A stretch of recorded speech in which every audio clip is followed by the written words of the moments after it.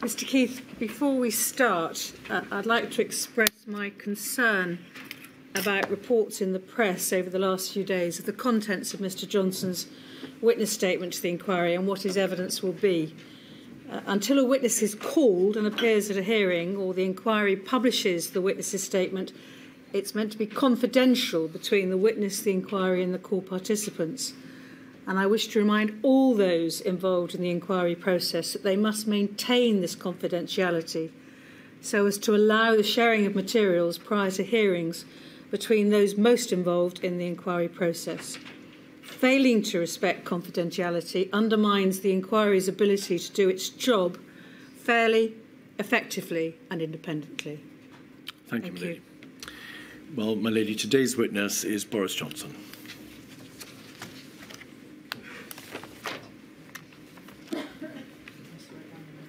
I swear by Almighty God that the evidence I shall give shall be the truth, the whole truth, and nothing but the truth.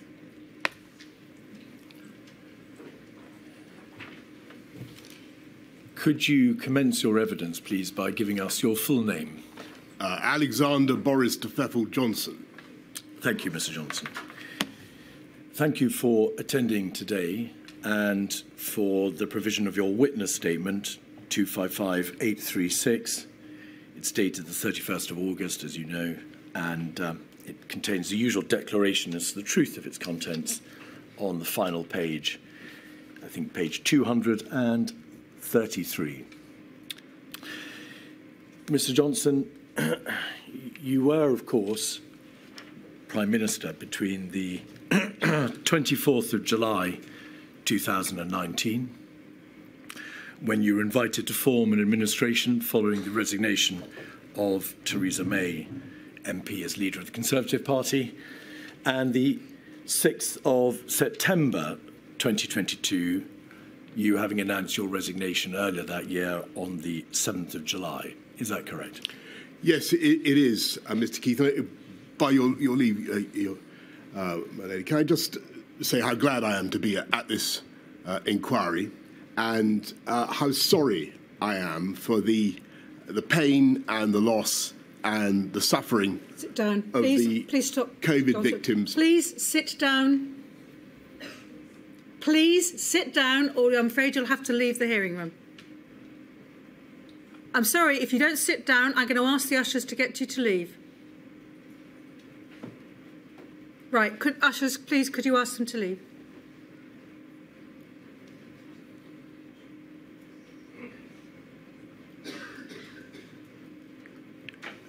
Could I say, by your leave, uh, that I understand the feelings of, the, of these victims and their families, and I am deeply sorry for the pain and the loss and the suffering of those victims and, and their families.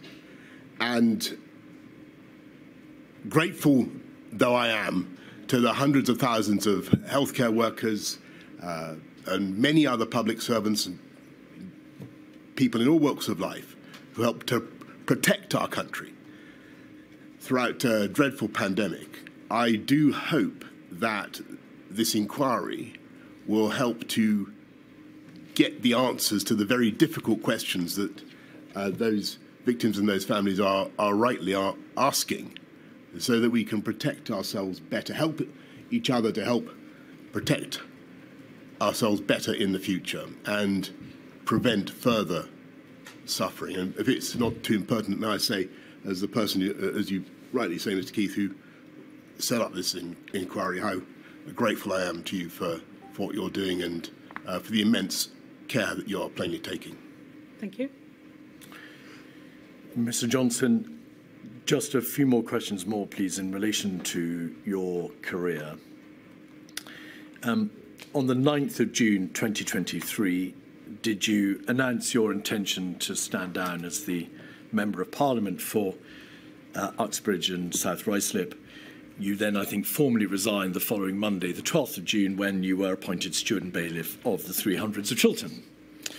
You were, of course, previously Foreign Secretary and Mayor of, of London. You correctly observe that you yourself announced the institution of this statutory inquiry on the 12th of May 2021, you ordered the institution of a full and independent public inquiry, did you not? I did, uh, Mr. Keith, and I uh, believe that's the right way forward. When you made that announcement, you said this Amid such tragedy, the state has an obligation to examine its actions as rigorously and candidly as possible. The number of deaths across the United Kingdom, calculated whether by registration on the death certificate through COVID or the measure of excess deaths, is now over 230,000. By any measure, Mr. Johnson, that is a, a shocking figure and a terrible loss of life. Is that the tragedy to which you were referring when you said, in this tragedy, the state has an obligation to examine its actions? Uh, it, that is certainly the, the, the core of the tragedy, yes. Do you agree that if the protection of life is the preeminent duty that every government owes to its citizens, then the number of those who died is an important, if not the most important, marker against which your administration must be measured. I, I, I certainly think it's the it was what we were trying to prevent was the loss of life. Absolutely. The virus left in its wake, of course, not just death, but injury and misery, and indirectly through the lockdowns, it left pain and incalculable economic and societal damage. Were those and are those impacts which you also envisaged this inquiry would look at when you ordered its institution? Of course. Do you accept, and we may, I think, presume from your opening remarks that you do, do you accept that the bereaved and those who suffered, of whom there are very many a number, are entitled to no less than an absolutely full and rigorous scrutiny? Of course. When you made that announcement, you also said that this process will place the state's actions under the microscope and the government would be required to disclose all relevant information. In light of those words, could I just ask you, please, to confirm what your approach has been to the disclosure of your own COVID related emails, WhatsApps, and notes? I've done my best to give everything of any conceivable relevance. Has that always been your position, Mr. Johnson? Yes. Could we have 265619, please, page 68? This is a, a WhatsApp between your former uh, permanent secretary number 10 and then latterly cabinet secretary and your principal private secretary Simon Case and respectively Martin Reynolds. And the cabinet secretary said the prime minister is mad if he doesn't think his WhatsApps will become public via the COVID inquiry.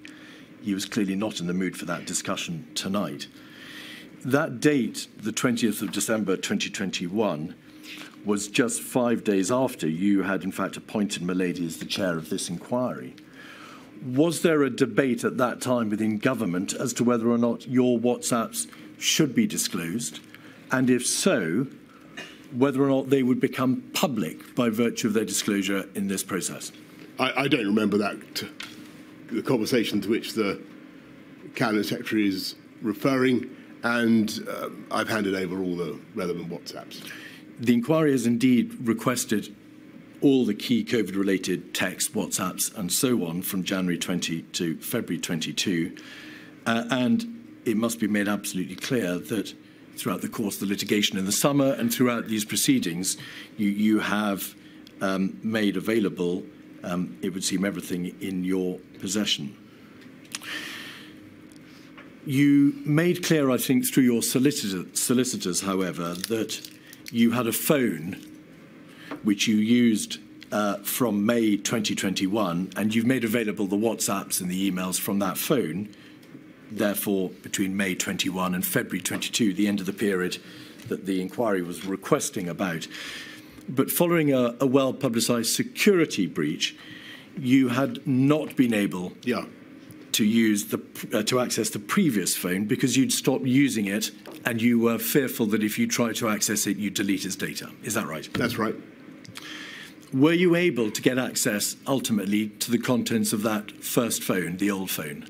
Yes, so it, we sent it off to some technical people and they, they activated it.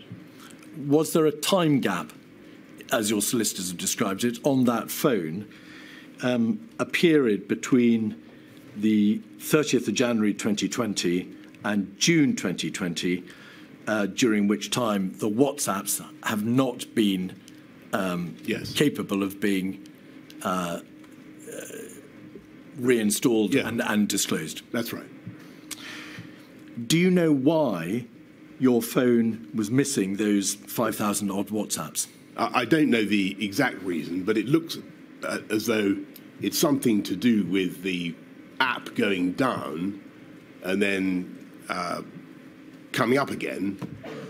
Um, but somehow uh, not automatically erasing all the things uh, between that date when, when it went down and the moment when it was last backed up. So I, I can't give you the technical explanation, but that's the best I'm able to give. The technical report that your solicitors kindly provided demonstrates that there may have been a factory reset of the phone at the end of January 2020 and then an attempt to reinstall the contents later in June 2020. May I just ask you this? Was it you, if that was a, a factory reset that was done, was it you that tried to reset the phone or not? A factory reset? There was a there is a device or a capability on the phone which allows its contents to be entirely reset. I, that wasn't I, you. I don't remember any such All thing. right. Um, and during the course of the litigation this summer between the inquiry and the Cabinet Office, did you, of course, make plain your stated wish that the WhatsApps which were the subject of that litigation should be disclosed, Yes. they being your own WhatsApps? All right. Can I, for the avoidance of doubt, uh, make it absolutely clear I haven't removed any WhatsApps from my phone, and I've given you everything that I think you need. I, I ask Mr. Johnson b- because this issue has been trailed in the press. Yeah, no, I get you. And Yeah. um, it's important that you have an opportunity of explaining why those WhatsApps are not available. In your witness statement, at paragraph 10, you say, Mr. Johnson, that unquestionably mistakes were made. And for those you say you unreservedly apologise. We have the statement there. I'd like you, please, to set out in broad terms, of course, we'll be looking at the detail of it later, but in broad terms, what mistakes you refer to there. Bearing in mind that we are only concerned in this module, Mr. Johnson, with the core decision making, with the lockdown decisions, the NPIs, the non pharmaceutical interventions, and so on, not vaccines, therapeutics, Yeah. antivirals. Okay. What, what mistakes do you unquest- uh, unquestionably accept were made? Well, I, I think if you look at my statement, I point out that we were relying so much on messaging to help contain the virus, and uh, we needed a uh, the public to understand the message in as straightforward a way as, as possible. And they, they really did, by and large. One problem we had that I mention is that uh, because of the uh, very you know, natural uh, and proper right of the devolved administrations to have their own approach, sometimes there was a bit of so the BBC News would would have one message from number ten, then a slightly different one from Scotland or wherever, and that I think we need to sort that out in future. And uh, you know, I'm sure there are plenty of other things that we could have done differently, uh, but I, I have no doubt it will come to them in the course of the examination. So your position today is, and you appear to refer to it as the first issue, that the primary mistake made rests in the context of the messaging and the all communications with the devolved Well, you, you asked me to to cite a mistake that we made. I didn't say that was the primary mistake. What, what, what, primary mistakes, Mr. Johnson, are you referring to in paragraph 10 when you say there was terrible suffering, but in relation to which, where we failed, I apologise again? For what are you apologising in that statement? Well, I, I, I think just to, to go back to your, your, your main point, which is that so many people suffered, so many people lost their lives. Inevitably, in the course of trying to handle a very, very difficult pandemic in which we had to balance appalling harms on either side of the of the decision, uh, we may have have made mistakes. I think it. I don't want to try to anticipate the, the discussion, which I'm sure we will get into, about um, the, the timings of uh, NPIs, of lockdowns. Um, in, inevitably, we, we got some things wrong. Um, I think we were doing our best at the, at the time, given, given what we knew, given the information I had available to me at the time, I think we, we did our level best. Um, were there things that we should have done differently? Unquestionably, uh, but you know, I would I would struggle to to itemize them all before you now in in, in, in, a, in a in a hierarchy. I'm afraid I think it, it would be. I'd find it easier uh, to try and explain what happened as we went through. You say in your witness statement, we, I, unquestionably made mistakes. Can you draw a distinction for us, please, between yourself personally and the government? To, to what extent do you accept I take, personal responsibility as opposed to accepting it on behalf of your administration? So I take personal responsibility for all the decisions that we made. It's obvious, Mr. Johnson, that many of the most difficult and momentous decisions rested upon your own shoulders as Prime Minister. Do you take responsibility for whatever my lady makes of the speed of the government's response in January, February, March of 2020? Of course. And the way in which the various moving parts of the government, the advisory committees, the departments, the agencies, and so on responded? Of course. Do you take responsibility for the lockdown decisions, whichever way they went, and their timeliness, whatever my lady makes of, of them? The manner in which patients were discharged from hospitals into the care sector. Of course. The explosion of the virus within the residential care sector. Yes. The general speed at which the restrictions were eased. Yes. The Eat Out to Help Out scheme. And then latterly in 2020, the decision not to introduce a circuit breaker in September or October or to introduce a tier system earlier when the prevalence of the virus was lower for good or ill. Yes, though we did have local restrictions from a very early, early day. Did. May I just ask you, please, this question? Also, you you refer to mistakes. Uh, it's very important that the inquiry understands to what extent it's accepted that there were mistakes, as opposed to an acceptance that, with hindsight, the government could have done better. Do you mean there were failings, things or decisions that you got avoidably wrong, whether because they were the wrong decisions or because your management and leadership meant that the right decisions were less likely to be taken? Or do you mean, with hindsight, you just could have done better? Well, that's a sort of deterministic question, isn't it? Well, it's uh, an I important think, one. I think, I think the, um, the answer is that uh, with hindsight, it may be easy to, to see things that we could have done uh, differently, or it may be possible to see things that we could have done differently. At the time, I felt, and I know that everybody else felt, that uh, we were doing our best in very difficult circumstances to protect life and, and protect the NHS. It is impossible and arguably improper to attribute any individual death causally to any particular governmental decision, as I know you know. And, and no possible purpose would be served in such an exercise. But do you accept that overall, the government decision making, not the pandemic, but the government decision making in response, led materially to there being a greater number of excess deaths in the United Kingdom than might otherwise have been the case? Uh, I, I can't give you the answer to that question. Uh, I'm not sure. I noticed the um, that in your opening preamble a few months ago, you produced a slide saying that the UK was, I think, second only to, to Italy for excess deaths. Correct. Uh, that's not, to the best of my knowledge, the, the case. Um, and I think that many other, all I would say is that many other countries suffered terrible losses from COVID. They did.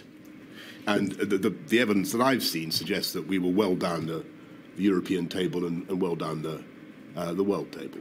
Though that is, of course, no comfort to uh, the bereaved and their, and their families. I, that, that seems to be the statistical reality. The evidence before Milady is that the United Kingdom had one of the highest rates of excess death in Europe. Almost all other Western European countries had a lower level of excess death. I've seen. Italy was tragically um, in a worse position than the United Kingdom. Well, I, I, don't wish, I, don't wish, to, to, contradict you, Mr. Keith, but the, the evidence, the, the uh, ONS data I saw put us, I think, about 16th or, or 19th in a table of 33. In Western Europe, we were one of the worst off, if not the second worst off. You must have long reflected since that time why that was so. Why do you think that we had the rate of excess deaths in this country that we did ultimately have? As I say, I think that the statistics vary, and I think that the um, every country struggled with a new pandemic, um, and I think the the UK, from the evidence that I have seen, was well down the European table, and obviously even further down the the, the world table. Uh, if I had to answer why I think we face particular headwinds, I would say it was irrespective of, of government action, uh, we have a, a, an elderly population, extremely elderly population. Uh, we do suffer, sadly, from lots of, of uh, COVID-related comorbidities. And uh, we are a very, very densely populated country, the second most densely populated country in, in Europe, and that, that did not help. Do you accept that government actions materially contributed to that outcome. It wasn't just a matter of the state of the healthcare system, density, age of population, and the, in fact the well, geographical location of the United Kingdom. given that uh, other countries have excellent healthcare systems and uh, face similar problems and ended up in uh, a uh, statistically uh, with more excess deaths per per 100,000? The answer is I don't know. I don't know. You're obviously extremely well aware of the argument that the lockdown decisions themselves, cumulatively and individually, contributed to the number of excess deaths. What do you say to that? I say that I, I, I don't know, but uh, I, am aware of the, the arguments that are made what, what I would say respectfully to people is that they were very, very difficult decisions. And the, the, the issue of the timeliness of, of lockdowns was clearly one that we considered very hard at the time. And you, you will have seen from the evidence uh, uh, that there were strong arguments against going too early into lockdowns, especially when it came to that first series of March NPIs. And you'll remember the arguments that were made two arguments uh, against early action, and they were the risk of behavioural fatigue and then the risk of, of, of bounce back or, or what you've called uncoiling of the spring. And they were made powerfully, and they, they certainly had a big effect on me. Could you assist the inquiry, please, with something about the nature of the, the heavy responsibility which rested on your shoulders? It is perhaps self evident that only the most difficult and momentous decisions come for the Prime Minister. That's correct. Were there any good or easy decisions to be made in this context? No, I, I can't think of a single.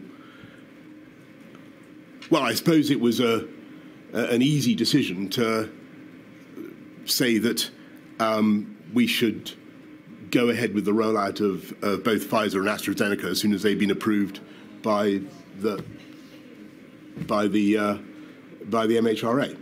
But there were no when it came to the forgive me, Mr. Keith, but when it came to the the balancing of the need to protect the public and protect the NHS and the damage done by lockdowns, it was incredibly difficult. Pause there, please. I do understand emotions are running very high. I do, and I think it's most unfortunate when I have to ask people to leave. But we have to ensure that this hearing is effective, and it's got to be effective not just for people in this hearing room, but for people watching on the on online streaming. So please make sure your behaviour is appropriate to a public hearing of a statutory inquiry. Thank you. Sorry to interrupt. No, it's fine. We'll look at the nature of the particular decisions in, in greater detail later.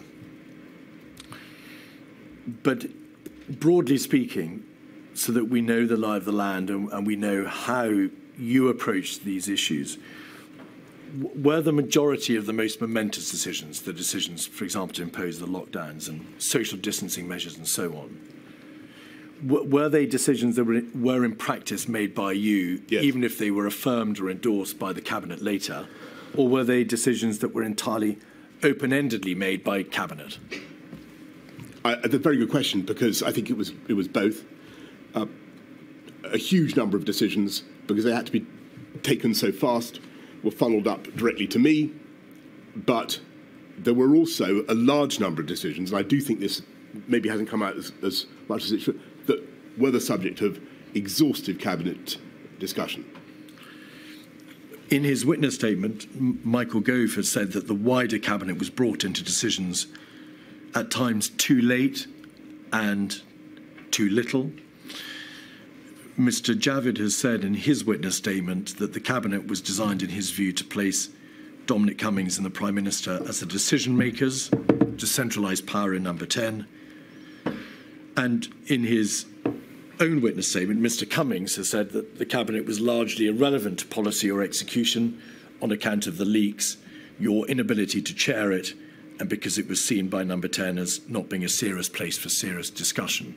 I don't think that's true. I think there were some really excellent cabinet discussions um, about the, the trade offs. If I had to make a comment about cabinet as a whole in, in terms of the, um, the speed of, of, of, lockdowns, which was your, what we're talking about, um, I think it probably would be fair to say that the, the cabinet was uh, on the whole, uh, more reluctant to impose NPIs than necessarily than than I was. That wasn't true for every member of the cabinet, but, but that would be a general a general comment.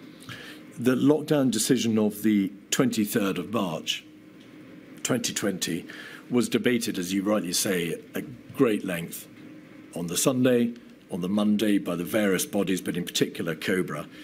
But it was debated in Cobra on Monday, the 23rd a public announcement, we'll all recall, was made that day, that evening, in fact, and then it went to Cabinet on the Tuesday. So, in relation to the first lockdown decision, it's obvious that Cabinet debated it after the event. In relation to the second lockdown, that of November 2020, Mr. Johnson, do you recall whether or not that decision was made by a COVID ministerial committee or by Cabinet? Uh, I, am afraid I can't remember the, the, right. the, the sequence there, but just picking you up on the on the first the first lockdown, which was actually a, a, a sort of crescendo of of measures. I'm fairly certain we had a, a, a long cabinet call at least to, to discuss it. Well, we'll look at that in detail later.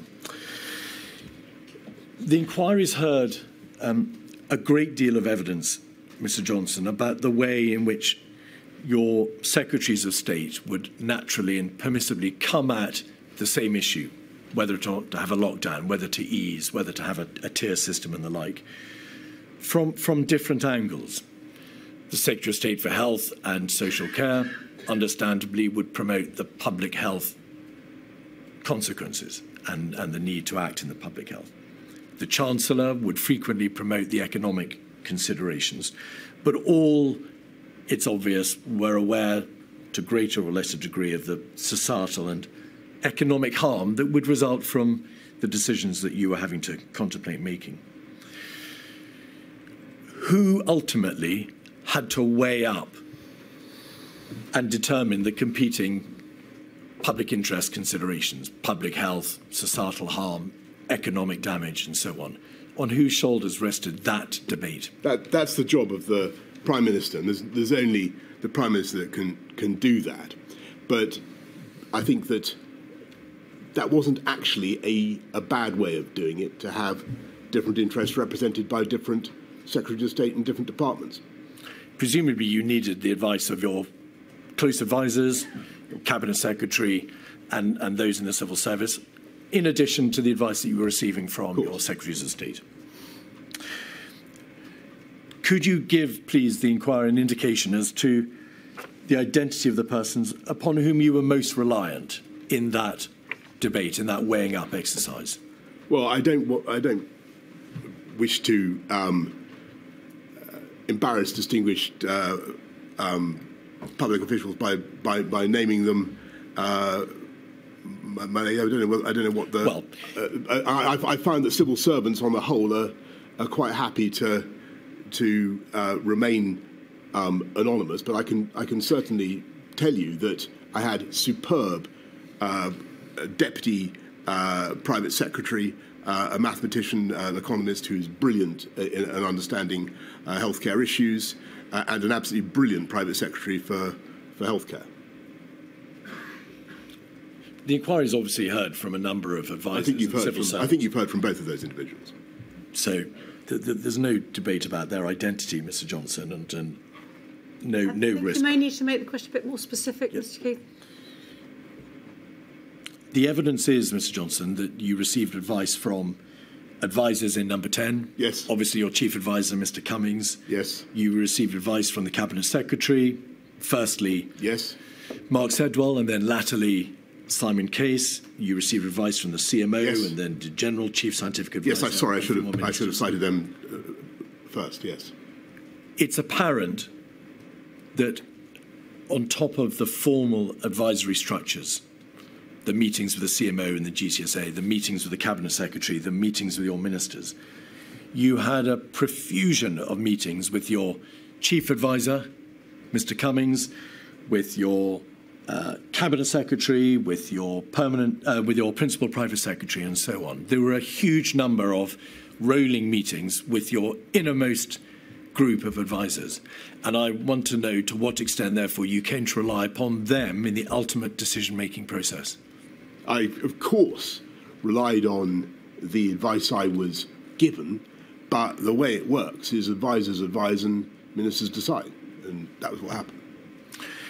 You received a great deal of advice from the Chief Medical Officer and yes. the government's scientific chief advisor. They were a vital source of advice, yes. that's obvious. You were aware that SAGE met hundreds of times, that's to say, the Scientific Advisory Group for Emergencies. Did you ever read their minutes, or were you wholly reliant on the CMO and the GCSA to relay to you what SAGE had said? I think I, I think I did once or twice look at the, maybe more than that, I looked at the what Sage had actually said, and Sage certainly produced a, a lot of uh, documentation.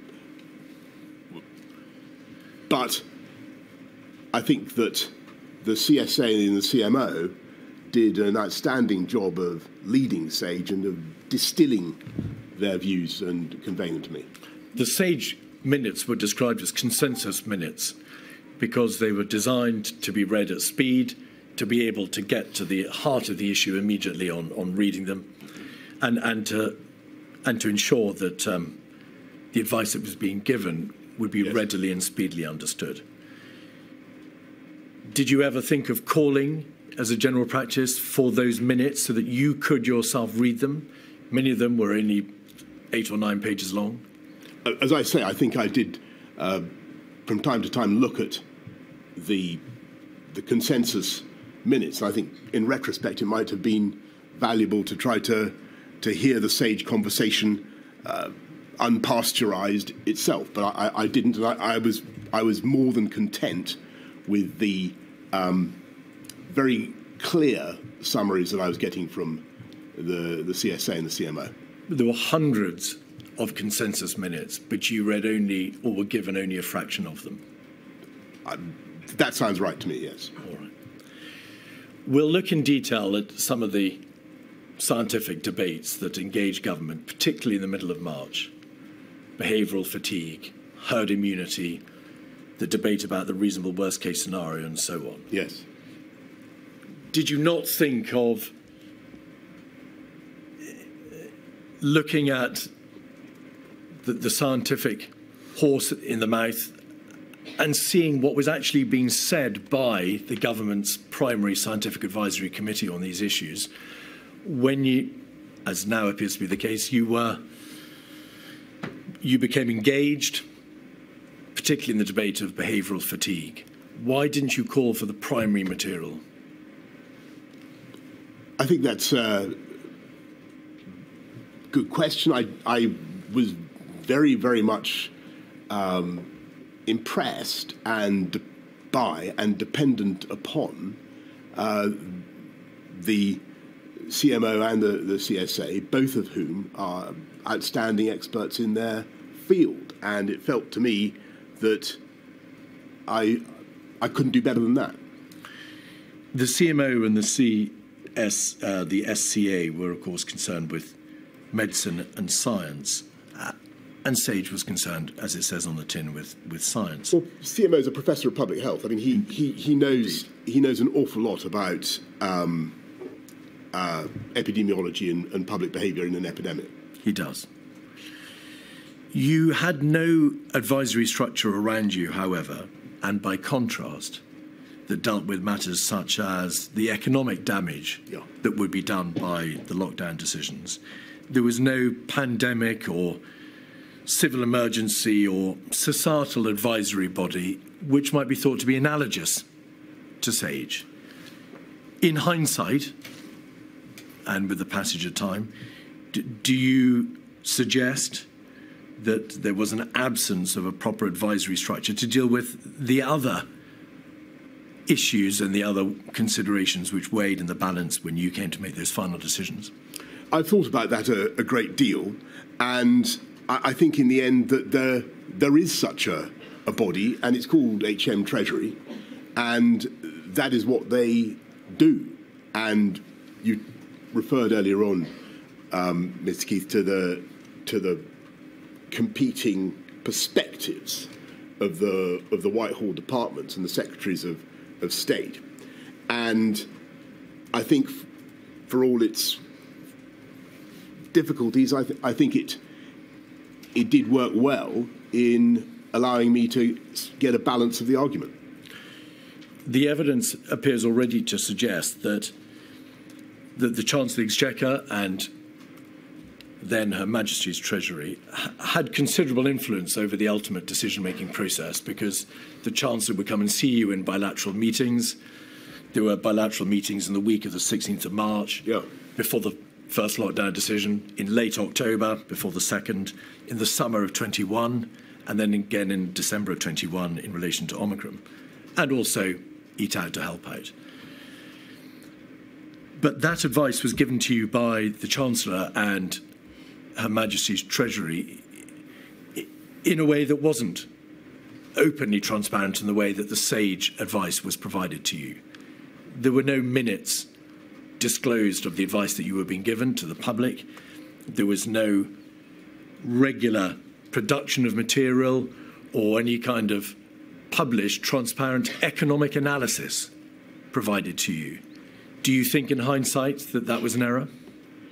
I think that there was certainly um, transparent economic uh, analysis of the cost of some of the measures that we were obliged to enact and the um, uh, fall in GDP, the, the, the, cost of the uh, CJRS the, the, and the other schemes was, was plain for all to, to see. Uh, that was all that was all public. Um, of course, what was not public and is not traditionally public is that is ministerial conversations and, and uh, discussion between ministers. But again, I think the perspective that I was being offered by the Treasury uh, was a very useful one, just as the perspective of the Department of Health was a very useful one. The material, so that's to say, diary entries and readouts of minutes and so on, Mr. Johnson, show that the, the, the Chancellor Exchequer would, in this difficult context of making the ultimate decisions about lockdowns and easing and tiers and so on, often get the last word by way of a bilateral meeting that would take place just before you made a final decision and also that the Secretary of State for Health and Social Care was occasionally excluded from meetings when public health matters were being discussed. Were you aware of that? I, I, I, I think that's. I, I, don't. I reject that characterisation of, of what took place. Um, the, over, the, the overwhelming priority of the government was protect the NHS, save lives. That was our obje- our objective, and that was where my officials were were coming from that was what we wanted to do. And I think it was important in that, in that context to, you know, we had, there were lots of things we had to do that were very difficult, very costly. And it was right to have endless conversations with the Treasury, was what, was what we did. You know, of course, that a great deal of evidence has been given to Milady about the operation and the competence of your administration it needs to be stated absolutely plainly that the inquiry has absolutely no interest in the in the salaciousness or the, the nature of Mr. Cummings's linguistic style or the WhatsApps. But it does have an interest, of course, in whether or not his communications revealed an abusive and misogynistic impact. The WhatsApps and the texts shed a direct light on the competence of the government, how well or not the government machinery operated, what you all thought about each other, and what some of you thought privately about the decisions that were being taken. We're going to look in detail at them later, but it's fair to say that in the round that material paints yes. a appalling picture, not all the time, but at I, times of incompetence and disarray. Can I comment on that? I, I, I think Please. that um, the two things need to be separated out there. Um, I think it is certainly true that this inquiry has, and, and I'm, I'm glad of it, has dredged up a phenomenal quantity of the type of material that would never have been available to any previous inquiry into doings in number 10 because it's, it's WhatsApp communications of a kind that would not have been possible. And that's a, that's a good thing because you can get a, a texture of the feeling for the, for the relationships and the, uh, and the human beings. I would make a, a couple of points. First of all, uh, a lot of the, the language, the style that you refer to is completely unknown to me. Uh, or indeed to anybody else not on the on that group. Uh, I've apologised to one particular person who suffered uh, abuse in that uh, in one of those publicised WhatsApp exchanges. Um, but I would make a distinction between the type of language used and the decision making processes of the government and what we got done. And I would submit that any powerful and effective government has, and I think of the, the Thatcher government or the Blair government, uh, has a lot of uh, challenging and competing characters uh, whose views about each other uh, might not be fit uh, to print, uh, but to get an awful lot done. And that's what we did. Your own Cabinet Secretary, Mark Sedwill, um, he was, of course, asked to move on, and we'll come to that later in May 2020, described, according to Sir Patrick Vallance, your administration as brutal and useless, and observed that it was hard to motivate people in number 10 in such terrible times if they were being shot in the back. That would appear to be a reference to the doings, as you say, of number 10, to the process and the operation of government, as opposed to the atmospherics. Would you not agree? Uh, again, I, I, think that actually what you're looking at in in all this uh, this stuff is a lot of highly talented and highly motivated people who are uh, stricken with anxiety about what is happening, uh, about the the pandemic, who, who are doing their best, and who, like all human beings, under great stress and, and great anxiety about themselves and their own performance, will be inclined to be critical of, of others. And I think that that would have been the same of any administration facing the same sort of challenges uh, uh on, on, that scale. But do you accept that there is a considerable body of material which, which addresses not just their private thoughts of the other individuals in government, of them personally, but relates to the performance of government, to the way in which your administration actually operated. Do you yes, accept that as a general proposition? I do, and I think that that was a good and a healthy thing because we needed, const- given the scale of what we were facing, we needed constantly to challenge ourselves and constantly to try to, to do better. Your own chief advisor, Mr. Cummings, described on the 4th of May something the government had done as being the best success of the whole criminally incompetent government performance. How, how could that be a good thing? Because what he is trying to to do is to he's he's ex, uh, not for me to explain his his quotation. You can you can ask him yourself. But what we were generally trying to to do was to make sure that we delivered the best possible service for the people of the UK who were going through an absolutely terrible, terrible time. And it, it would not have been right to have a, a, a load of, if, a, if, we'd had a load of WhatsApp saying, aren't we doing brilliantly, folks? Uh, isn't this going well? I think your criticisms might have been, frankly, even uh, more pungent. On the 27th of March, after Mr. Cummings had asserted that Whitehall had nearly killed huge numbers of people and cost millions of jobs, and that Mr. Hancock had failed to get on top of the testing problems. You yourself said these three words totally fucking hopeless. That was a reference to the performance of an important part of government. I'd stress the word nearly in that. No, uh, in your that response, Mr. Johnson. And I, I would say that my job was not to not uncritically to accept that everything we were doing was good, though I, I as it happens, as I, as I said to you, I do think that the, one, the country as a whole had notable achievements during the, the crisis.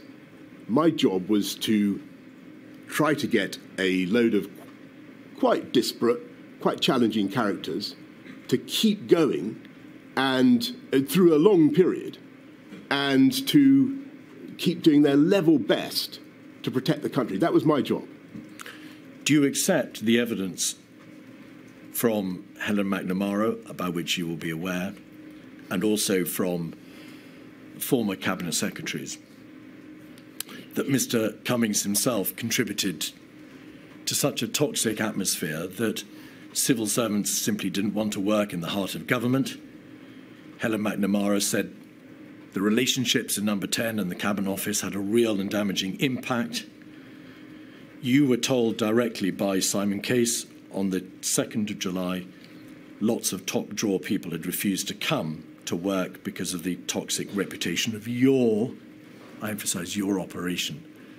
Were you aware that there were individuals, civil servants, and advisors who were not prepared to work in your administration because of the atmosphere and the working relationships which were in play?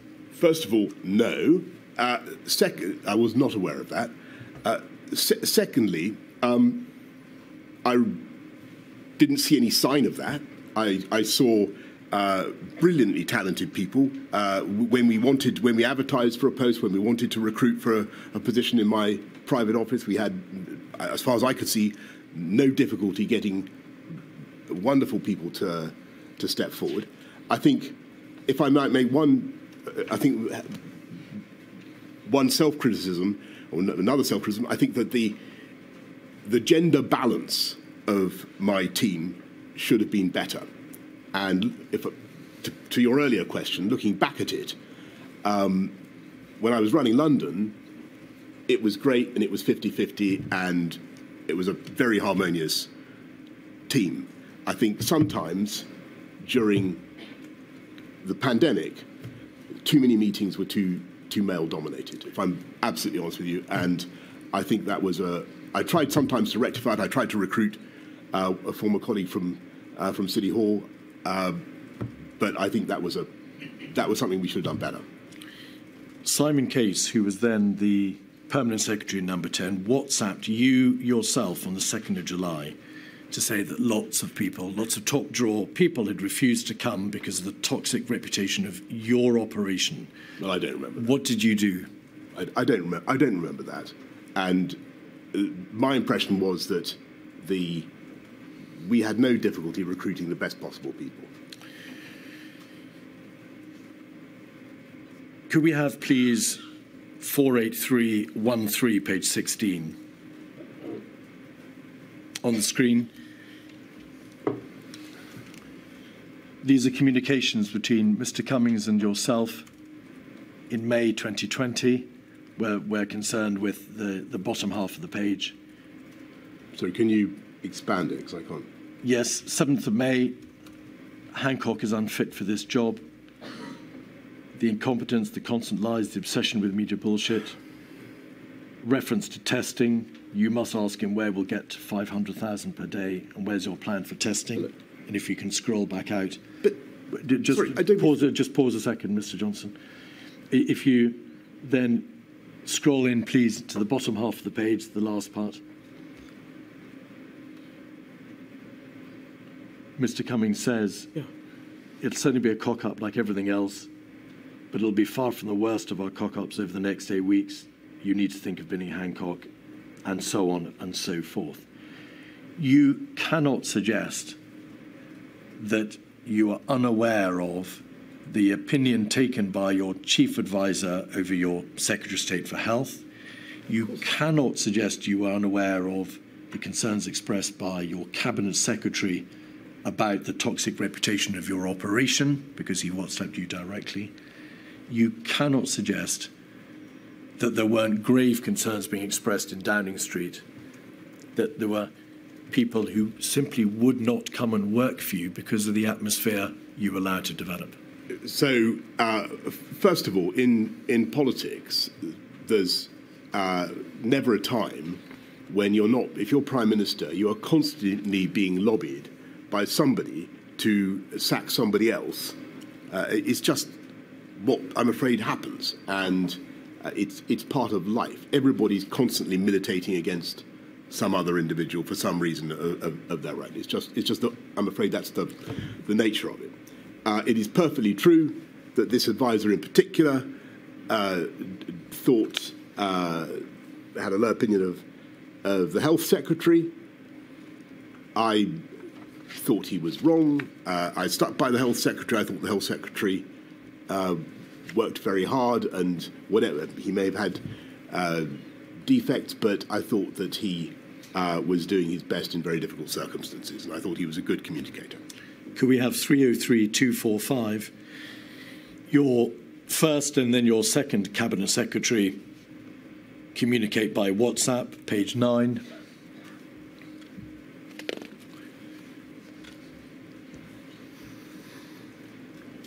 Mr. Case refers in the top of the page to how you have told Mr. Cummings outright to stop talking to the media in his presence.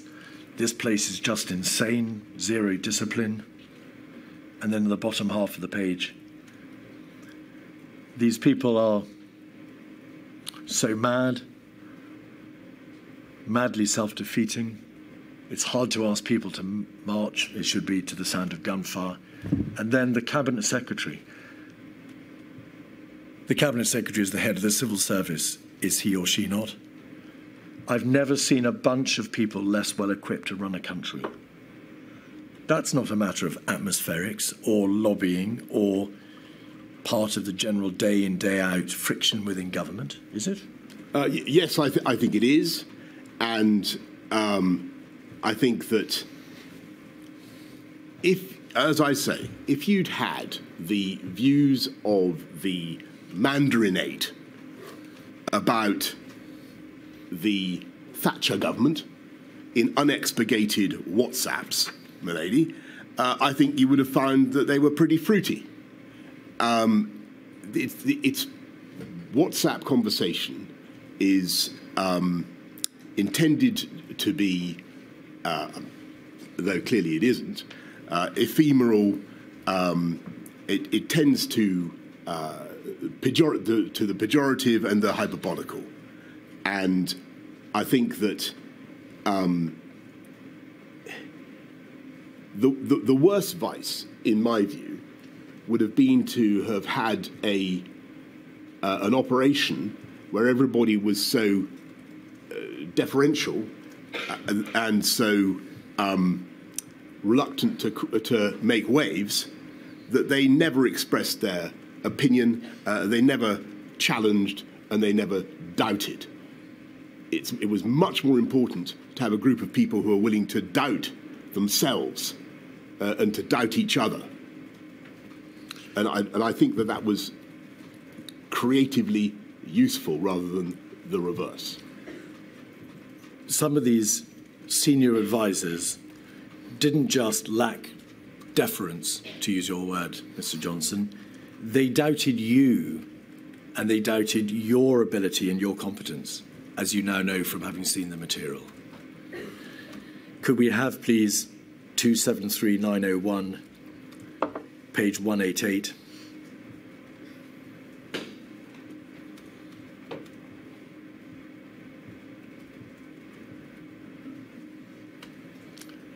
That's from the 19th of September. Page 229.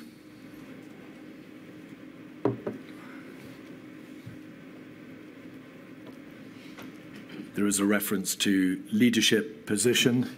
Would you like me to? Yes, I'm, I'm just going to put, because it's, it's right and proper that, and, and fair that you're asked to give your Sure. response to, to some of the material which has been produced to this inquiry.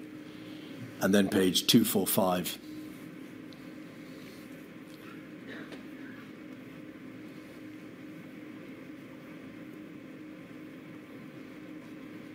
The Prime Minister begins to argue for letting it all rip.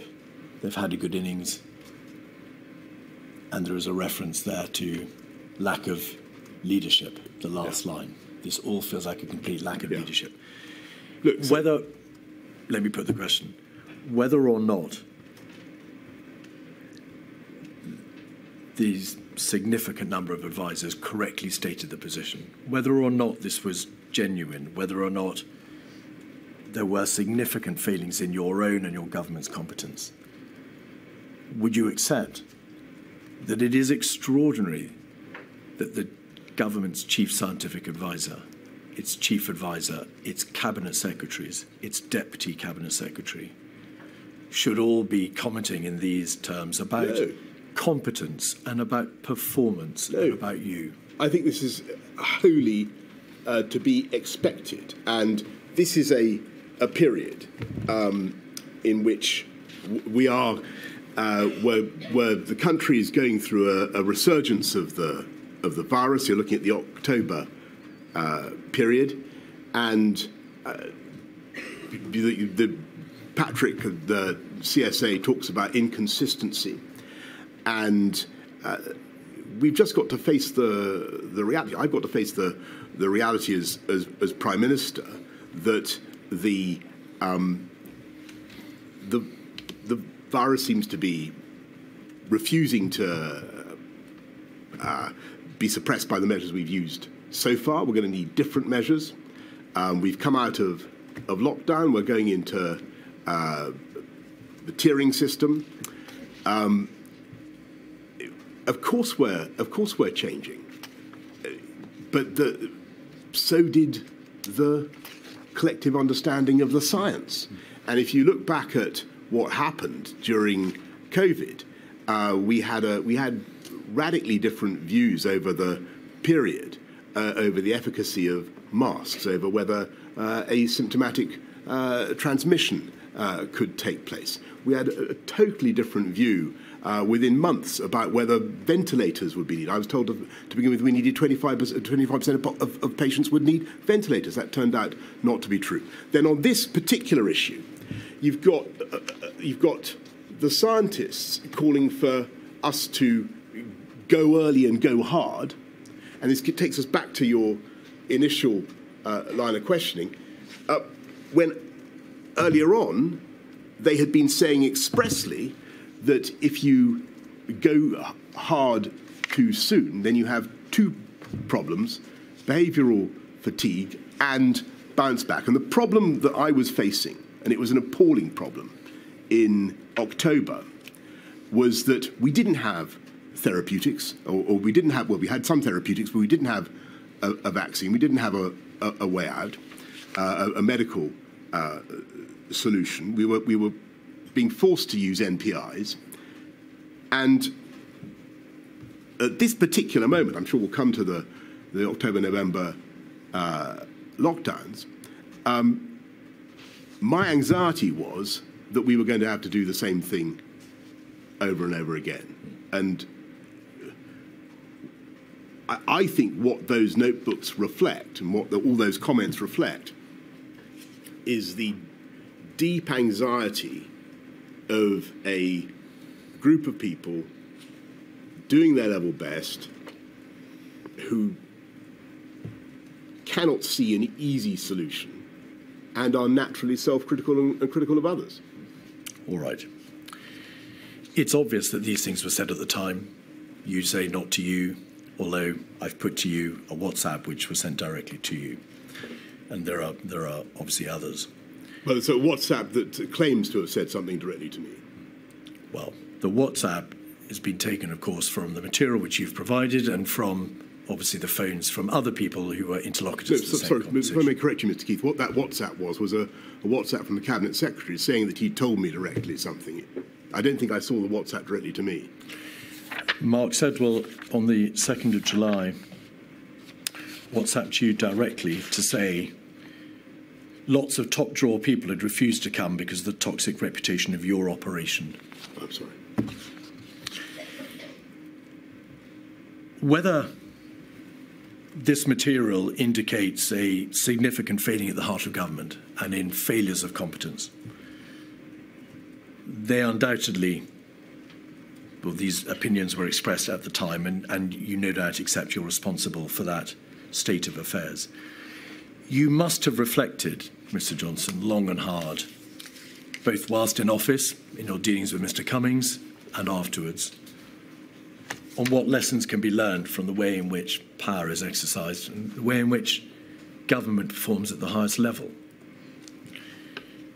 Have you reflected upon whether or not the, the system of SPADs, the system by which you receive advice from your political advisers, needs to be reformed? Have you reflected on the function and powers and the extent of powers of SPADs, or on the competence of the ministers whose advice you accepted? Well, I think with hindsight, there's all sorts of things that you could do differently. I think at the time, I decided that it was best to have a, an atmosphere of, uh, of challenge with some strong characters giving me advice, and I, I valued that advice. Well, with hindsight, you can now see what was going on. And you've had this material for some time. Have you reflected on whether or not the inquiry could, if my lady sees fit, make recommendations about the way in which a character such as Mr. Cummings, about whom some extremely strong views have been expressed, should be in the position that he was, views on whether or not the Prime Minister had access to the correct and proper forms of advice? Are these not issues that you've thought about? Yes, but I think overwhelmingly that I did have access to the correct and proper forms of, of advice. And if you ask upon whom I relied uh, for for that advice, uh, it was the CMO and the CSA, uh, together with uh, the experts, the, uh, the officials in my private office. You lost confidence in your cabinet secretary in May 2020, did you not? Well, he asked to step aside. Did you lose confidence in your cabinet secretary in May 2020? Yeah, he asked to step aside. Did you lose confidence in your chief advisor, whom you described as engaging in an orgy of narcissism at the heart of your administration? Well, I think he also uh, stepped aside. Did you lose confidence in those senior advisors, Mr. Johnson, and effectively dispose of them both? Well, uh, they they both stepped aside from uh, from government, but it was a very difficult, very challenging period. Uh, people were getting, as, as you can see from the from the WhatsApps, they were getting um, very frazzled because they they were frustrated. COVID kept coming at us in, in wave after wave, and it was very very hard to to fight it. And people were doing their level best. And I don't, you know, when people are, are, are critical of the the guy at the top or they're critical of, e- of each other, that's a, a, reflection of the, the difficulty of the circumstances. When it when the it became e- easier in uh, in the spring and uh, after the during the vaccine rollout, people's tone changed. Of course it did, but it was a reflection of the of the, the agony that the country was going through and that the government was going through. Ladies, at a convenient moment, I'm about to turn to a completely separate topic. Right. Uh, I shall return at 20 past.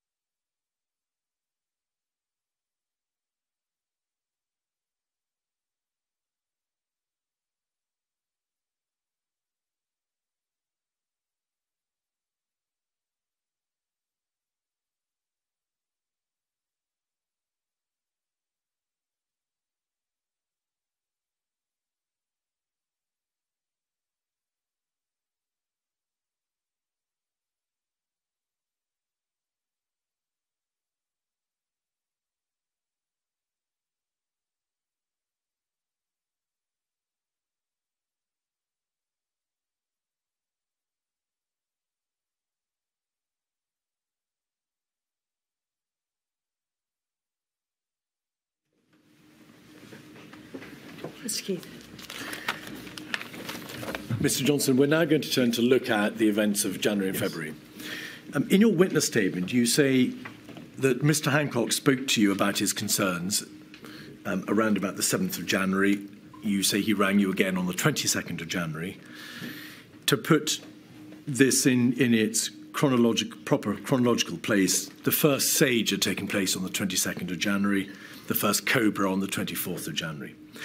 Um, he says, however, in his witness statement that he, he called you directly on at least four occasions during January to try and impress upon you his concerns. Although he does not say so, the implication is that he, he was at pains to try to alert you to the problems he saw it, and he was required to, to raise the matter with you repeatedly. Do you recall a repeated number of attempts to, to raise the alarm with you in that way? I certainly recall the conversation on the 7th of, of January and uh, the, uh, the context, and I, I, remember thinking about it and saying to him, well, you know, keep, keep an eye on it. And, and I've set out in my, in my statement um, my initial instincts about it. Um, I, I don't, to be frank, remember all those conversations, but um, it's true that we would have spoken on many occasions because we, we generally spoke quite a quite a lot. Um, I think that in that period, January really to the to the end of of, of February, um, towards the end of, of February, um, COVID was pretty much like a cloud on the horizon, no bigger than a man's hand, and you you didn't know whether it was going to turn into a, a typhoon or not, and I certainly did, didn't. I was unsure, and it became clear much later. The matter was first raised with your Cabinet Secretary, Mark Sedwill, formally on the 21st of January, uh, which was the date, in fact, of the World Health Organization first novel coronavirus situation report. Do you recall when the matter was first brought officially to your attention? You were obviously aware from news reports, and you'd been aware from your conversations with Mr. Hancock as to the, the, the possible um, crisis or the emergence of this virus uh, in China. But when officially do you recall it was put before you? I, am sure it's in my uh, in, in, what I've submitted to the inquiry, Mr. Keith. I, I think it would be it, certainly there are, there are, cabinet discussions in uh, in January and in uh, and, and, in February, um, and a, a, crescendo of activity about it. But it, in, in government, it, it wasn't yet being escalated to me as something of, of really truly national concern. Indeed. A COBRA was convened, uh, chaired by Mr. Hancock, on the 24th of January. And then he chaired a, a, further COBRA meeting on the 29th of January, then the 5th of February, then the 18th of February, and then the 26th of February. Right. It's plain that was quite permissible.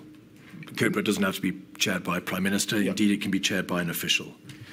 But the sheer frequency of those COBRAs, there were then five COBRAs within one month, all on the same issue of this emerging virus.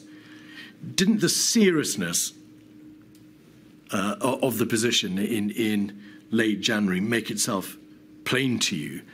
How could there have been a need for a Cobra every week for five weeks in relation to an issue that didn't require your direct involvement as the Prime Minister?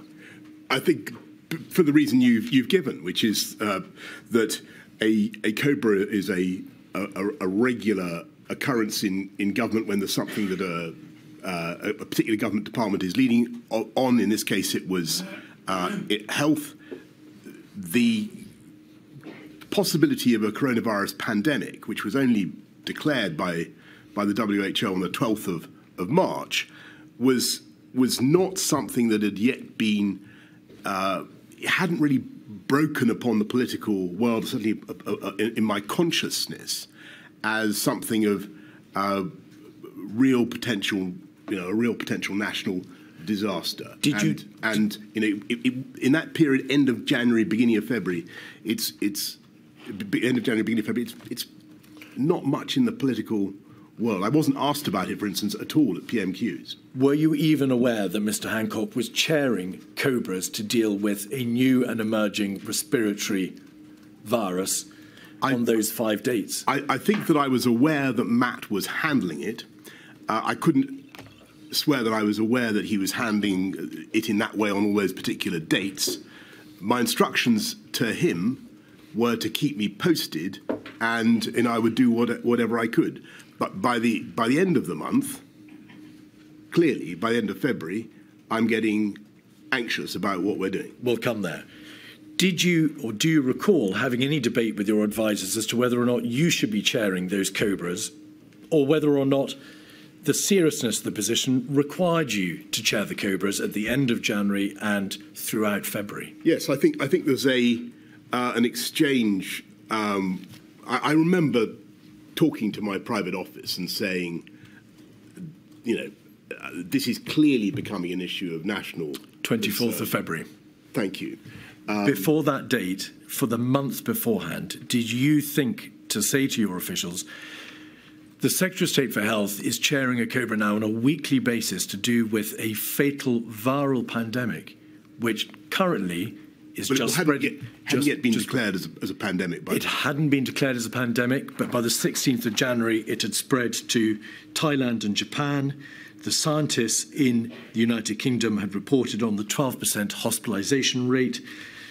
It was clear from the material in government that only a small fraction of the infections in Wuhan were being detected, and there was already evidence of limited human to human transmission, all by the 16th of January. So in an overarching sense, why do you think that the Prime Minister, yourself, was not informed earlier as to those extremely worrying features of this emerging virus? I, I think that the, here's what I really think happened.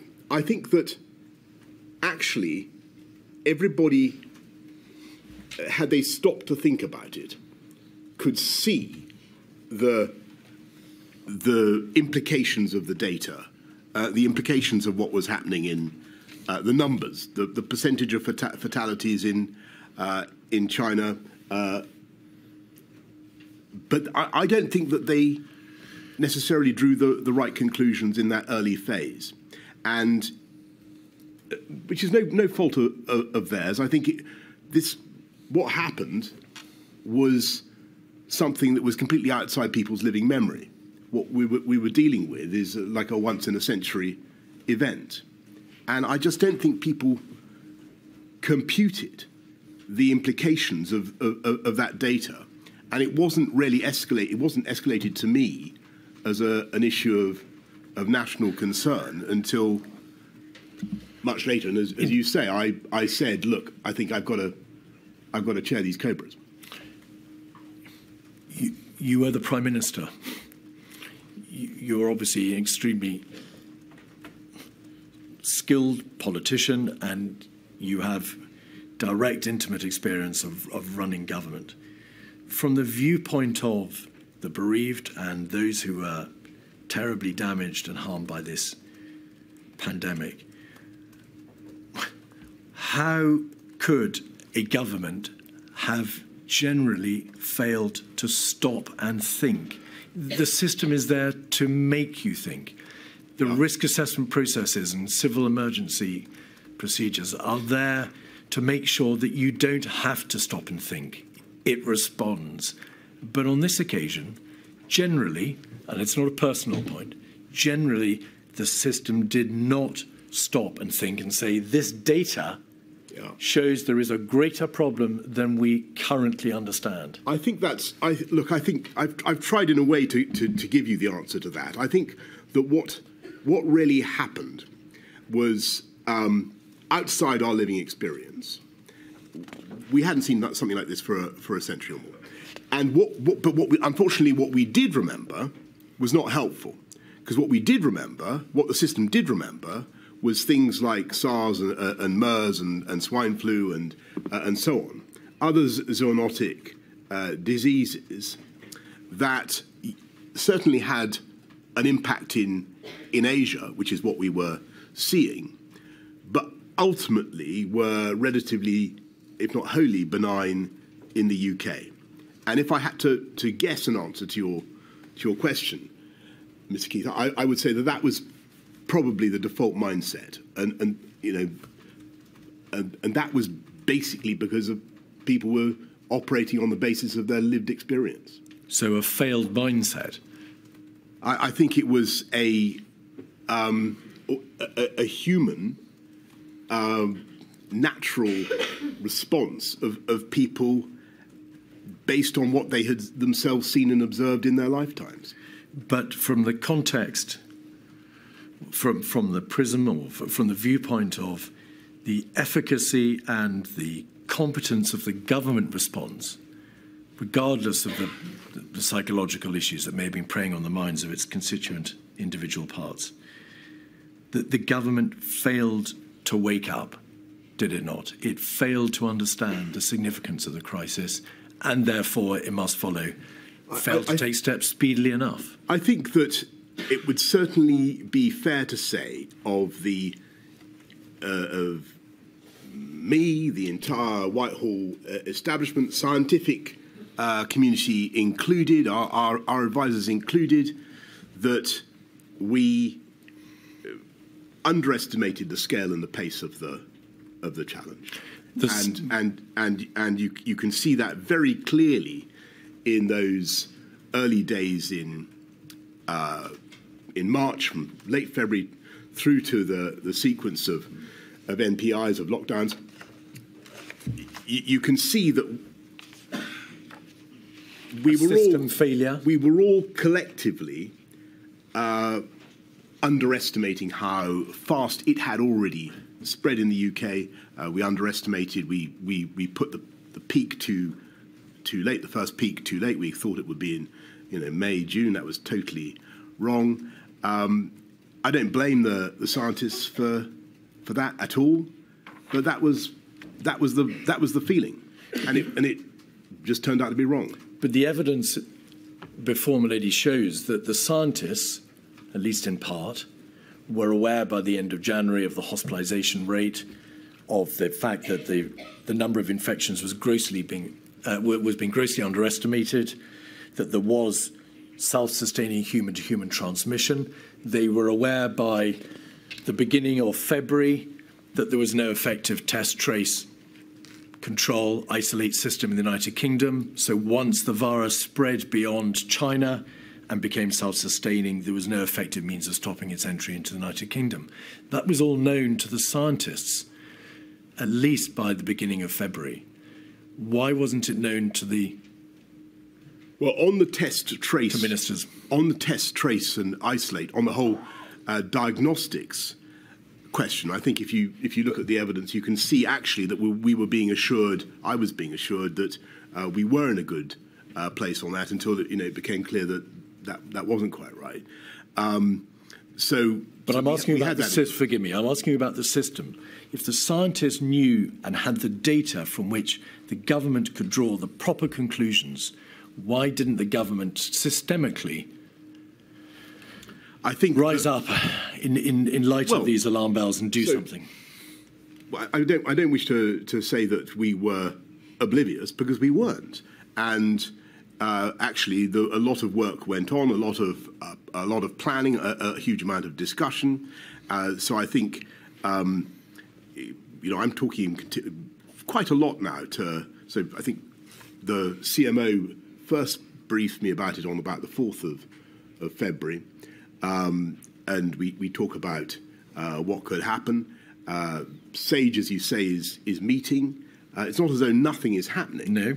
I think that what is, what is, what is going wrong, possibly, is that um, we are just underestimating the, the pace, the contagiousness of the, of the disease. And, um, you know, you can, you can see very clearly uh, from the, the, that crucial moment of transition on the, from the 12th to the 13th of, of March, how radically the, the scientific appreciation of the situation changed. I'm, I'm Sage on one day was. Forgive me, Mr. I'm, sorry, I'm, I'm asking about January and February, where we haven't got to March yet. When did you first become aware that the test and trace system whilst extremely efficient in practice, could not be extended beyond the first few hundred cases, that it was a system designed for high um, yes. high consequence infectious diseases. It dealt with travellers, it dealt with index cases, but it couldn't really be expanded beyond 10 or 20 index cases and five or 600 contacts. Yes, you're going to have to forgive me, Ms. Ms. I, I can't remember exactly when uh, I, it became obvious that uh, test and trace wasn't going to work, but, but there, came, there came a point quite early on when I think Chris or, or, or Patrick said, look, you know, well, test and trace isn't relevant anymore because of the, the spread of the disease. From which you then, I couldn't, I couldn't date that. From which you then, of course, appreciated that if the virus spread outside China and was self-sustaining, and it had already, yes, course, I'm sorry, that was probably much later in March. All right, you think that was later in March? I think so, but I couldn't, I couldn't, I couldn't, I couldn't swear to it. There was a box note on the 30th of January, 136734. This is an email from um, from a member of uh, your office, Mr. Johnson, um, to um, post the private office support team.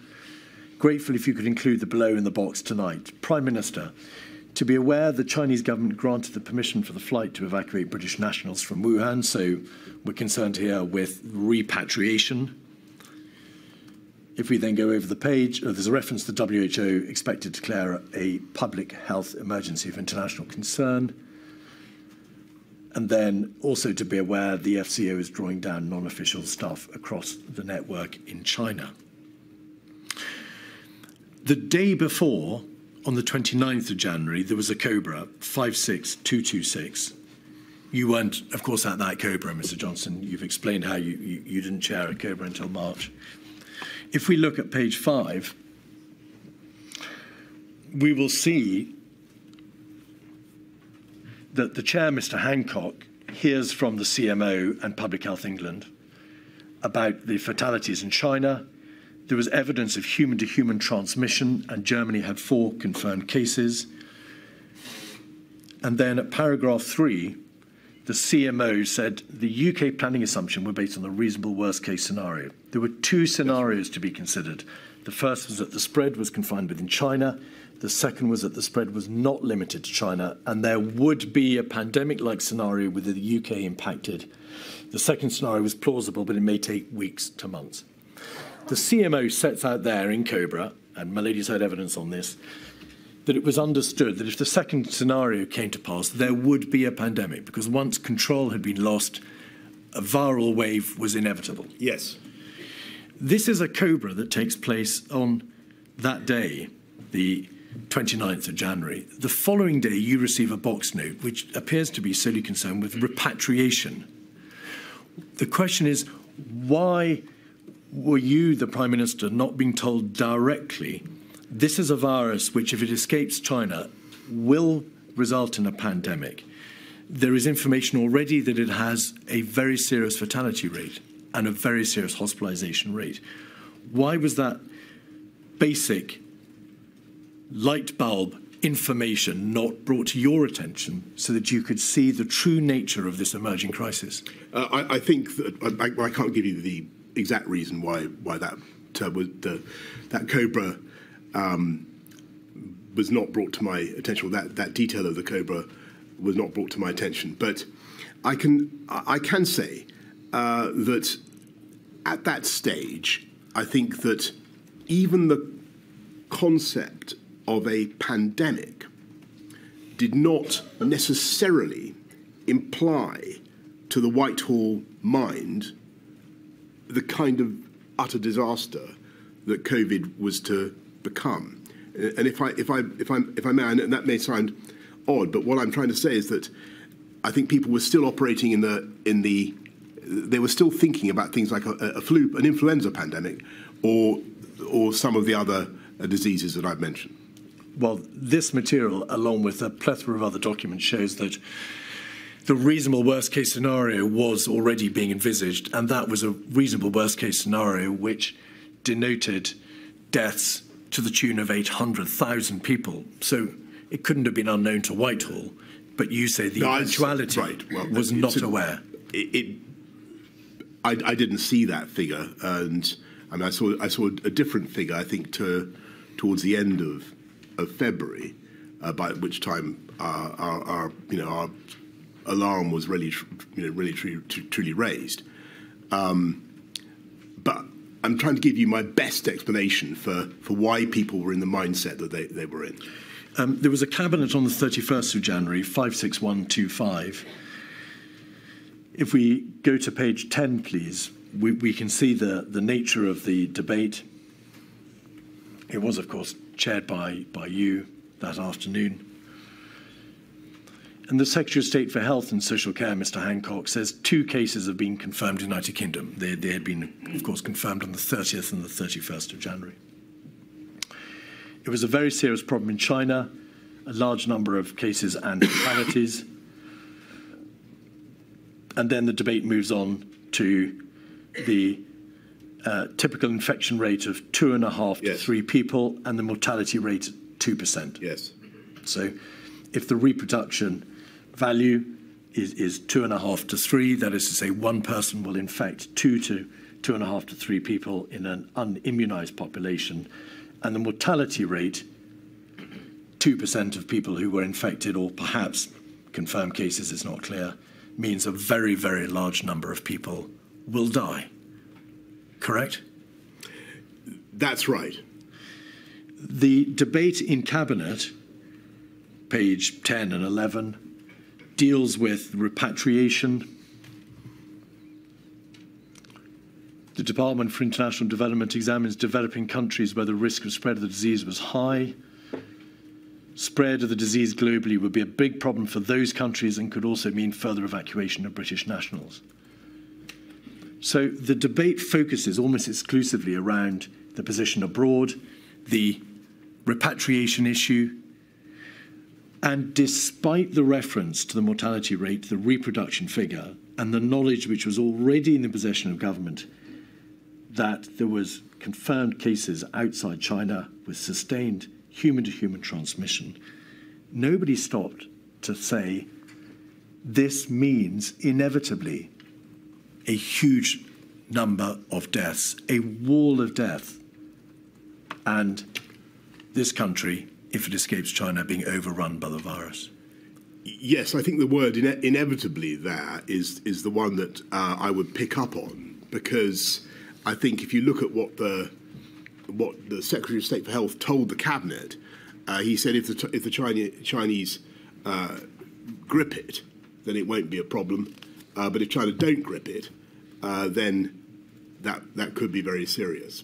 But you, your point is still basically a, a good one, which is that you know we had to think about what happened if China didn't grip it, and I think we we just have to uh, you know put our hands up here and say, look, I, I think because of the the absence of collective memory, uh, because we were operating under a different set of assumptions, I, do, I, I, do, I don't think that we were able to comprehend the the implications of what we were actually looking at.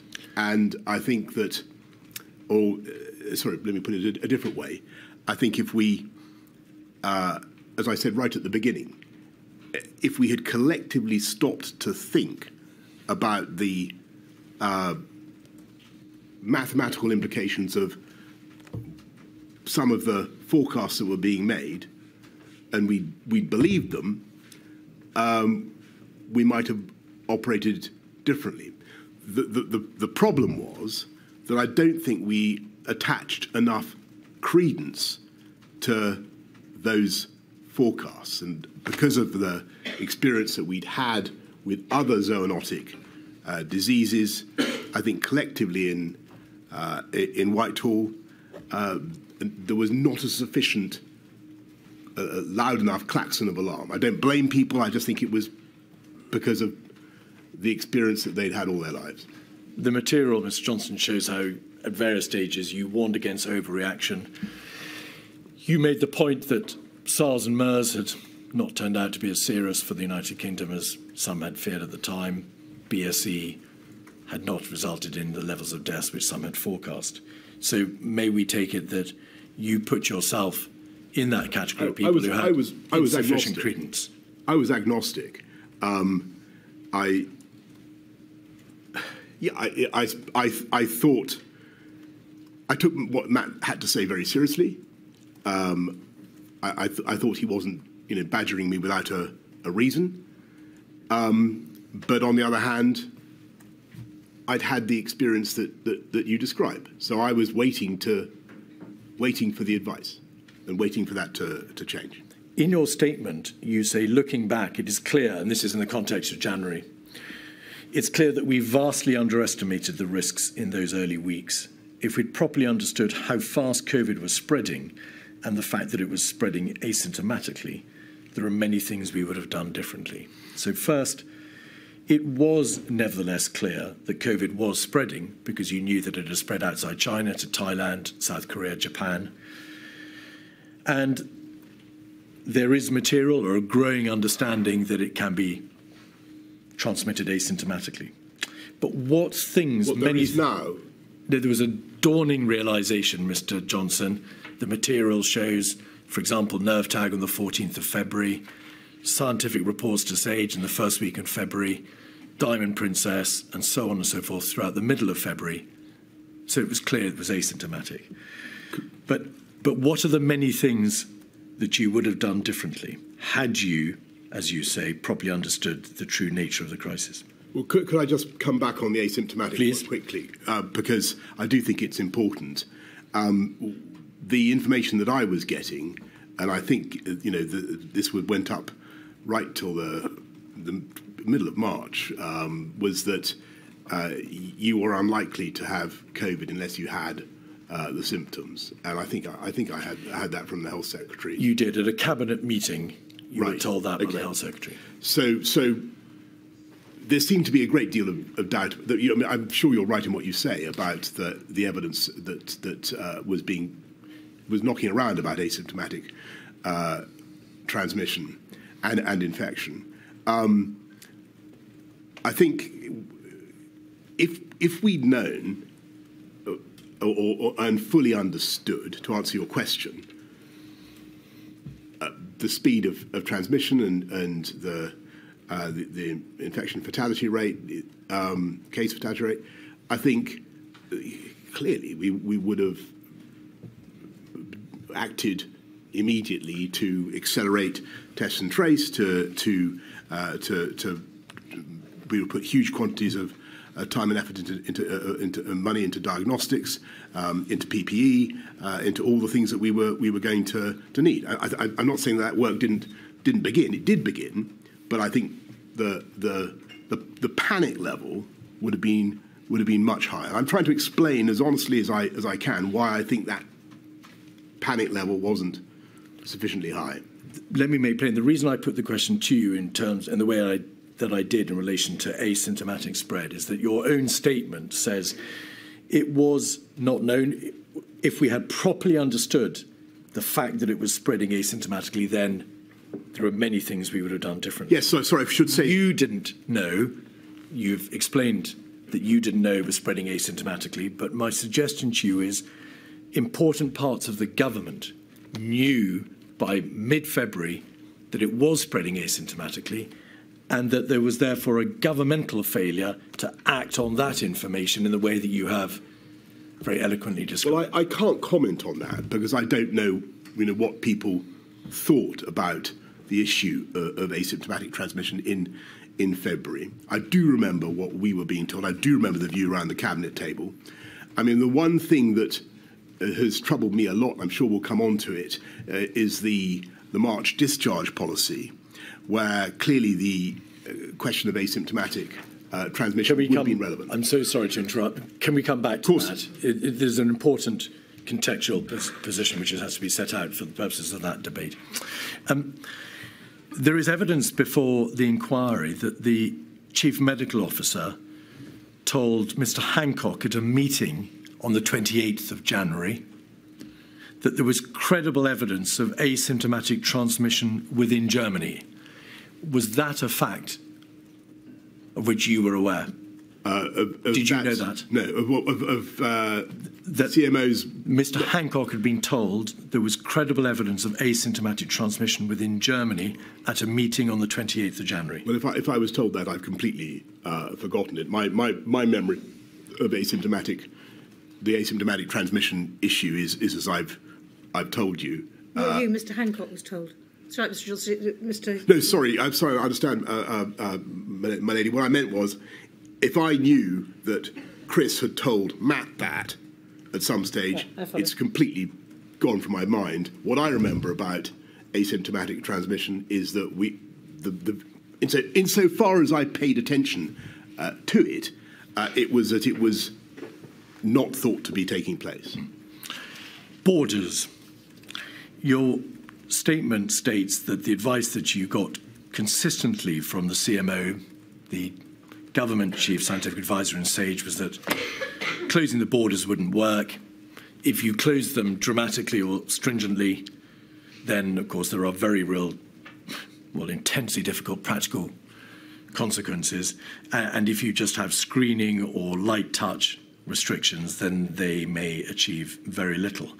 Um, will you just explain how you received that advice, in fact, consistently from a COBRA or the time of a COBRA on the 5th of February through a cabinet meeting on the 14th of February and through to the end of February? It was consistent advice that you received. Yes, thank you. And it, that is one of the most fascinating things about the scientific advice during this uh, pandemic and the, the, the view about behaviours. Many, many things changed, as, I, as, as, as I've said. About, you know, masks, other NPIs were thought they, they moved up and down in, in, in uh, the value that people put on them. Um, but when it came to borders, there was an overwhelming scientific consensus, as far as I understood it, that trying to interrupt the virus uh, with tougher border controls had bought you really very little.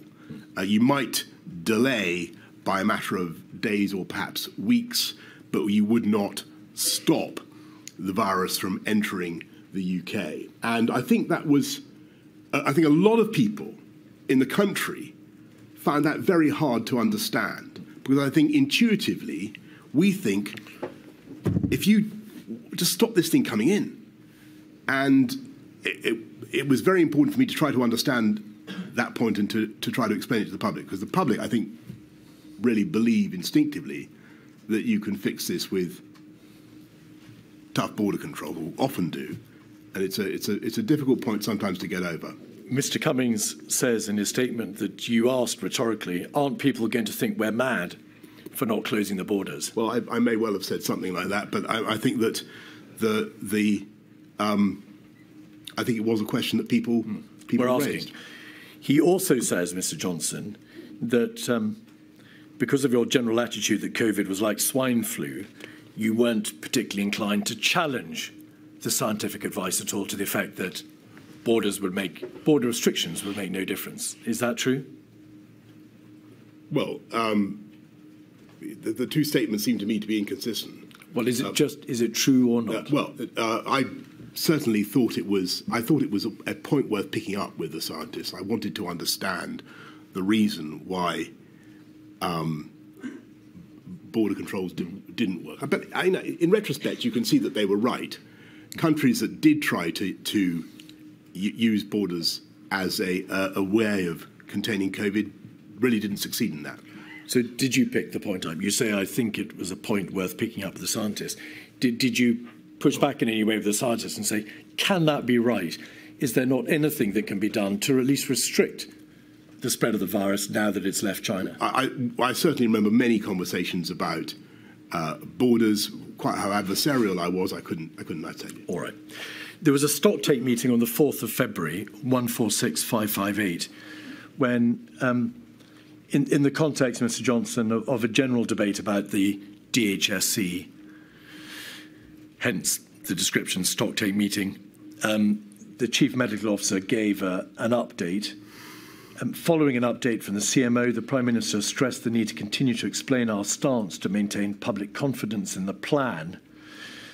On further travel restrictions, your Secretary of State was engaging Foreign Commonwealth Office and European colleagues and would revert with a proposal.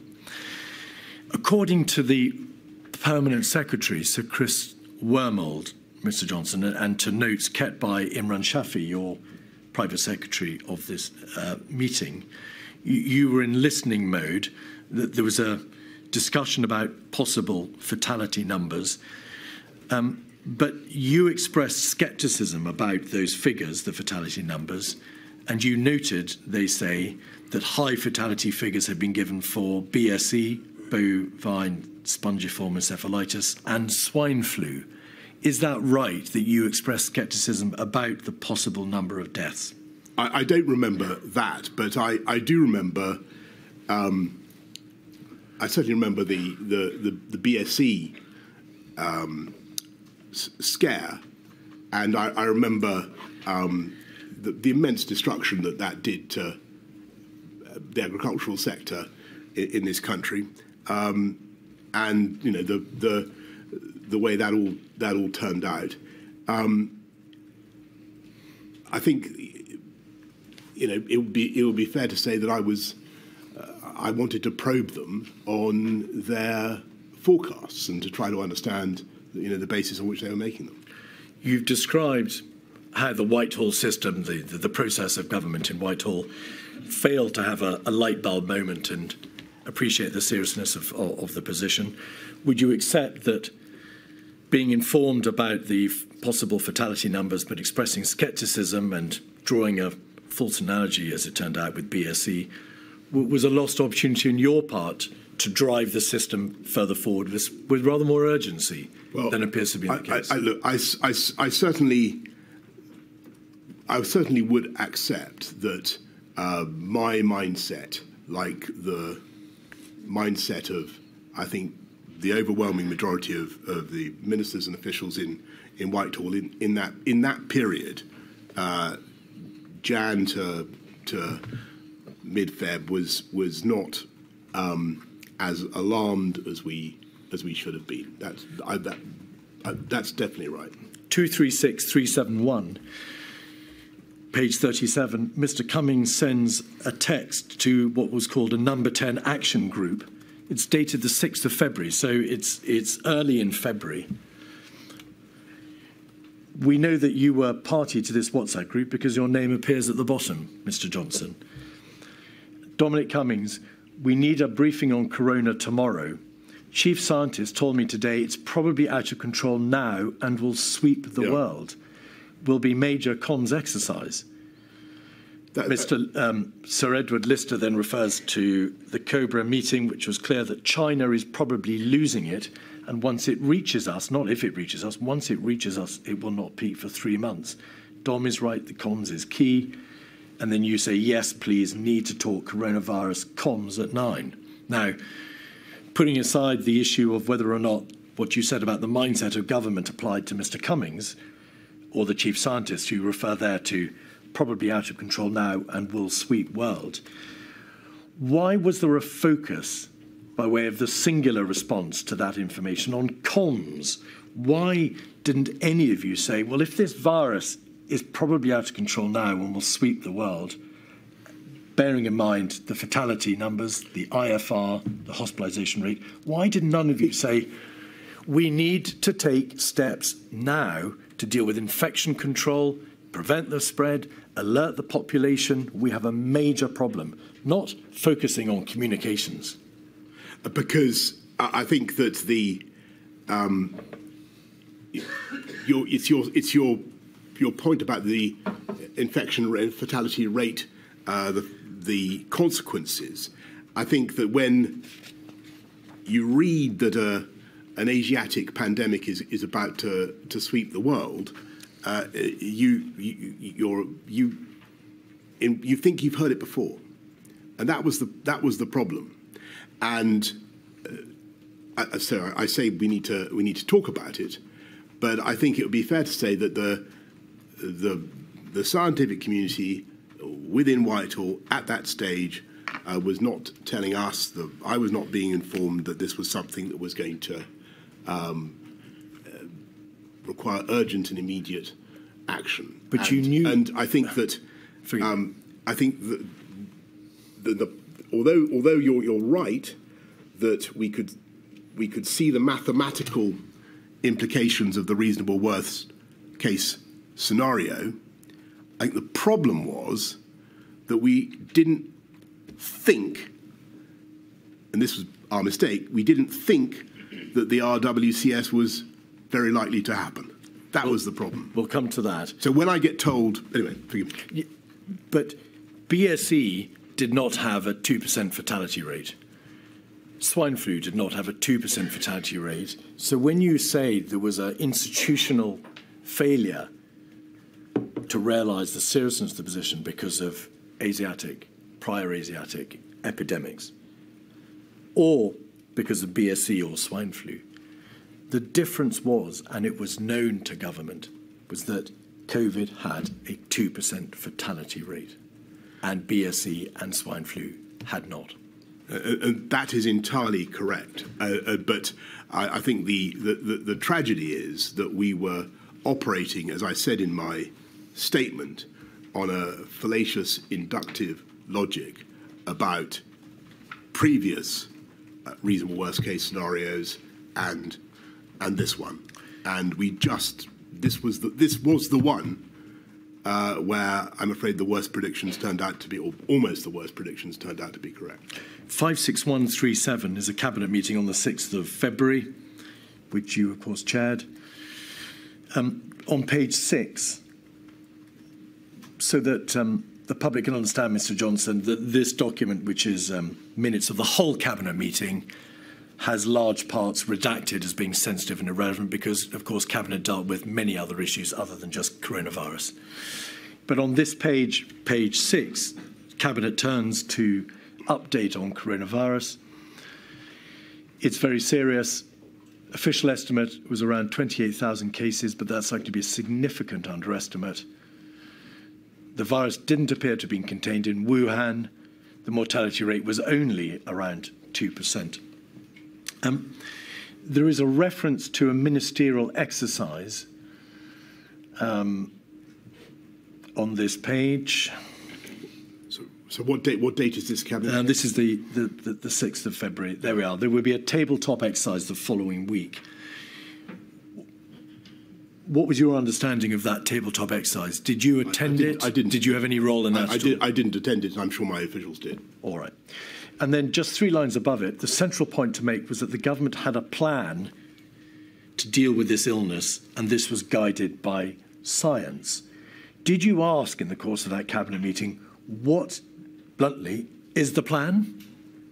Uh, I understood the plan to be uh, from um, uh, what Matt had said and uh, from the discussions I, I had had that we would uh, try to isolate, test, and, and, and, trace people as they as they arrived. That was what I thought the uh, the, the, plan was, and, I, and, my my impression was that we had a good testing system. But I, I, don't. To answer your question directly, I, I I'm, I'm I can't be confident. I said in that meeting, uh, what is the uh, what is the plan? But that, my, that is my understanding of what it was. A week later, on the 14th of February, Mr. Johnson, there's another cabinet meeting and another update 56138. Page one, we see the attendees. Page six, the update on coronavirus.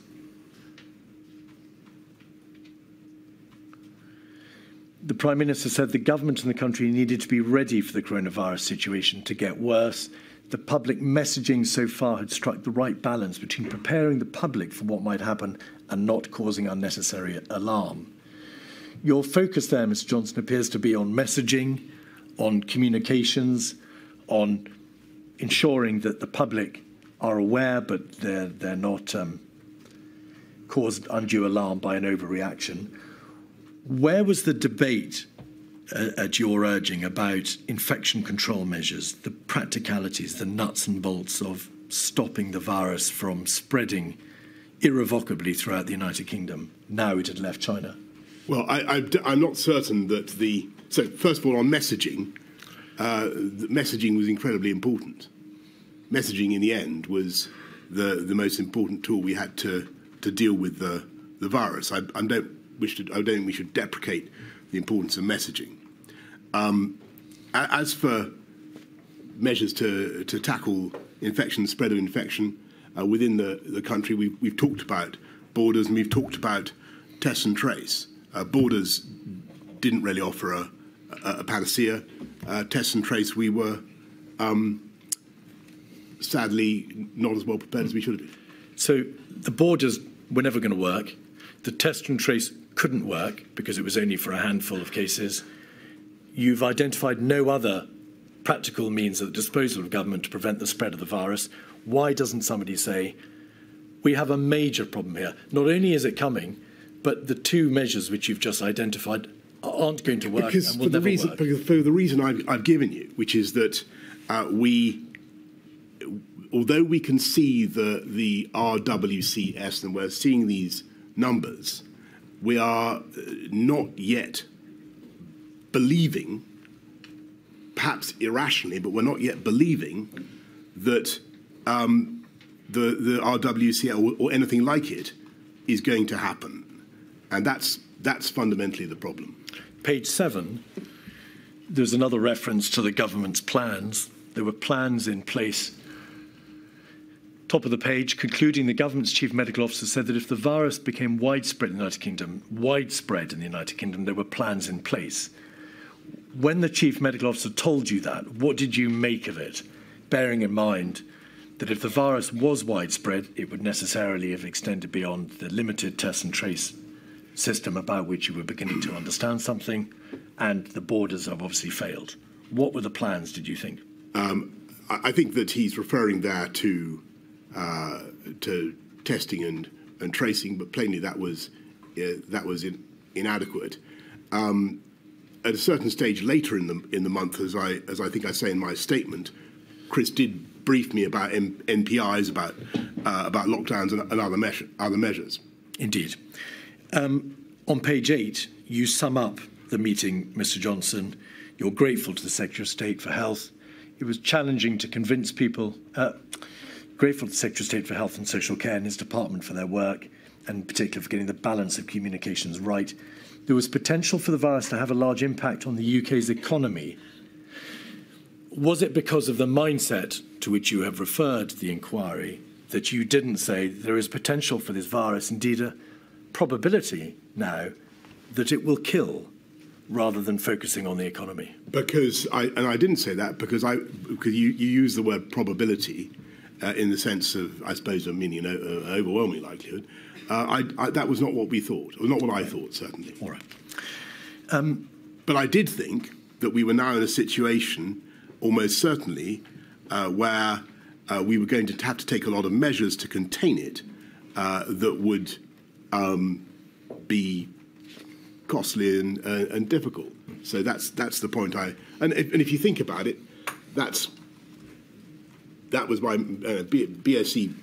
You're notwithstanding your excellent point that it it, it wasn't uh, nearly as fatal as as people had originally said. Uh, it costs a, a, an awful lot of money.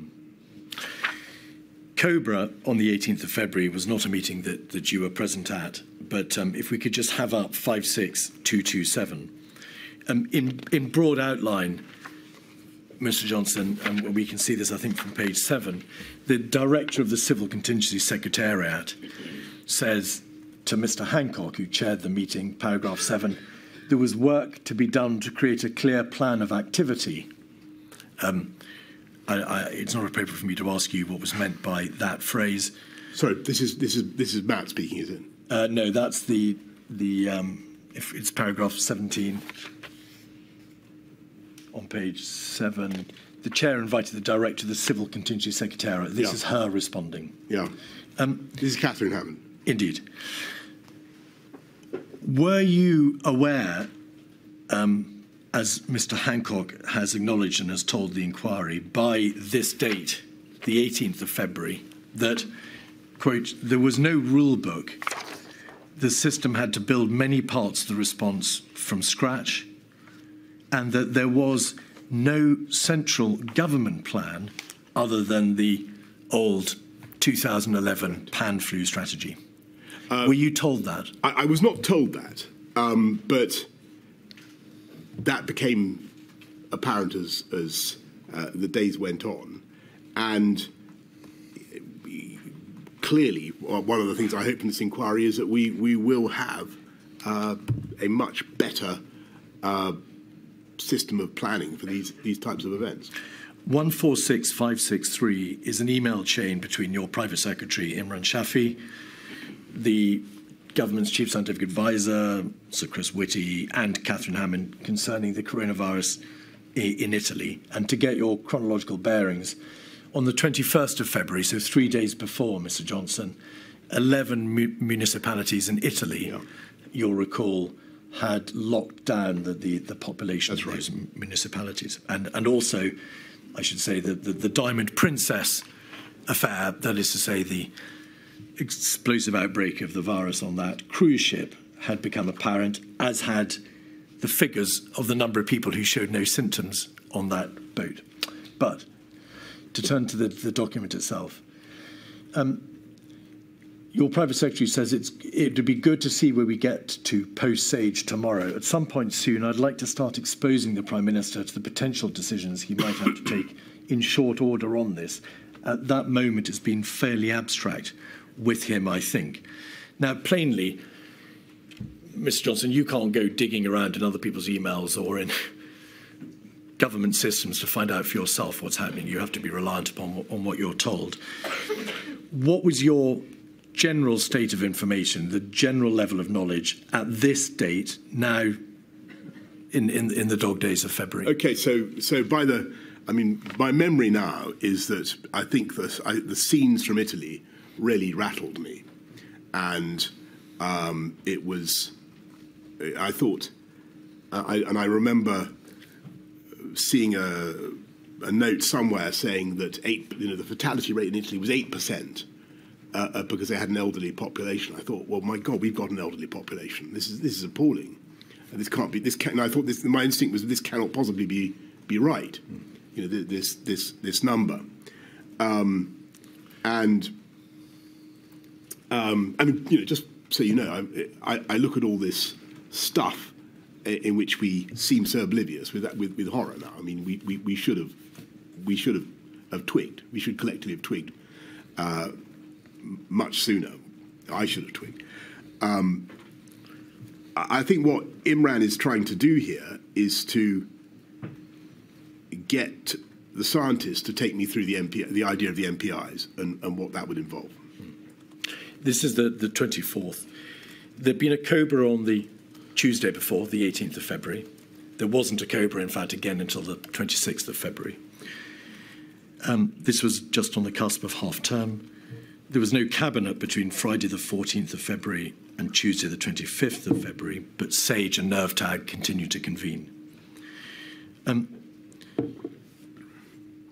despite being, as you've said it yourself, seriously rattled by the news of Italy, did the tempo of work on coronavirus nevertheless dip during the half-term break that followed? Um, I, I, noticed that you, you, know you've you've been over that period in your in your previous um, interrogations in, in, in this in, inquiry, and I hope um, the the inquiry you know is satisfied that actually there wasn't a long holiday that I took in that. And you personally, you, well, well, well, let me ask uh, you because I I think that there was some misapprehension. Uh, you you carried on working because I you did. returned and, to and Downing. for instance, on the on the if, 18th, if, if you just oh, if you'll allow me to set out the picture, Mr. Johnson, yes, it may make things a bit easier. It, you returned to Downing Street three times, I think, during that yes. half-term break from Chevening, where you were. You weren't at Chequers. You received a number of notes in your red box. You didn't, though, receive a daily update, I think, dealing with coronavirus expressly or exclusively until your return from the half term break on Monday, the 24th of February. And the question to you is in the box returns, the box notes that you did receive, what proportion focused on coronavirus? Well, I, I can tell. I, I, I, can't tell you that. I can't because I can't remember. But I remember there were, there were certainly conversations going on um, about COVID uh, with my officials. And uh, in that very period, I rang uh, President Xi of China uh, to uh, offer the, our, the UK's uh, condolences for what was happening in China, to discuss the origins of, of COVID, and to, to compare notes on what was happening. I, I also, I think a couple of days later, I rang President Trump in America uh, to to discuss exactly the same thing. Uh, so it was it was, uh, despite what has previously been said uh, to to the um, the inquiry by, by some uh, some of the evidence, uh, there was a lot going on, and it, it really starts to to mount in tempo around about the time that you, we get um, Katharine Hammond's note of the on the 28th of 28th, yes. So the question to you, Mr. Johnson, is this, and, and nobody is suggesting you put your feet up at, at Chevening during that week. Well, apart from you, that is. Well, I, I'm, what I'm suggesting to you is, by your very own reference, the fact that tempo increased after the half-term break, between the 14th of February, when Cabinet discussed the plans that would need to be drawn up, to the 25th of February, after half-term, Yeah. relatively little overall was done in terms of responding to this immediate crisis. Was there? I think that the, the sorry, forgive me, I was, m- m- Ms. Keith, forgive me, I was referring to a, a, a conversation I happened to catch on the, on the, between you and a previous witness, in which I, I thought the impression was being given by somebody that I was, I was relaxing during that period. I, was, I think it was Mr. Cummings. it may have been. and not given by me, Mr. I Johnson, forget, but I, by the I, I take it back unreservedly, Ms. Keith, and I, I, I, I, I apologize. Uh, I, I was working throughout the, the, the period, and the um, the tempo did increase, particularly uh, during a, you know uh, when- we got the when, when I saw the message from from Katharine Hammond on. I, I think it was the second of March, but it's, I'm told it was earlier. But there was a meeting on, on the Friday, the 28th of February, that you attended That's right. with the CCS. That's right. And what what troubled me was the sheer number of um, of, of- potential fatalities under the under the RWCS, and this was uh, just a horrifying figure, and I, I couldn't believe it. I've got to be honest with you. I thought this this because because um, what the paper also said was uh, it may be a, a, a- like a bad flu pandemic, or it may be milder than that. And I thought, well, we have plenty of bad flu pandemics in the UK, and we also have. And if it's milder than that, then it, it won't be an exceptional thing at all. So why we why am I also being told that the RWCS is five hundred twenty thousand? Well, that was, of course, a meeting on the 28th of February. But I, I want you, please, to, to answer the question about the tempo of work on coronavirus between the 14th of February and the 28th of February when that paper was produced to you. Would you accept that there was a lost opportunity on the part of government to react with sufficient speed and attention to the nature of this crisis in that two week period. For whatever reason, because of the mindset, because parts of government were away, it matters not. Overall, the government took its eye off the ball in that two week period by failing to act sufficiently speedily. I, th- I think that there were clearly things that we could have done if we'd and, and, and should have done if we'd known and understood quite how fast it was spreading, but we, we didn't. All right. And and that was the that was the reality. There's a COBRA on Wednesday, the 26th of February, 56216, page 6. This is a, a crucial moment, although it's not again a, a COBRA that you were present at, Mr. Johnson, but it is a, a, COBRA of the utmost seriousness because uh, on page 11, the chair, Mr. Hancock, said the reasonable worst case planning assumptions looked close to becoming the reasonable planning assumptions as cases in Italy demonstrated the need for heightened alertness. Um, turning that into plain English, what Mr. Hancock was saying was that the government, which had hitherto been working on the basis of planning for a reasonable worst case scenario, planning for the worst, but hoping for a, better outcome, had realized that the reality of the scenario identified by Sir Chris Whitty in January, the second scenario, was looking close to becoming the reality. That is to say, the reasonable worst case scenario was indeed coming to pass. Not, not there quite yet, but it was looking close.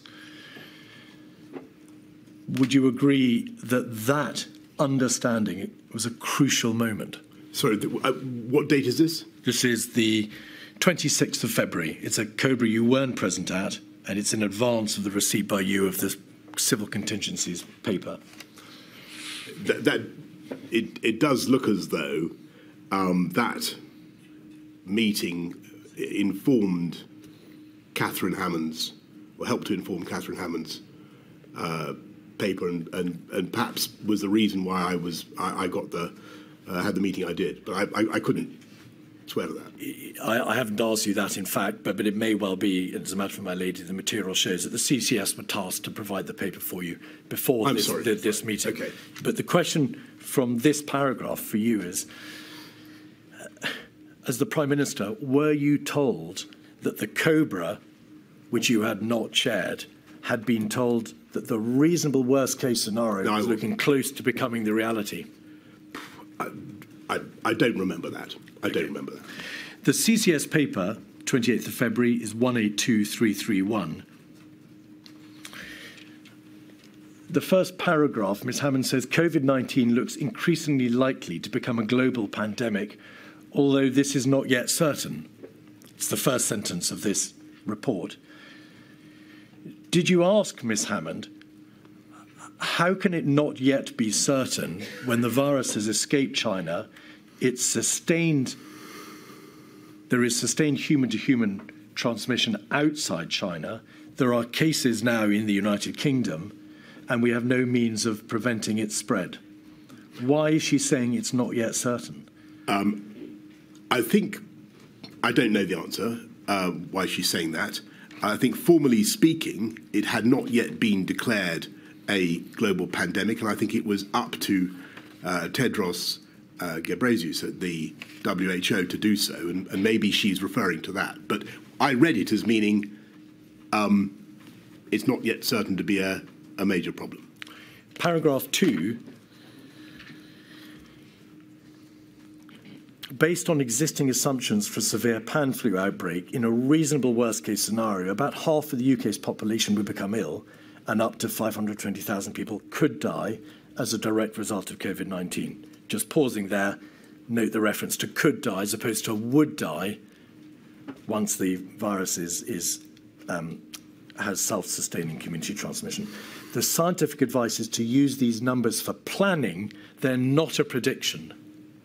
Did anybody at that meeting, or the meeting in which you had, and, we'll come to the actual meeting itself in a moment, but did anybody at the meeting at which this paper was discussed ask Miss Hammond why is the sole paper from the Civil Contingency Secretariat, the, the, the crisis management body in the heart of government, suggesting that these figures are not a prediction when, as you've just described, the information to Cobra on the 26th of February was saying the reasonable worst case planning assumption looks close to becoming reality. I can't answer that question, but it's a very good question. Um, page two, paragraph nine.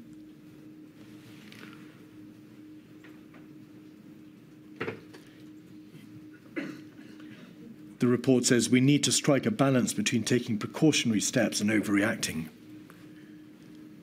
As cases spread, the risk of overreacting is reducing.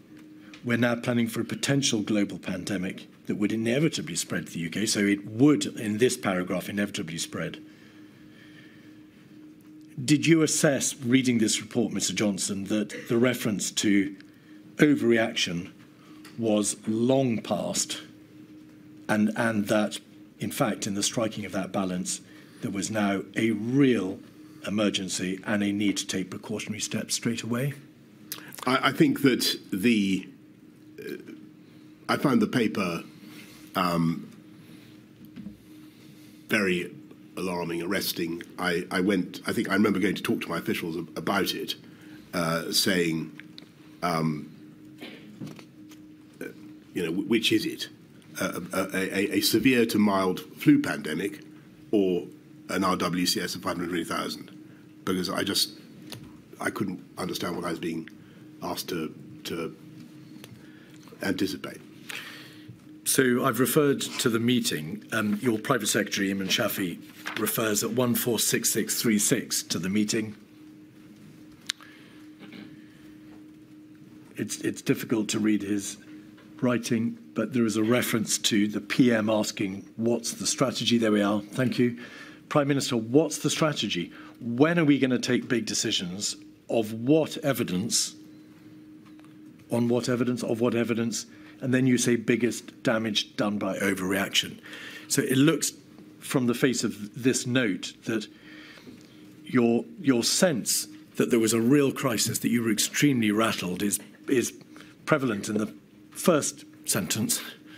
But in the second sentence, perhaps in reflection of the CCS report, you say the biggest damage is done by overreaction. I, I think I think I'm leaving both possibilities open um, because that's how it's it still it still struck me. Um, I think that, that in in disasters such as this, that the the actions that government take inevitably also have have costs, and and I'm sure we're going to come on to this, but that, that's the balance you have to strike. As the Prime Minister, instead of directing government to respond to the threat of a, a near existential crisis, you instead warned of the dangers of overreaction. No, I say no, no, no. That's well, forgive me. Um, I say when are we going to take some decisions and on what evidence? Because I, I, I'm, I'm looking at a problem that's been presented to me. Um, I need to know what the plan is going to be. I, I've told you that I don't like the look of the way it's going in Italy at all, and we need to do something. And that is the day, I think, the, the 28th, when I remember, though I, I'm not sure if Chris would confirm this, I remember having a long conversation with him at some stage around that date uh, when he, he takes me through uh, NPI's, what we later refer to as lockdowns, and he, and he tells me about the, the pros and cons, uh, about, he gives a, a sketch of the behavioural fatigue argument, and uh, he takes me through the, through the issues. So, I'm, so I, I think what I'm saying is, well, if this is the problem, then when, when am I going to be given a menu of options about, about what we're going to do about this? The readout from the meeting, 136750, shows that you called for a, a, a major ramp up of OGD, other, other government department activity on domestic preparedness. Um, and that was the the least we, we do. Yes, if you just go um, over the, to the, I think the second page. Oh no, there we are. It's the top of the page. Thank you. I missed it. Um, we need a major ramp up of OGD activity on domestic preparedness. We should use the Cobra meeting to land this point with the Secretaries of State. The Prime Minister agreed with the approach to publish an action plan. That's the plan that was published on the 3rd of March, was it not? Contain, um, delay. He'll review the plan itself over the weekend. You read the draft plan over that weekend, did you not? The um, 29th and 30th first. The first plan, yeah. Um, 28th of February and the 1st of March. And you agreed to the need for early emergency legislation. And then there was a debate about um, repatriation. Do you, with hindsight, and I emphasize hindsight, Mr. Johnson, except that the, the, the level of seriousness may not have been sufficiently communicated in this direction from you? Um, Do you say you did enough? I, I, think that I, I did what I could. I think the, the problem is that actually, if you exclude borders and test and trace is not um, as, as good as it cracked up to be, um, and if you're told that we've got ample supplies of PPE, um, I was finding it hard to conceptualize exactly what we should be doing, except for the NPIs. And that was the only thing that I'd been I'd been given, and we had we had no plan for that. And I don't think the concept of lockdown, or the or the, even the word lockdown, had yet emerged. Indeed, not. There was a 25th of February SAGE meeting where non-pharmaceutical interventions were debated, but they didn't include lockdown. There was a debate about yeah. extreme social distancing in the beginning of March. Lockdown doesn't appear to later. It doesn't. But your answer, Mr. Johnson, is I think the problem is that if you exclude borders and test and trace, uh, is not as good as it's cracked out to be. And if you're told we've got ample supplies of PPE, I was finding it hard to conceptualize exactly what we should be doing. That debate, that realization on your part that there is no effective border control, the PPE may be deficient, that there is no effective test and trace, scaled up test and trace, isolate contact system, is absent from all this material. That debate simply doesn't take place. There is no general realization the virus is coming.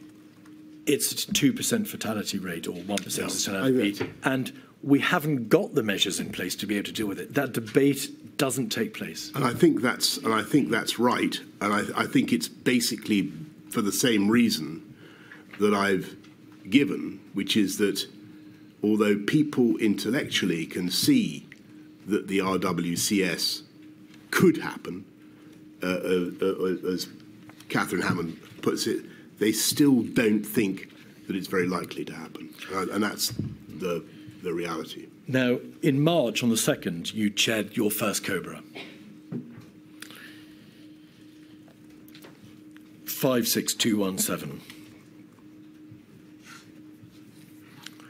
If we look at page 5, paragraph 2, we can see that you're told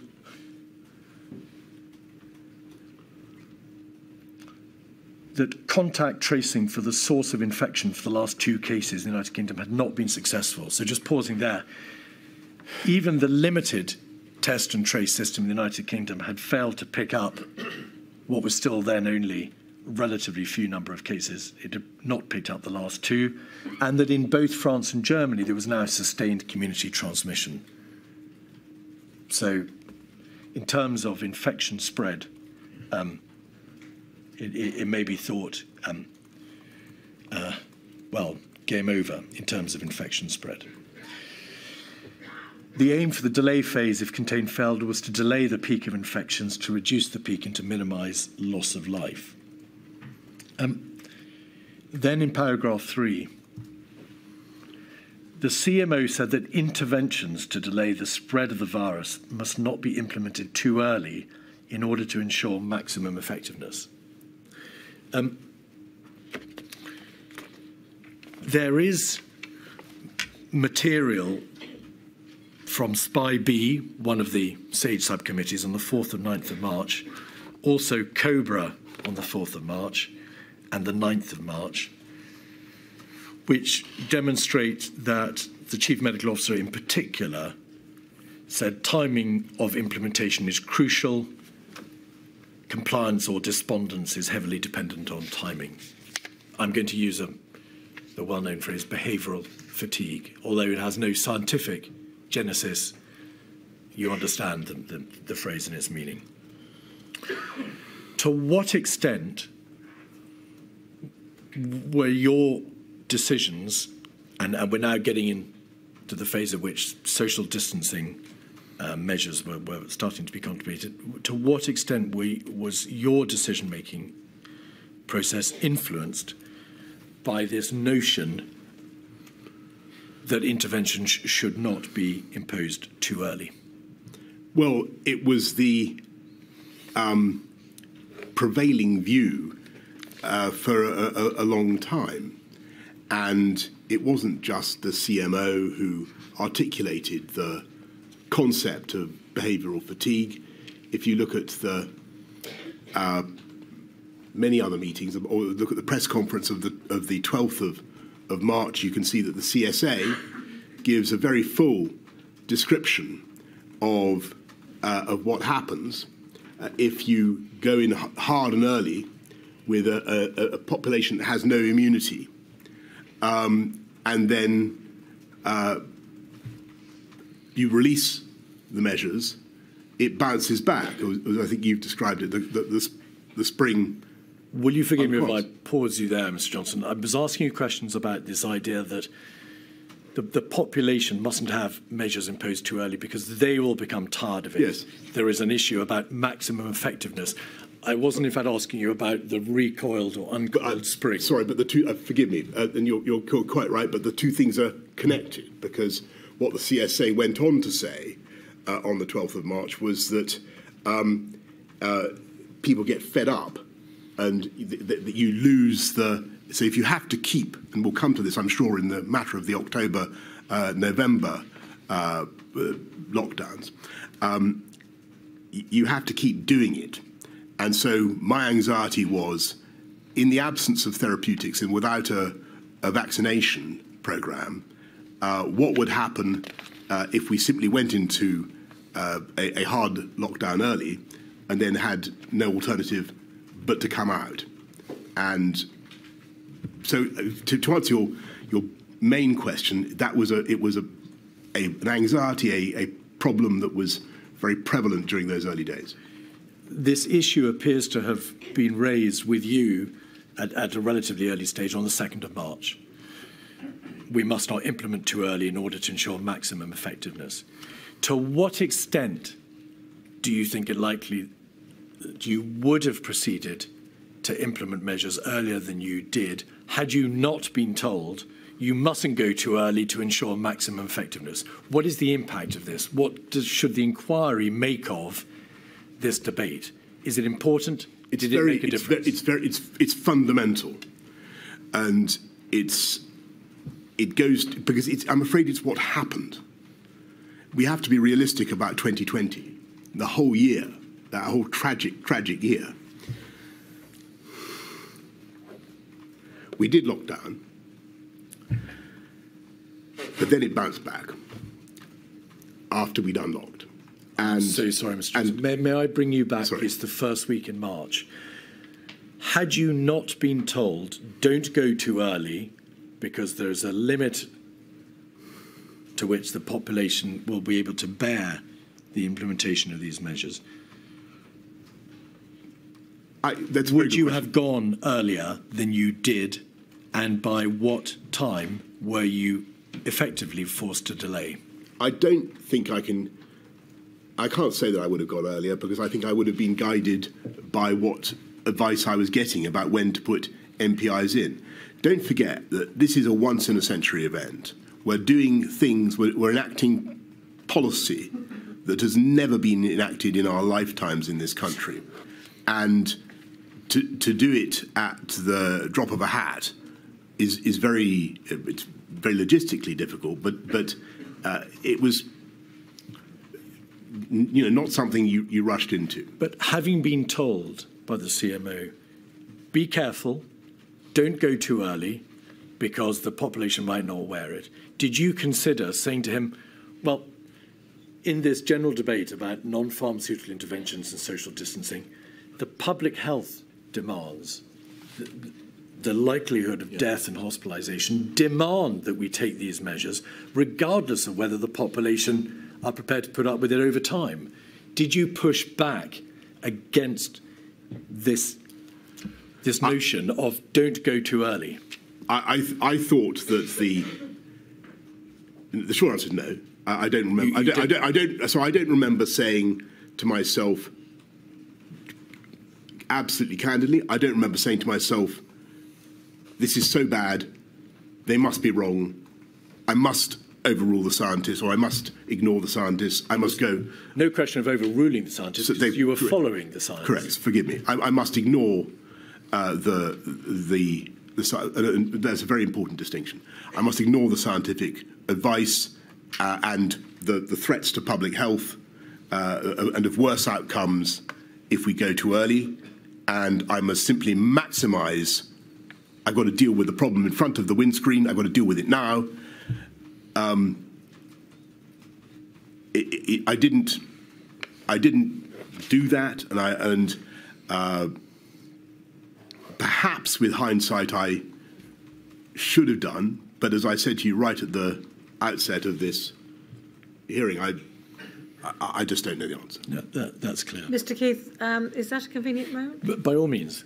It's just that we, we usually break every hour and a quarter, and I think that's probably enough this morning. Thank you. Um, 20 to 2, please.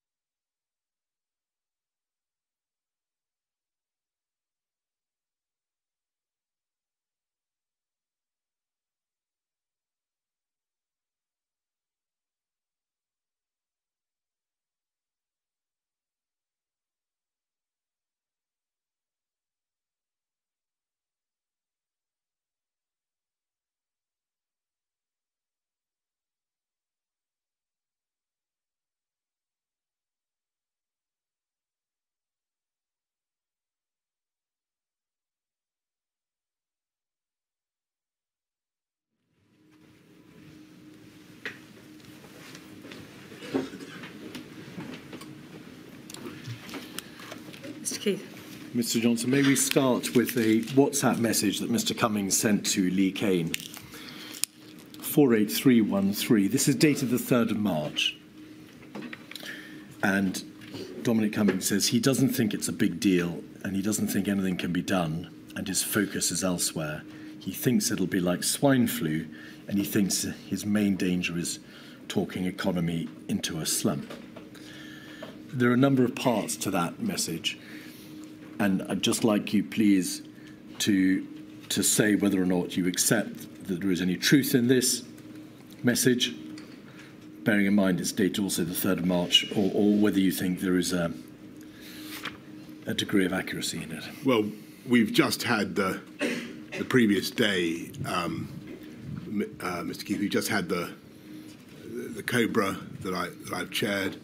Um, I, I, think um, we're, we're planning to, to deal with something that I, I actually think, uh, as I've told you, is is starting to be an issue of, of concern to me.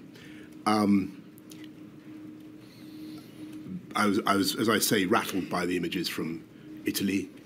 Um, I couldn't figure out um, why I was getting these conflicting messages about whether something could happen, the, the, the scale of the of the RWCS and uh, what it was going to be.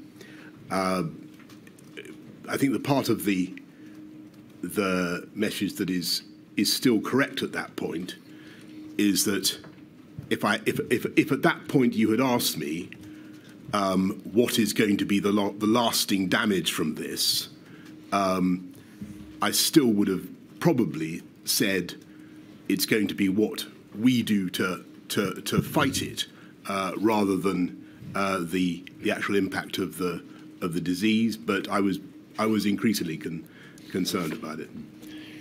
You have, in fact, already um, given evidence to the inquiry in relation to why, at, at, you suggested an earlier stage, there were comparisons properly to be drawn with swine flu, and you, you've described the importance to you of uh, of not talking the economy down.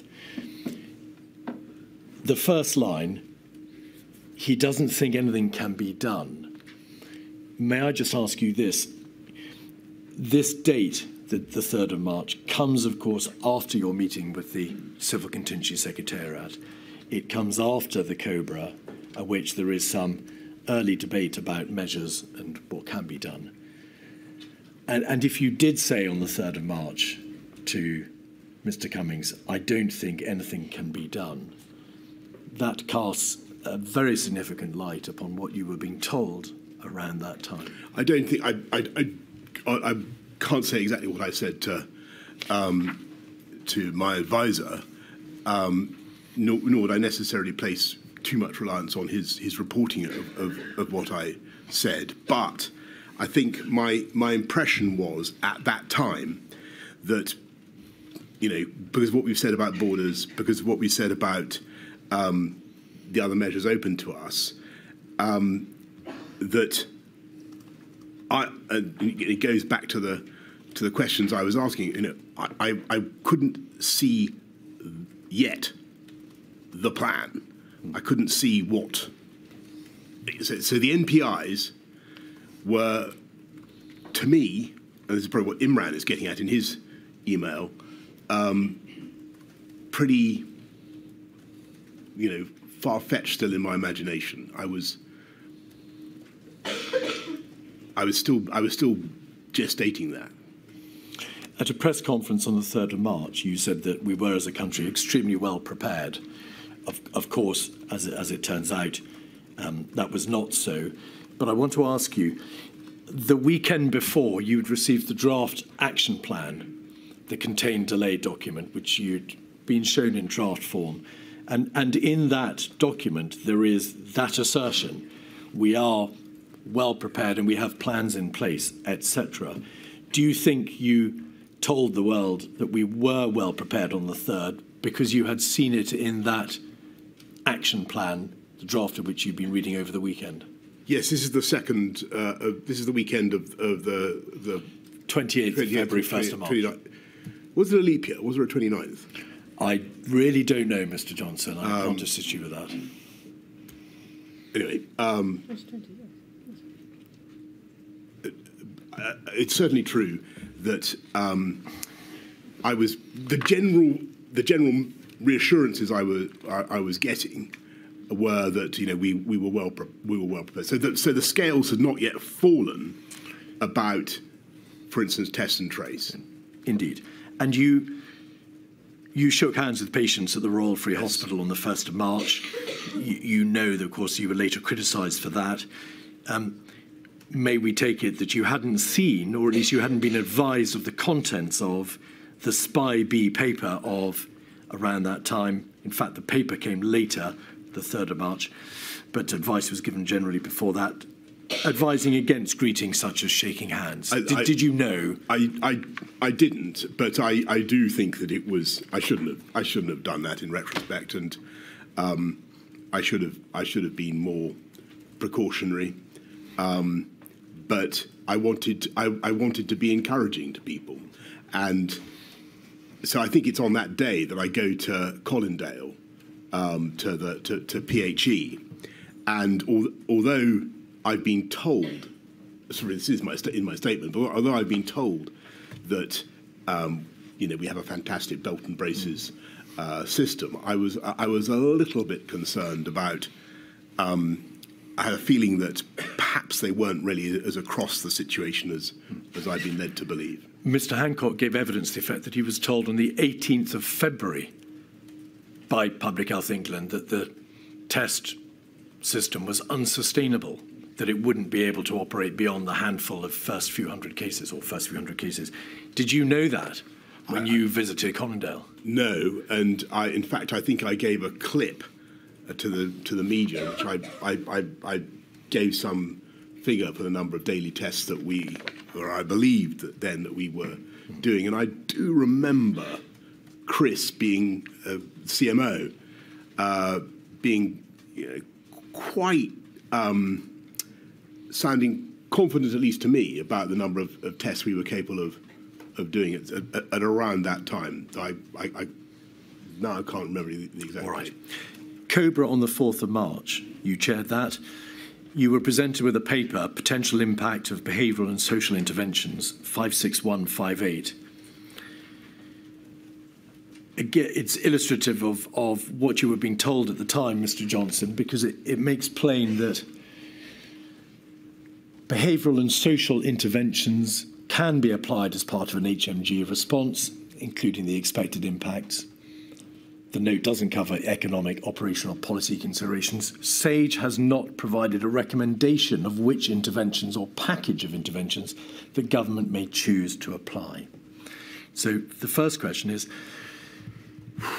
Did you understand that SAGE was never going to be telling you, Mr. Johnson, you must do this?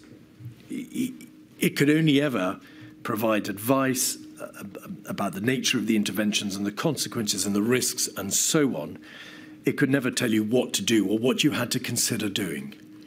That's right. I mean, Sage is Sage is like a, a, a you know, it's a doctor-patient relationship. The doctor can't order you uh, to do things. The doctor is not responsible for uh, for what you do. The doctor says, uh, if you do this, then that. If you do, if you fail to do it, then than the other, mm. and and that's that's basically how it works and, and should work. Was the chief medical officer around that time, the fourth of March, telling you, however?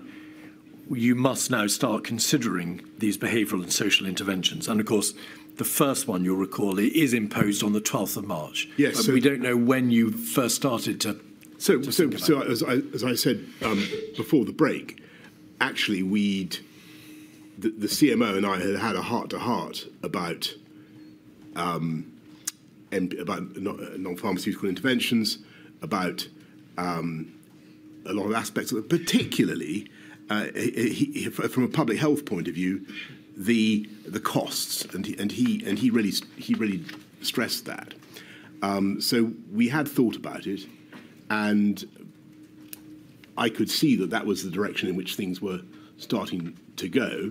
And it's only, it's only a few days later when I actually tell the, the public, I think for the first time, I think on the I think it's the 9th or thereabouts, we're going to have to start Ramping we're going to have to start restricting social contact.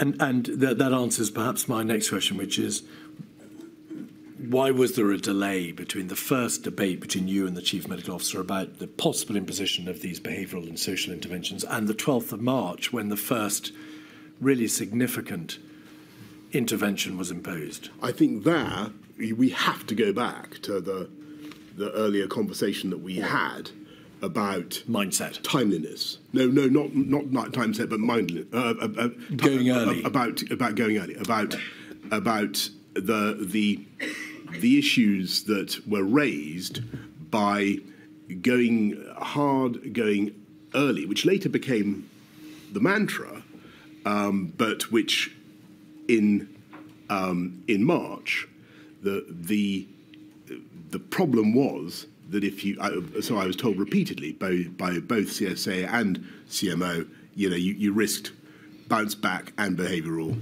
fatigue, and, and, and yet more behavioural fatigue as a consequence of bounce back. There's a graph on page two of this document which shows what the the waves, that's to say the, the, the transmission of the virus, would be likely to be, depending on whether or not there was mitigation, that's to say intervention, or no mitigation, or moderate um, um, moderate intervention. And, and you can see the different colours of the gra- of the of the lines, Mr. Johnson, depending yeah. on whether or not they were very stringent or less stringent. Um, so it was plain to you, wasn't it, that if no steps were taken, there would be a massive first wave. That's the, the, the black wave but if it was reduced to some extent, there would be moderate transmission, the blue wave, and then a, a more severe intervention would be high would be the high transmission reduction. Um, but to make absolutely plain, if we look at page five, there was at this stage on the 4th of March no mention of a lockdown as no. such. There were a range of potential interventions from stopping large events, closure of schools, home isolation, whole household isolation, yes. social distancing, impact, we can see there on the right. All, all these things. But, but no lockdown. No, and, um, all, and that's quite right.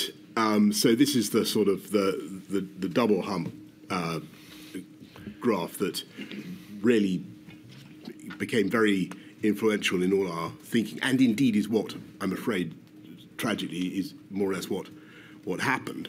Um, but the the measures that we could take to depress the first curve, first wave, uh, were all very much couched in the uh, with caveats about timeliness and not going going at the right moment. And and it's right to say, isn't it, that and so the wording that the chief medical officer used with you and and spoke in Cobra on the second of March must not be implemented too early was with reference to interventions plural. Yes, and if I if I could offer a suggestion as to, you know, what was what was really going on. I think I, I think that it is clear we we simply didn't realise how fast the disease was spreading, and, and the, if you remember, the predictions were that the peak was going to come in uh, mid-May or, or June, uh, I think, and it was really well in advance of that. If we go back to page two and the graph. you can see that it's put there in terms of spring, summer, and autumn. Yeah. But um, there was no suggestion on that graph that the peak of the black unmitigated wave would, would be um, the end of March or the beginning of April. Um, That's correct. Speeding up now, because we're, we're coming now to the, the, the final decisions in, in March. WhatsApp messages from Mr. Hancock, uh, or rather, um, his WhatsApp group, the WhatsApp group he shared with Mr. Cummings and Mr. Slack, suggests that around this time on the 5th of March, they debate telling you to stop saying business as usual. Mm. Did you recall that debate with them? I, I don't, and nor do I even remember saying that, but uh, using the phrase. Um, but um, I, I, think what I might have said is, you know, until such time as we tell you to do X, Y, Z, it's business as usual. But I, I don't, I don't remember that debate you've described the genesis of the herd immunity debate. may I just please show you a WhatsApp uh, entry or WhatsApp communication from the 14th of March, so running forward a bit to the weekend, of which there was a distinct change in strategy. Yeah. If we could just look at 14, the 14th of March, 7, 17 a.m., so I think it's page three of 48399. We can see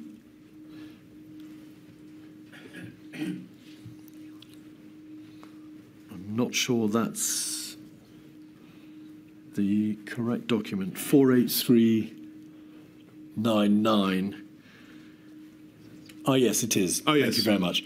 Um, so, just to put in its context, Mr. Johnson, over the weekend, of which there was a change in strategy, there, there, were, there were repeated conversations between you all, of course, but you raised at this point um, the point of the, the, the impact of a herd immunity debate.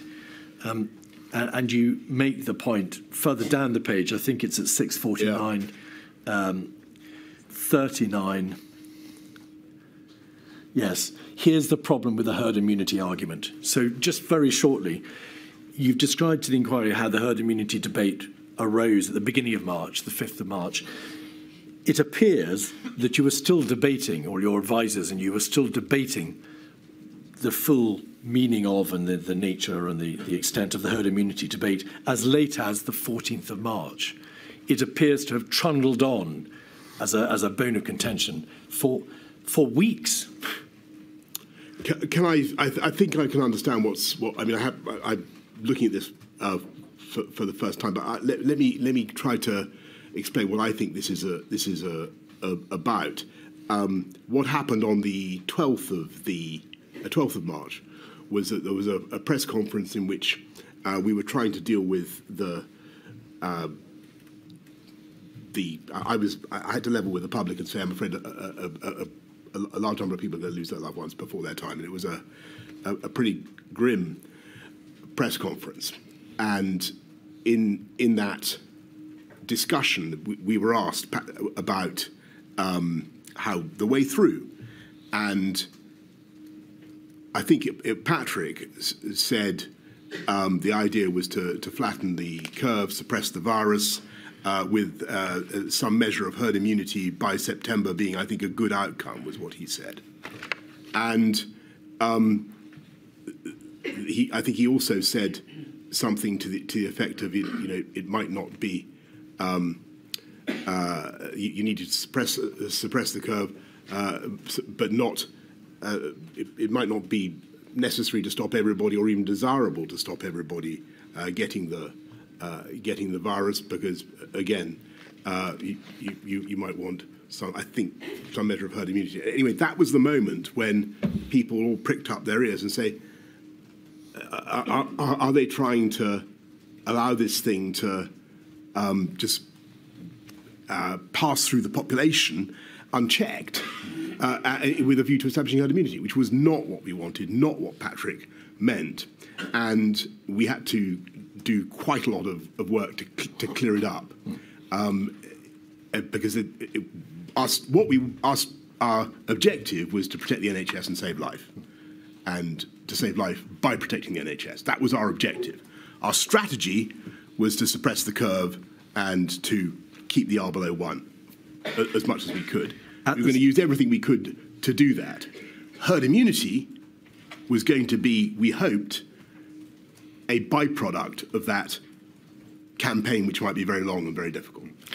At the same time, in Cobra on the 9th of March, in Sage on the 12th of March, in Cobra on the 12th of March, and in an interview that the Chief Medical Officer gave to the press on the 13th, there were repeated references to the need to delay the peak of the virus as opposed to suppressing it entirely because of the risk of an uncoiled spring, of it bouncing back, yes. the second wave.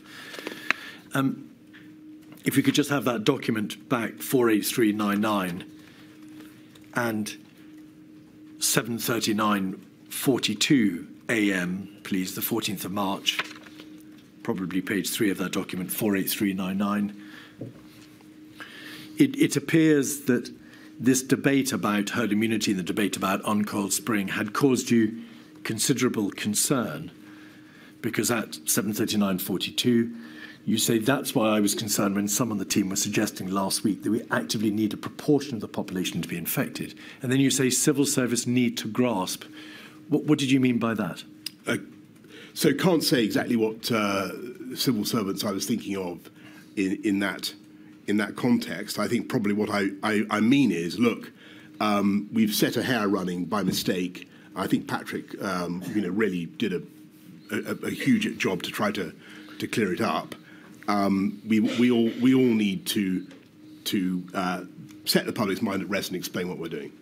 It's, it's protect the NHS and, and save life. And that's the, that's the priority. Further down the page, 1049.15, in fact, it's the 15th of March, page 6 of this document, you could be seen to be saying, given what's happened in Italy, we simply have no time. Yeah. And um, we can this see that. The, the 15th. 1049, 15. There we are, two thirds of the way down the page, 15th of March, we have no time. We've jumped forward, but that, of course, is the Sunday, the 15th of, of March, in the middle of all the debates that you were having with your advisors. Yes. All right.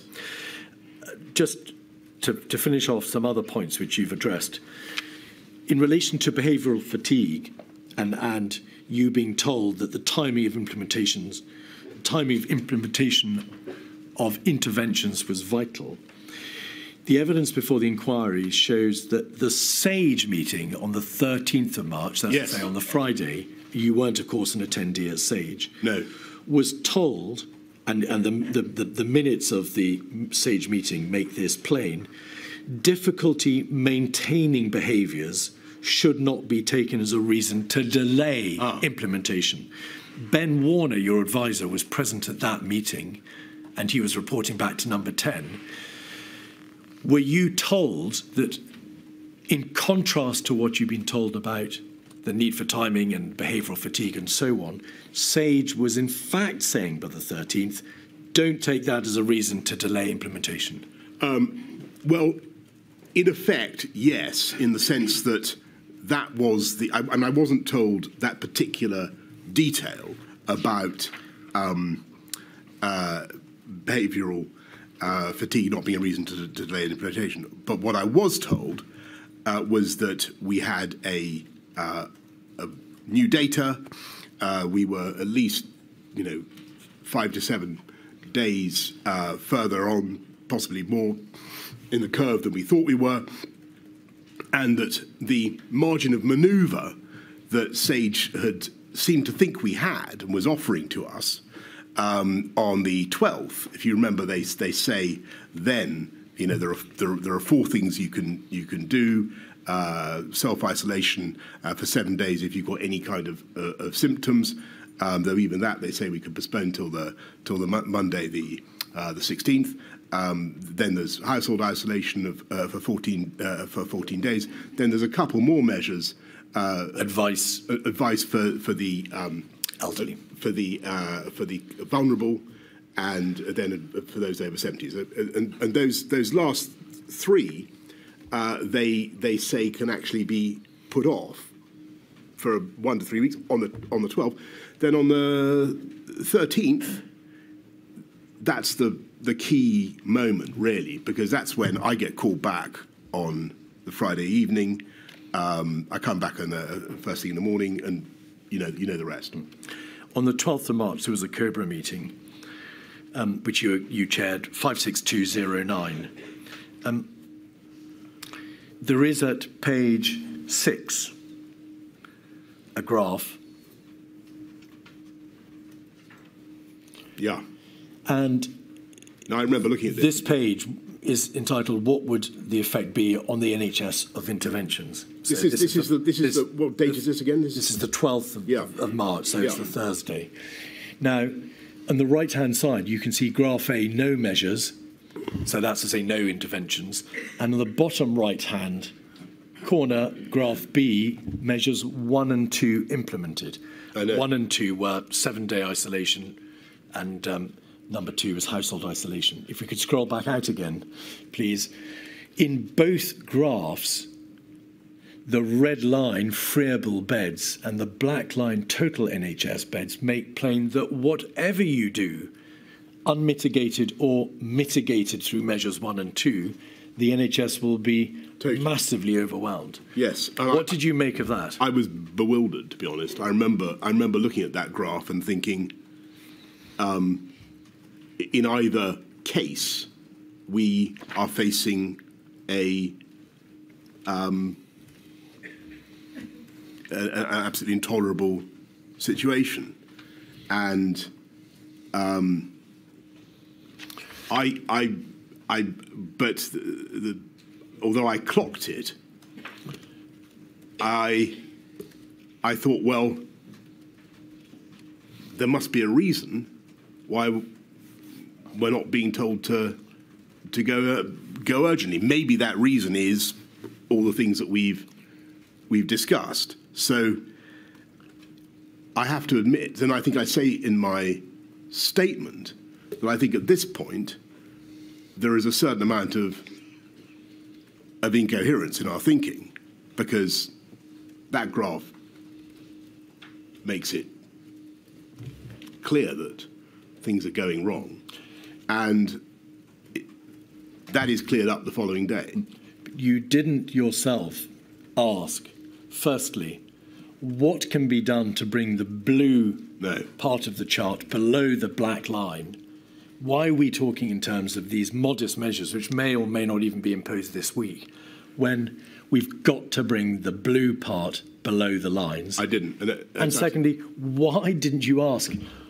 Why are you presenting me with this and at the same time telling me we mustn't go too early with interventions? Well, uh, you, I, because I was, I'm afraid, uh, listening to the um, the advice I was being given about timeliness, and I was and and looking with puzzlement at the at the graphs and what I should have done, and I and though thankfully it was only a, a matter of a, a, a day uh, uh, or two before the, the thing was resolved. What I should have done was, as soon as I saw that graph, said, "Hang on, this is not coherent with what you're telling me about about timeliness." Because I, because I, I do remember looking at it and thinking there was something amiss. around this time, on the 5th of March, uh, uh, uh, going back to the beginning of the week, the 5th of March, there was a COVID 19 meeting at which advice was given to the effect that a prohibition on mass gatherings was not necessary. Did you, throughout that week, as you had, in fact, during earlier weeks, receive advice that um, for epidemiological purposes, at any rate, there was no need to shut mass gatherings, sporting events? That was the, the, the, the but to be fair to the people who were giving the advice, uh, it sounded uh, reasonable at the time, uh, given what we knew. Because what they said was, look, if you do this, uh, what you will do is push everybody into the into the pubs uh, and the, the warm enclosed spaces where transmission will be uh, even faster. So that was the, the, the point that was made. you were, by your own words, of course, only following the science rather than being directed by the Correct. science. It, it must have been apparent to you that this was presentationally disastrous to keep mass gatherings open whilst you were debating the closure of schools as one of the possible interventions. That's true, but I felt that oh, it was certainly the, the public didn't didn't get it. Uh, just as, but that was true of many of the um, measures that we put in place throughout the pandemic. There was often a more than there, there was often a a uh, gap between the uh, public conviction about something and the the scientific certainty about the effectiveness of that measure. Borders would be an example. Uh, masks might be another ex- example. You've highlighted the importance of communications, Mr. Johnson, in terms of leadership and in terms of beginning to direct the country that there were terribly difficult times ahead and impossible choices to be made. The closure of mass gatherings would have sent a vital message, would it not? And I, I had already told people on the 9th, uh, so several days before, that they were going to have to restrict social contact. And on the 12th, I had given them a, um, I think, a, a pretty powerful and, uh, in many ways, frightening message about what was going to happen. But Cheltenham and, place, and the, excuse the, me. the effect, I'm so sorry. sort of, forgive me, the, the effect of that, I, I I think, did, did show up in people's behaviour. So that we are clear, the Cheltenham Festival continued the week of the 10th. There was an Atletico Madrid match. Yes. And mass gatherings, sporting events were not, in fact, shut Yes. until the following week. Yes, and as a a um, with hindsight, uh, as a symbol of the of the government's earnestness, rather than just um, as a, a, you know a, being guided by the science, uh, we should perhaps have done that. And um, I agree with you. And no doubt that was in accordance with your own libertarian instincts.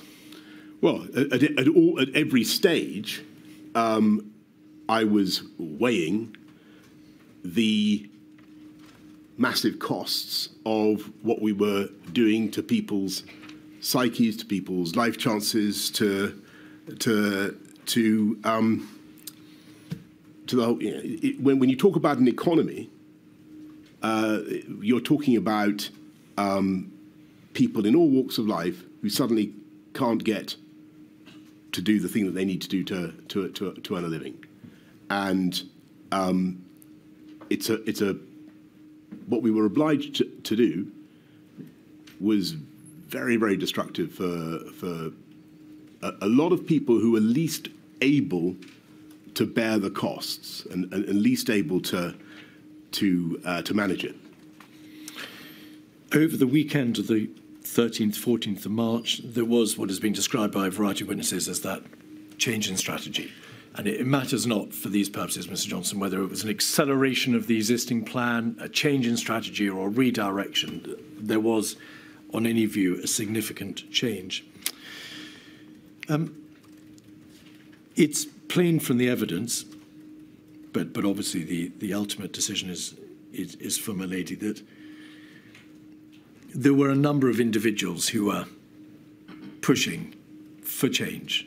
Mr. Cummings, with his colleagues, but Ben and Mark Warner, and um, um, also Helen MacNamara and Imran Shafi, all met on the Friday night, and with Mr. Cummings' whiteboard, they worked out that immediate, much more stringent measures were required to prevent the NHS from, from being overwhelmed during the course of that week, the, the, days before that weekend of the 14th, 15th of March, it's obvious from data being provided to number 10, we've seen part of it in that memo to, to SAGE, showed the likely impact on the NHS. Why wasn't the lead government department, the DHSC, responsible for public health, pushing you harder during that week to introduce the more stringent changes? Why do you think that department, it appears from the evidence, was still trying to go for the squash the sombrero, part mitigation, herd immunity route, as opposed to recognising we must have suppression? We've got to stop this now before it's too late. I, I think probably. So I, I my interpret my memory of it is is slightly is slightly different from, from, from that account, or maybe it might be the same. But, but what I felt happened was that um, we, were, we were in a state now when we knew we had a massive problem. We knew we were probably going to have to act uh, in, in ways that we didn't really, hadn't bargained for and didn't, uh, and, and were still being developed. Um, we still thought we had a bit of time but not very much, probably. And that was what the scientific guidance seemed to say. If, and if you look at the, those, those, that long paper by Sage on the, on the 12th, you can, you can see that, and I quoted a, a bit of it. My impression, and I may be wrong about this, but my impression was that on the 13th, the, the radical change that you, you refer to is really one about the timeliness thing. And what I think Sage saw, and this is what was conveyed to me by CMO and CSA, was that the virus was now uh, spreading much more rapidly in the UK than they had bargained for. And therefore, we had to accelerate. And so I think that it was uh, a confluence of um, opinion, but the people I talked to on the on the Saturday morning were the people you'd expect. It was Chris, Patrick, Imran, Stu, uh, my other advisors. Um, so I, I wouldn't want to I wouldn't want to um, allow the inquiry to just to, to, run away with the idea that it all would have uh, sailed on had it not been for the intervention of uh, of number 10. I think that SAGE um, themselves on the 13th had, had seen very seriously and very clearly that something needed to be done. That was, that was, that was, at any rate, was my impression.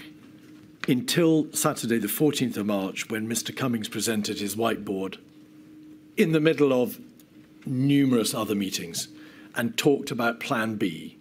Until that point, no one in the DHSC has said, we're off the mark, we've gone wrong, we've got to accelerate and impose more stringent measures, did they?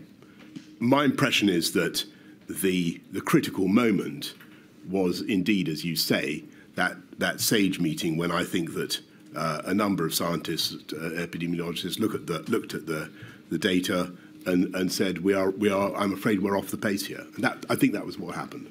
In his evidence to this inquiry, Mr. Hancock said that on that Friday, the 13th of March, he called you to tell you that there needed to be an immediate lockdown.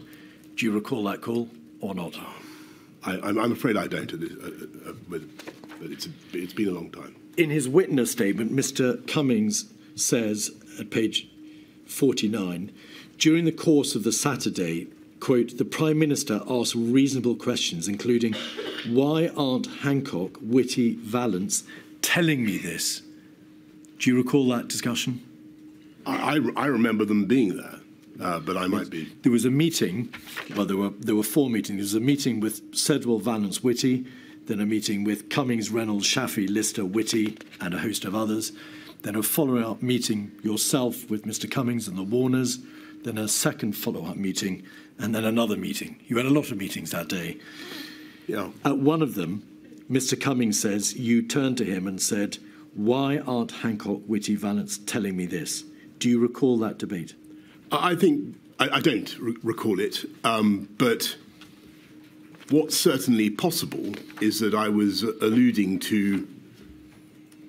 I was I was looking with, you know, um, dismay at uh, what was happening, dis- dismay about what we were going to to have to do, and reflecting that, you know, this was not the message. I, I mean, I'm, I'm conjecturing. This is not the message that I've been having from them in the past few days. You don't recall. I don't, I don't, I don't recall saying that. All right. Let's, let's have a quick look at um, the, one of the papers, the briefing on the COVID response that was put before you on the Saturday, 183889. This is the document which sets out the, the current plan and the proposed alternative plan.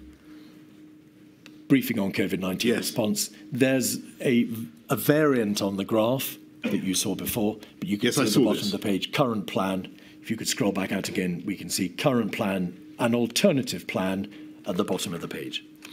And uh, in summary, is this correct, Mr. Johnson? Throughout Yes. that weekend of the 14th and 15th of March, there were um, multiple meetings. V- a variety of different people pushed for different speeds of intervention. We can see from the WhatsApps that some people said, go now. Other people said, we've got to move fast.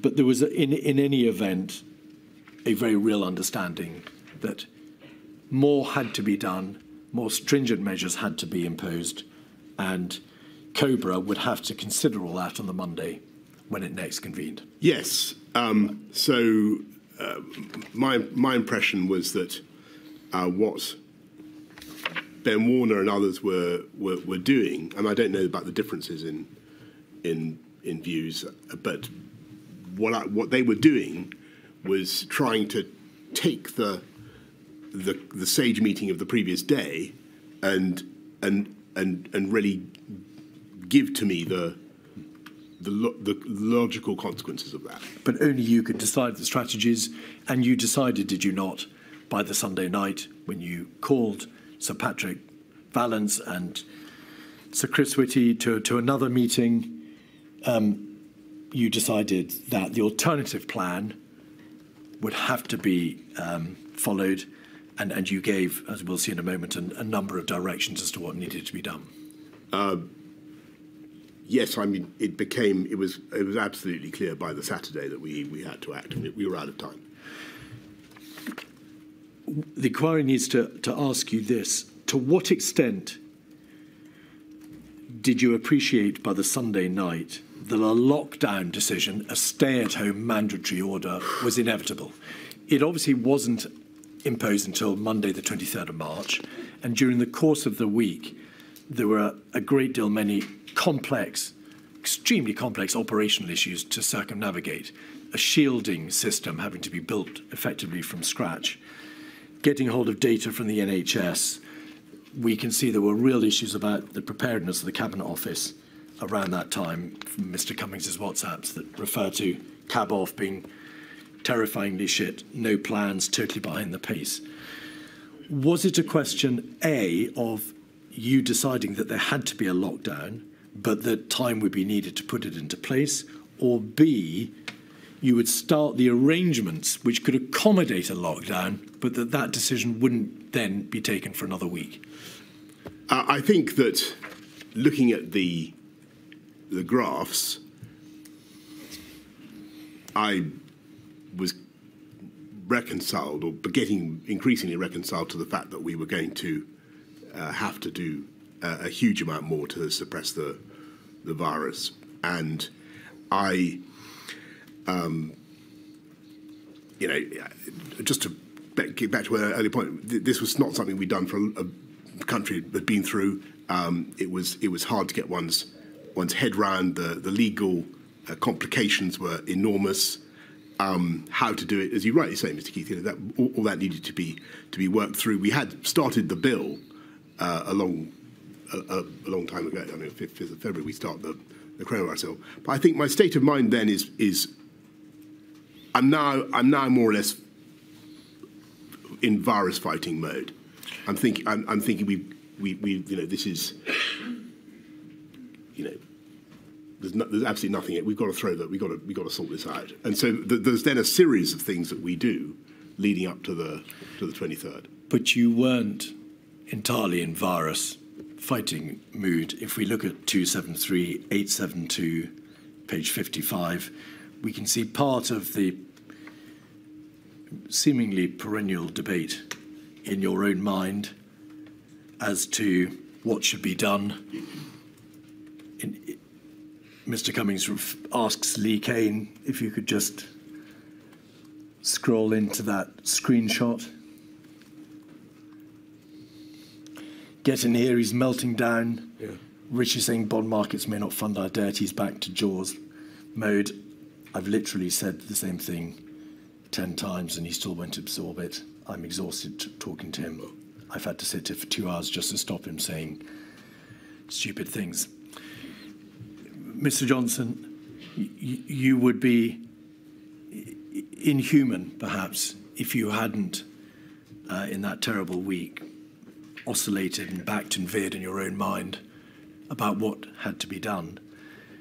But is it fair to say that you made your doubts and your oscillation clear to those around you? I, I think it was my job to uh, address all the consequences of what we were doing and to test the policy, uh, which I was, as you can see, uh, determined that we deliver and get on and do, and it was, even though it was a completely novel policy, absolutely a dramatic thing to do.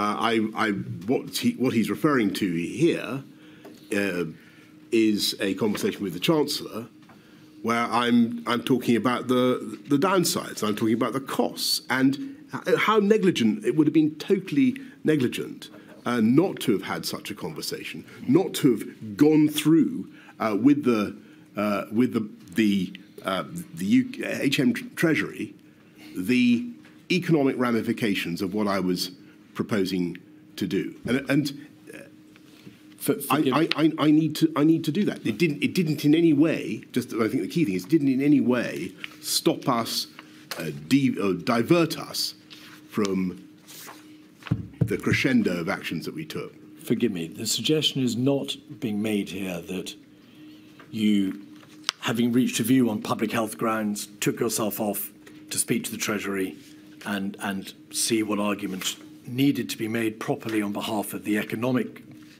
consequences that would uh, ensue from a lockdown. It is that your own decision making, your own judgment backed and veered, and that by implication, this is a, a poor example of leadership function. You couldn't make up your own mind no, as I've, to what should be done. On the contrary, I've made up my mind.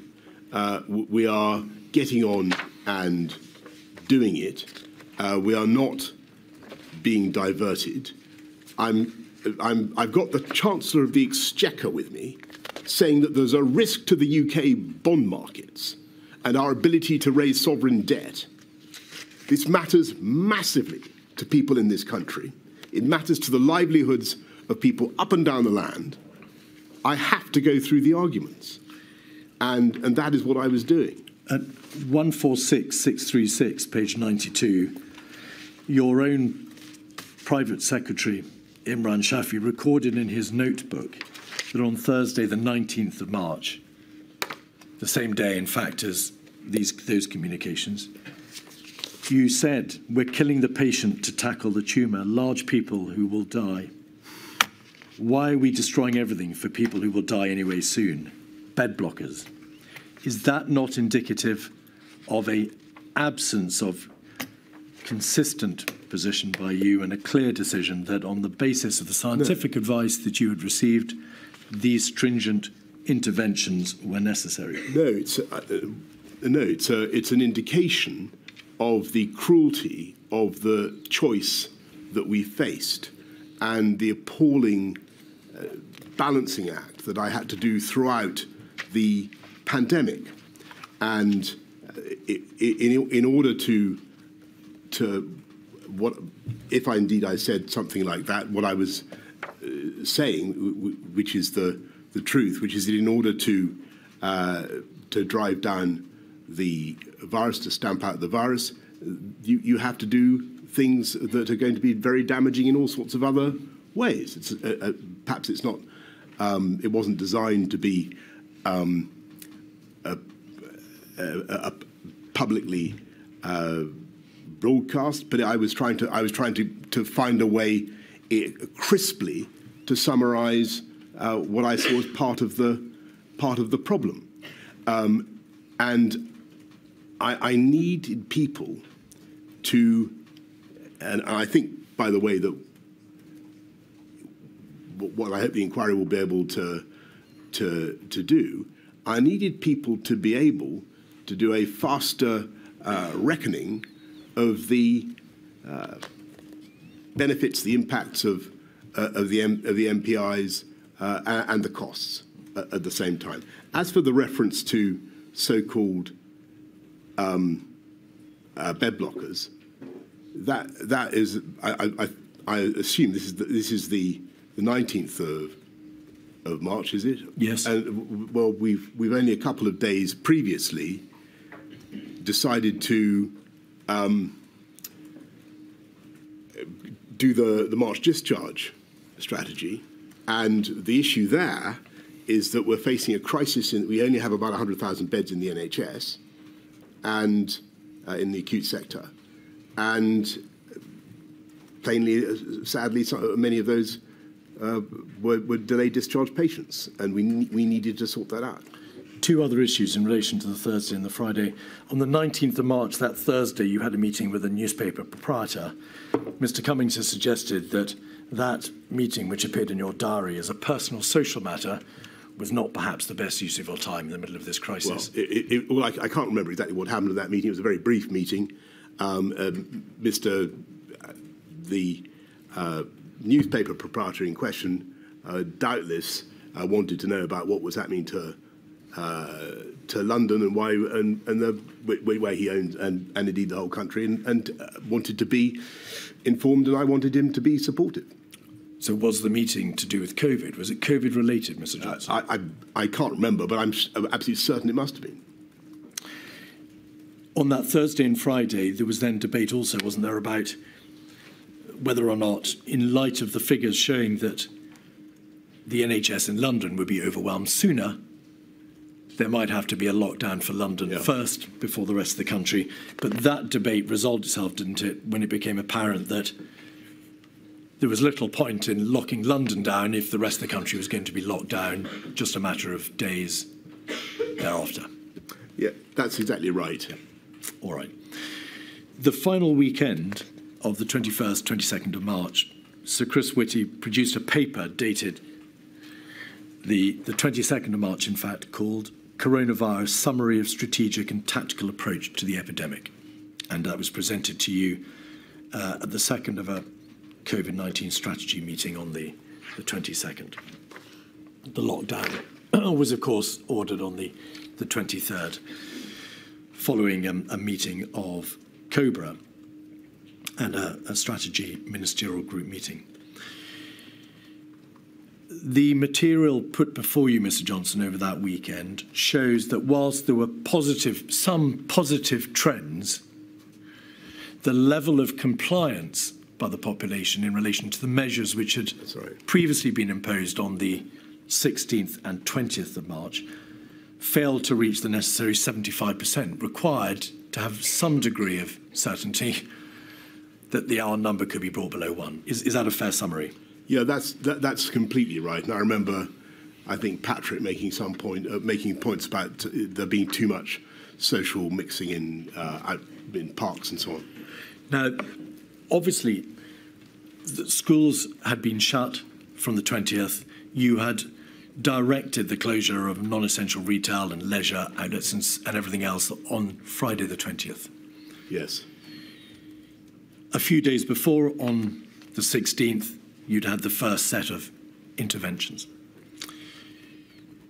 Why, on that Monday, did you not wait to see whether or not the measures from the previous week, which had, of course, been imposed in good faith and specifically designed to bring the R below one, right. which was your overriding strategy, might work.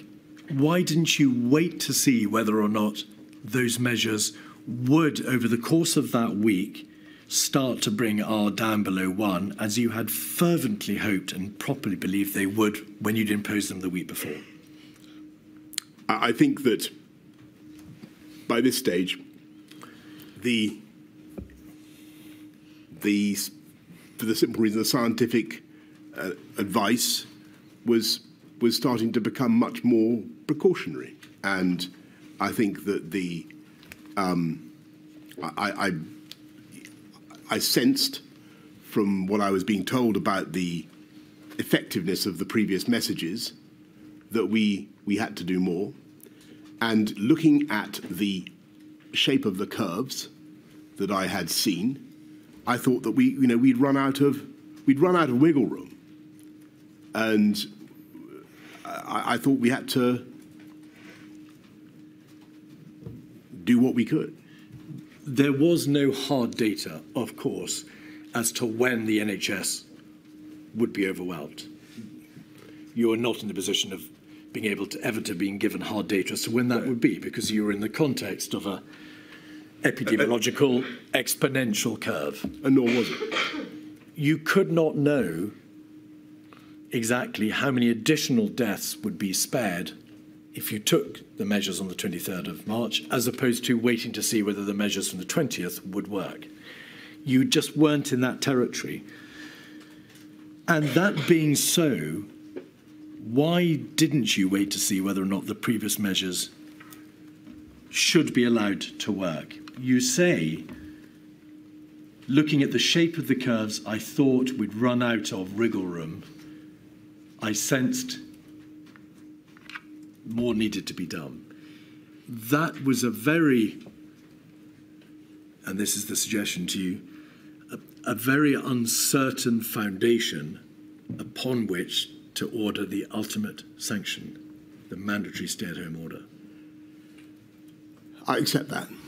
Um, I think that, um, and you know, I'm, I'm troubled by the decisions that I took for all sorts of reasons, and none of them, as we said at the beginning, were were easy.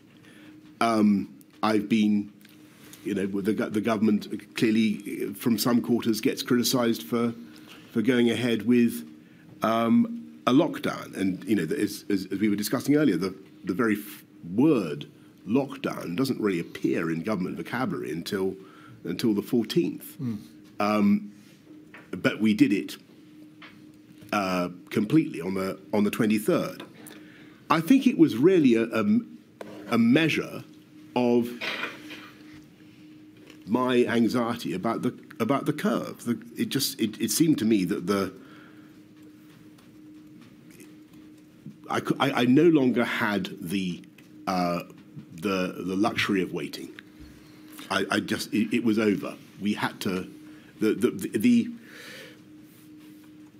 what I was hearing from the from the scientists, the um, my sense that probably they were right to be doubtful about the efficacy of the uh, of, of, the measures. I, I had a hunch that that might be that might be correct. I couldn't know. Um, I thought we could know. I thought we, could, we, we we were out of time, and we had to do everything that we could, and so that's why we we we went to you know, we, we closed schools on the on the Friday. We we, we closed non-essential retail, and, and then we do the, the, the stay at home on, on the Monday. But on the Friday, when you close the schools and you shut the retail, you weren't at that stage. You hadn't at that stage already determined that there would be a lockdown on the Monday. That decision was only made in light of the information over the weekend about levels of compliance. I, I think that. That's correct, isn't that, it? I think that's that's that's probably true, but I think that my general sense of where we were likely to be going had had, had changed, and I and I, I I thought that we were going to have to do whatever it took. Five six two one three, page four, is the relevant part of a of a meeting of Cobra. The Cobra decision, the Cobra meeting that took place on the Monday after you had given the directions on the Sunday night, Cobra considered whether or not that additional social distancing measure, that is to say, a mandatory stay at home order, should be imposed. This meeting took place at five o'clock on that Monday. If you look at the current situation update in the first three paragraphs, you will see a reference to the figures for compliance being positive in part for social distancing measures, the figures were positive and showed there'd been an encouraging drop in footfall, but in some areas these were not. These were not where yet at a level, yet at a level that was acceptable. But park attendance, paragraph three, had gone up by 200%. And you'll recall in the press pictures of yeah. thousands of people attending parks across the land, and queues in shops had increased. There were regional differences and there were lower compliance rates in some areas outside London if we just scroll, and we needn't pause for long, but if you just scroll over the document, we can see there is much more detail provided about levels of compliance, the tube, and then on page six at the top, the chair said the measures were not to stop all work. There was work in government and other offices that must be maintained. There was a balance. The Attorney General gave advice on legal matters. Some points were made about enforcement and deterrence. And 12, the measures needed to be taken as social distancing was not being adhered to at present. It appears, Mr. Johnson, from that paragraph that you understood there to be a binary issue. Either the 20th of March measures were being adhered to, or they were not. And if they were not, there was no option but to go the ultimate step and impose the, the lockdown. There was no debate in that meeting, was there, as to whether or not, to use the words of the Chief Medical Officer, the measures from Friday might yet do the job. I think that's that's fair, but I want to try to explain to you why I still thought it was right to throw everything at it. And the the basic reason is that I had seen from the events of the last, which we've discussed extensively, of the last um, two three weeks, that we'd systematically underestimated speed, underestimated prevalence, uh, and uh, we didn't have any other shot. We, we, we, we didn't have the uh, systems to uh, control the virus that you know, perhaps I believed earlier in the month that we that we did.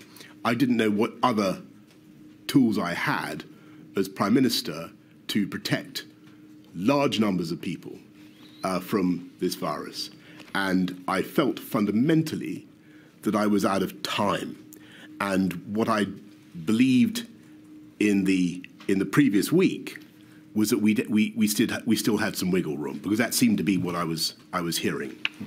I might have been wrong, but I took the view on the Sunday uh, and Monday that we, we, were, we, were, we were just out of time and the, the thing was, was too big and the curve was too aggressive. The inquiry has put this proposition to Sir Chris Whitty um, and also to Mr. Hancock.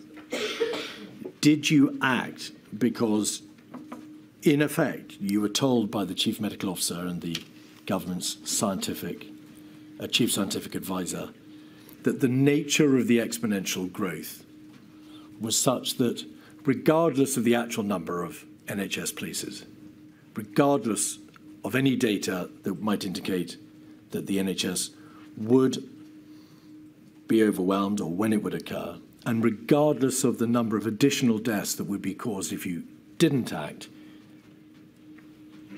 the nature of the exponential growth was such that huge numbers of additional deaths and collapse were inevitable at some point, and you simply couldn't gamble that they would not eventually occur. Is that the nub of it? I, I, I took very seriously, I listened very hard to uh, to Chris and, uh, and Patrick, and it felt to me as though they were basically saying that the UK was now in a position where we had to do everything we could to restrain contact, and that that was our best shot at, at, at protecting the NHS and, and, saving life. And, and so that was what I did. Can you up for a second? Forgive me. I'm so sorry, Milady. No, it's just um, you mentioned earlier, Mr. Johnson, about um, how some would say you shouldn't lock down at all. When you did decide that we had to lock down, um, did you consider the arguments that say you should never go that far and impose that kind of level of draconian restriction on uh, the liberty of the population? Did you consider the argument against lockdown, or did you? I I, I, I did, and um, I mean I didn't. I gave. I'm I'm afraid to say at that stage I gave it pretty short shrift, because I thought that my job was to protect uh, human life, and, and that is the number one duty of, of, of government. And I, I, I thought that if the NHS was overwhelmed, then the risk of truly tragic scenes in the UK of the kind we'd seen in, in, in Lombardy uh, was very real. And, and, and thank heavens that did not happen, thanks to the amazing work of the, uh, of the NHS and, you know, as I said at the, right at the beginning, hundreds of thousands of, of people. But I felt I had to, to do what I could to give them the best possible chance. And I had no other, I had no other tool. Literally nothing else. Thank you. And is that why, Mr. Johnson, examination of the COVID 19 strategy ministerial group meeting on the Saturday, the COVID 19 strategy ministerial group meeting on the Monday morning at 9.15, and of the Cobra meeting that we've looked at at 5 p.m. on the Monday shows very little, if any, debate about the countervailing non public health argument. It's just not there. Uh, that doesn't mean that it wasn't happening. And as you've, you've seen uh, a, a, reference to it in my, in my conversation with the, the Chancellor. There was a huge amount of, of thought going into it. Um, but the higher objective had to be saving human life. And it, it is perhaps not surprising, but within three days of that momentous decision, 48399, page 17, having seen a, an article in the press, and it, it's a matter entirely, of course, for, for Milady, you, you, you ask the extremely salient questions, although I now can't see them. If we could scroll back out. Yes, please, if we could scroll back out, please. I must say I agree with every word of this week's spec, spectator, perhaps. Cover story by Professor John Lee. We have no idea how many COVID deaths are truly additional. Mm. When COVID fatalities are recorded, we have no idea whether it's merely present or actually the cause of death. We have no idea what proportion yeah. may have had the disease asymptomatically already. So we've taken these extraordinary steps without being truly sure how deadly it is. And is those expressions of doubt, Mr. Johnson, why you said earlier that the basis upon which you proceeded was one of precautionary approach yeah. in public health terms, yeah. because in the absence of any hard data, we, you believed you had no option. I, I, I couldn't take the, the gamble with, uh, with, with public health. But I was conscious that you know we've had the argument about the discussion about behavioural fatigue that takes many forms. Uh, one is that the, the media, understandably, uh, you know, a lot, a lot of, of, of, the media uh, need they, they need a proper explanation of of of why this is necessary and and how it's working, and they need and uh, and I really think that um, we need to, you know, we, there is still work to be done in this area. And so here I'm, I'm saying, um, you know, we need to, if we're being attacked for, um, you know, not standing up our actions, then we need to substantiate it. We need to say, no, no, no, this is, this is what public health requires. And so on this essential issue, the inquiry wants to ask three direct questions. Firstly, from what you've said, Mr. Johnson, and this may be entirely obvious, was it your position that the lockdown measures, the stay at home mandatory order of the 23rd of March, was absolutely necessary? I believe that it was. And I believe that it helped to suppress the R. Um, I think that it was cumulative. I think that it, it, it, the R started to go down as a result of a series of things that we did, and also, frankly, as a result of popular anxiety about COVID anyway. Um, but I've got to tell you, in all honesty, I, I, I can't, I find it difficult to quantify the impact that those measures had. And the, the more we can do to um, explain why NPIs, uh, why NPI measures of any kind work, uh, why they're necessary to the satisfaction of, uh, of everybody, the easier it will be for government next time, and the the more public buy-in there will be. Is that public buy-in? Public buy-in was, I think, al- already very high, but I think it would be a, a great thing. I- i- Is that a reference to to objective analysis of of life quality and and the the outcomes the in terms of life and death and quality of life of particular measures? I, th- I think that what we, we, we all need. So I think that the you, you asked, did the lockdown work? Do I believe that it worked? I, I do, but um, as a as a layperson, I would like that. And I saw the Royal Society study on this that I think Chris had a hand in in, in generating. Um, it was very interesting, but I think we need to understand with a lot more granular clarity exactly what these NPIs deliver. I think that was Sir Patrick Vallance's predecessor, but but it matters not. Oh, forgive me. Is that the report into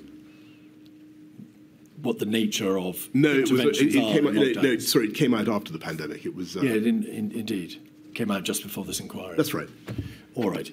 Um, and on that first proposition, you accept, of course, that because the government did not wait further to see whether the measures of the 16th and 20th of March would work, we will never know.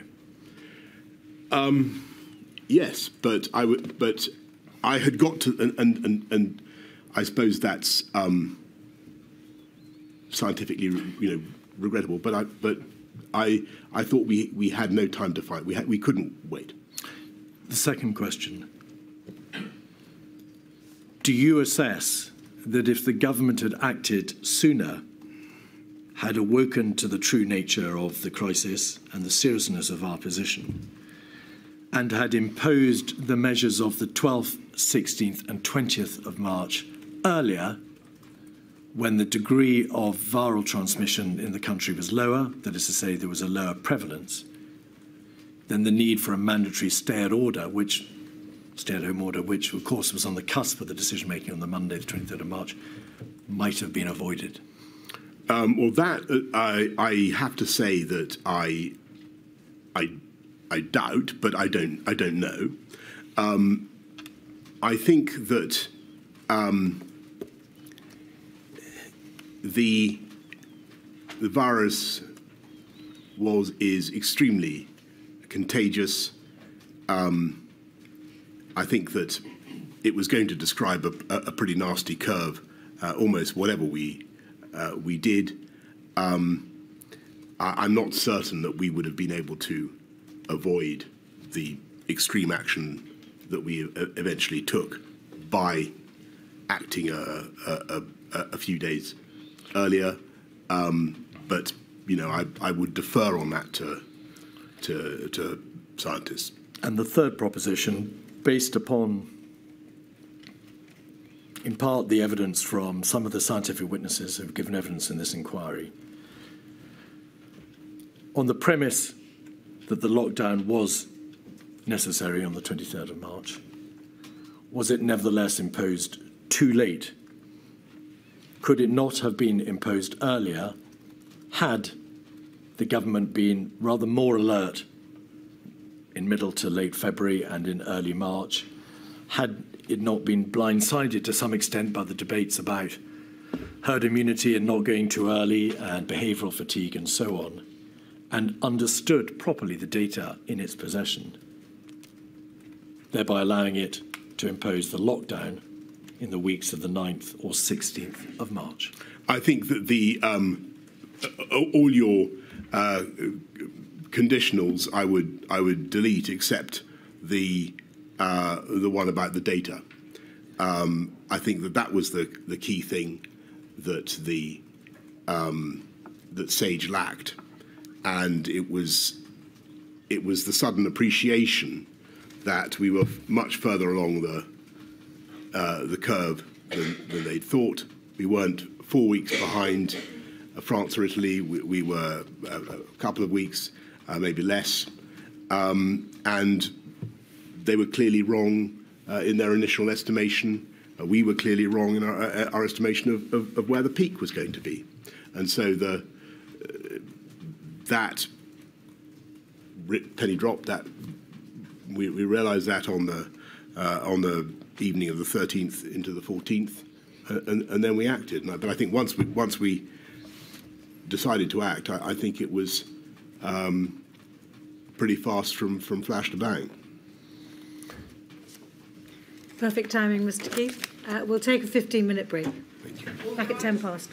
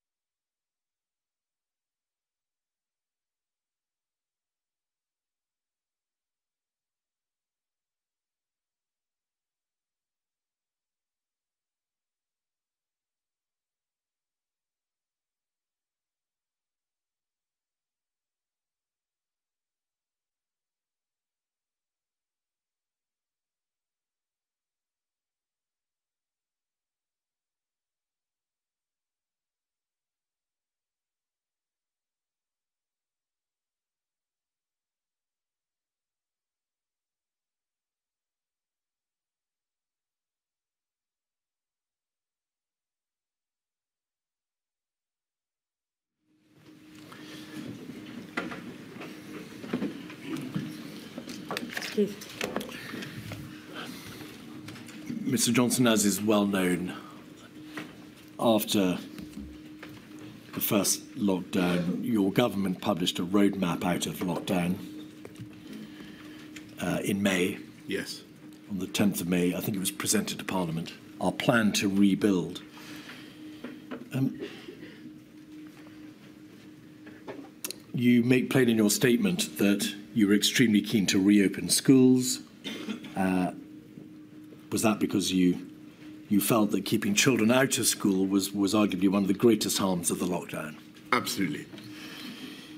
You addressed the nation on the 10th of May and you included an instruction that those who could not work from home should be actively encouraged to go to work. So, to use your words, work from home if you can, but you should go to work if you can't work from home. Um, the, the witness statement from Mr. Sunak expresses um, how he was frustrated that there was, as he sees it, over compliance with the stay at home messaging. Um, and he, he, believes that the uh, the possibility, or, or rather the the likelihood that many people would ignore the active encouragement to go to work and not go to work had uh, an exacerbation of the uh, exacerbated the economic impact of the lockdown. In your uh, in your communications with your colleagues on this subject, did, did you in July um, say this? Uh, in July 2021, looking back to 2020, yes. I arguably cocked it up last time with finger wagging to everyone to get on and do some work. Do you recall saying that, expressing regret a year later that you had got the work from home if you can, but go to work if you can't work from home message wrong? I, I think that it was a very difficult time as we came out of. I mean, the whole thing was unbelievably difficult. But the, as we came out of lockdown in uh, in the summer of uh, early summer of um, 2020 for, for the first time, that you know some areas remain under you know, a, a, lot of restrictive measures. Um, I felt strongly that the people had made such a sacrifice to get the R down, down that we, we must try to um, allow people some some freedom. And I wanted I wanted the um, you know the benefits of the exertion, as it were, the effort to get the R down to uh, to be felt throughout the country for people to, to be able to do things again. Um, and it, I think it's it's probably true that I wanted to, to see people back in the uh, uh, back at work, and um, I think that psychologically, emotionally, people a, a, lot of people were in a very different place, and they felt that they'd uh, seen a terrifying pandemic. Uh, they were still very apprehensive, and they didn't want government lecturing them about about what to do. And, and so that's probably what I'm getting at. Was the speed of the release very hard to gauge? Very. In Sir Patrick Vallance's diaries, 273901 at page 66, he describes you as being very bullish and wanting everything to be released sooner and more extremely than we would. By we, he means the scientists. And then page 92 in the context of a meeting with the Prime Minister, actually having a discussion about letting it rip. 624 on the 12th of July, Prime Minister still wants to push opening too fast. And if you just pause there, then on 94215, which is a WhatsApp group um, extract between yourself and Mr. Hancock in the top team group in, on the 15th of July. You say, I was calling because I'm very worried about winter. Yeah. We've gone fast on releasing lockdown. I'm getting no traction on doing what's needed to protect the NHS. Cases in track and trace are starting to rise. Of course, that's dated the, the 15th of July, by which time the NHS track and trace system was up and running. So, it, may we presume from, from these messages that it, it was very difficult to decide whether you were going too fast, whether you were wanting to reopen, let it rip, to use your words, or, or whether or not, in fact, you're going too fast and then becoming overly concerned or concerned about the winter and the rise in cases. Yes. Well, so uh, first of all, on this the, the, the WhatsApps with with Matt here, I think you've got to to, to remember that this is a, a, a cabinet minister also uh, thinking about his budget. Uh, if you read that carefully, you can see that what he's really saying is he needs more money, which is what all, all secretaries of state rightly do uh, in their in their messages. So that, that's part of the conversation. Uh, but clearly, the the issue was that I think I always realised, and certainly nobody um, disagreed with me, that when we came out of of lockdown, when we when when we went into lockdown, as as Patrick said in the in that first uh, important press conference on on on March the twelfth, you can push it down, but it, but in with an unimmunized population, it will bounce back, and so I always knew that throughout the summer we were basically in remission, as it were, and that the the the thing would come back, and um, it was a it was a very it was a very very diff- difficult judgment to make. You said that the the last WhatsApp in the top team group there on the page on the screen may be reflective of a Secretary of State being concerned with money. Isn't that your wording, or have we misread this? This is you saying I'm very worried about winter, and him saying what's the evidence on rising new cases, or is it the other way around? Um, you, we, we, you, we can't tell from the. You, you, you, I, I, I, I, I may be totally wrong about this, but I read that as being Matt, Matt in the green to me. All right. Saying um, we can take a risk on releasing lockdown, or we can take a risk on not building up the NHS this winter. And what he's really saying, like all good secretaries of state for health, is give us the money, um, and and and I, I, I, that's what I understood partly. But also, what he's saying is the cases are rising, hmm. and that's you know, and that was no particular surprise to me. The question in in in the in the in the summer autumn is what's the what's the tactics? The objective is still protect the NHS, save lives. What's uh, what's uh, do we have a new do we have any new tactics now? And it was apparent to the government and to you personally, of course, that cases started going up. At a relatively early stage, they plateaued, of course, they came right down after the lockdown, then they plateaued for a while, but they started to go up in, in July. So, well in advance, in fact, of the Eat Out to Health Out, Eat Out to Help Out scheme, well in advance of September, October.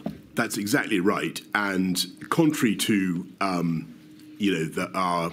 Uh, our hopes in the early phases, certainly by the end of May, beginning of June, there is the, a very small percentage of the population has antibodies. So you're looking at a huge number of people uh, who, who are still potential COVID victims. And that's very, very difficult. And in fact, the, the percentage of the population that, that had been immu- immunized by virtue of infection was very, very low. It was around about six or seven percent. That's exactly right. All right, and and that of course was therefore dispositive of the arguments about herd immunity. Correct. Because in it. fact, very few people were immunised by virtue of infection. You've got it. As it happened. All right. Now, to divert to a completely different subject, the, the devolved administrations, please. Um, in your statement, you say that the interests of the devolved administrations did not always align with England's or the United Kingdom's interests. That's an inevitable part of a devolved system. Yes. Was that a, a nod to the fact that the United Kingdom powers were constrained by public health legislation, the Coronavirus Act, Public Health Act, Control of Diseases Act, but on the ground, this public health crisis was a devolved issue because it was for each devolved nation to determine its own course in terms of the public health measures it took.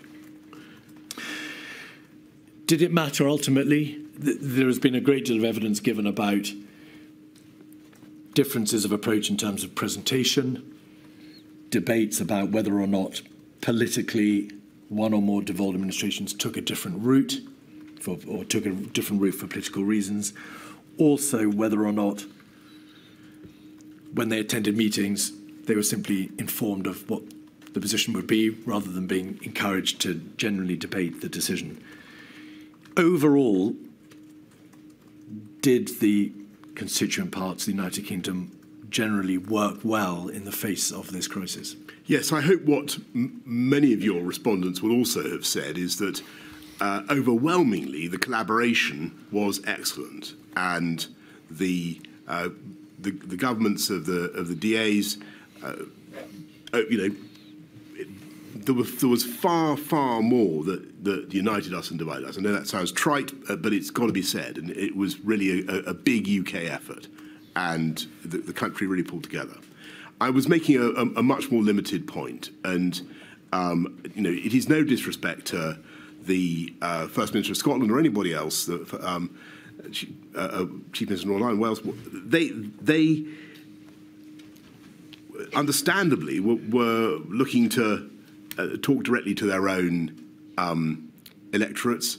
There were going to be times when they they differed from the, the, the main UK government message. And I thought that was sometimes at risk of being confusing at a time when we really needed to land messages simply. And I, and I could see, and people were endlessly playing back, oh, but you know, Scotland says this, uh, England says England says this, you know, um, Wales is doing a fire breaker, uh, uh, circuit breaker, um, and so on.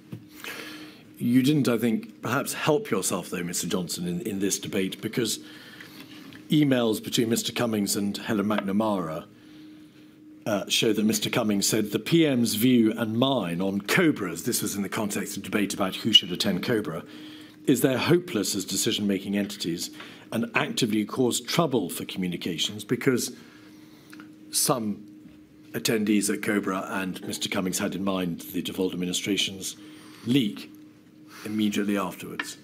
Well, was that your view? I, I think that it, sometimes that, that was the case, and that was a that was, in my view, a, a problem. Um, perhaps we could have found a better way to to manage it, um, but it that was that was certainly one of the problems. Mm. This the system was uh, understood not to be working particularly well in terms of the government structures the systemic structures um, at the top and in relation to the relationship of the DAs because there was uh, the series of the four ministerial implementation groups um, between March and May, and they were then done away with and replaced by COVID S and, and COVID O. You, directed, um, following advice from your cabinet secretary, that there should be a new rhythm of meetings uh, the 9 a.m. meetings to which the DAs were not um, uh, invited. Uh, and you, you directed that consideration should be given to using something called the Joint Ministerial Committee. But the Joint Ministerial Committee was never used, was it, for the purposes of meeting with the DAs? I, I think that the so first of all, I think the the Cobras had the problems that we've we've we've identified. Uh, there, was a, there was a problem with, with messaging, and I think that was a serious problem. Um, I, I, I think that in, in future, there has to be some way of having a, a joined up, a UK um, pandemic uh, response. And how you, how you get to that, I've got an open mind. Uh, I, I, see a lot of my colleagues are against the, the Civil Contingencies Act. Um, uh, I'm happy to, to, defer to, to them on that point. Uh, I wonder whether you could amend the 1984 Public Health Act so as to have an exemption for pandemics. Um, uh, it, it just seems to me that something needs to be done to fix this whilst taking account of the legitimate concerns of the DAs, their legitimate desire to be uh, involved and to and to and to contribute. But that we need to find a better way to get a single message. Um, there was a body called the Review of Intergovernmental Relations. I think it reported in yes. January 22 So just at the end of the, the pandemic, Yes. just the end of the, the crisis, which recommended that the Prime Minister of the United Kingdom should meet with the heads of the devolved governments on a regular basis. But that came later. Yeah. During the crisis, you, you um, ordered that um, Michael Gove, the Chancellor of the Duchy of Lancaster, should chair regular meetings with the devolved administrations. Um, but, but there were difficulties, whether or not, in setting up that structure. It took time for those meetings to be arranged. Do you recall that? I don't recall the, the delay, but I, I do re- remember asking Michael to do it. I think he was ideally uh, placed to do it. I think he did a very, very good job of, um, of, of working with the with the DAs. Um, that didn't stop some of the raggedness that, I, that, that I've I've talked about. Um, if I had my time again, if in, with hindsight, I think it's an area where I would have tried, even though it was I was very pushed for time. I would have tried to spend more time uh, with the with the DAs and really try to bring them with me. But I, you know, I, I'm afraid I, it may just be that I'm overestimating my um, my ability to to get a consensus. I think there was always the risk of of divergence. Well, you may, with respect, be misrepresenting your true views because in your statement you said it is optically wrong in the first place for the United Kingdom Prime Minister to hold regular meetings with the other DA First Ministers. I, and I, well, I think that's I, I, I happen to think that's also true. Um, I Well, think they, can't, they can't both be right. Well, I, I, I, I think that, um, well, sometimes you can do things that um, you, you think are, um, you know, constitutionally um, uh, a bit weird uh, if, if it will help the general cause of fighting the pandemic. Um, I, you know, I, I, I put, let me let me summarize. I, I, I think that there's an issue. It's it's not a huge, huge issue. Nothing like as big as many of the other issues that the um, the inquiry needs to, to look at. But we, we do need to sort it out. We need a we need a, a better way to get a, a unified uh, message for the UK. Mr. Johnson, you didn't try very hard, to use your words, to bring the DAs with you because you took the view that optically it was wrong to be seen to be meeting with their first ministers because it might look like a kind of, to use your words, mini EU.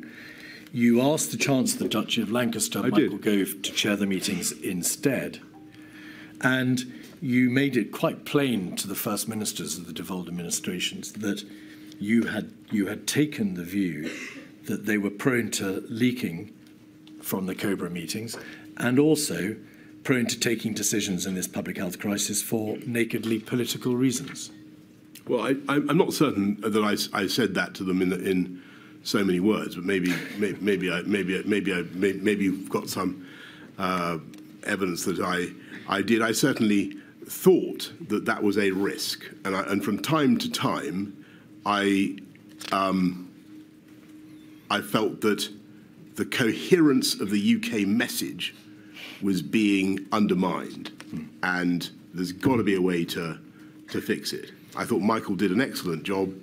Um, I sometimes wonder whether I could have done more in that respect myself, but I, I frankly I doubt it.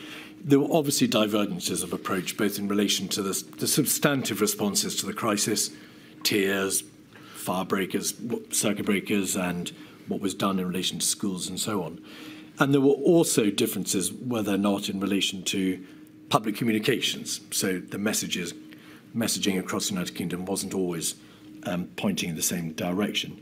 Ultimately, did it matter that there were those differences of approach epidemiologically, or that in terms of communication, you were not all singing from the same hymn sheet? I think it did matter. I think that clarity and, some, uh, and, and unity of message was, was very important.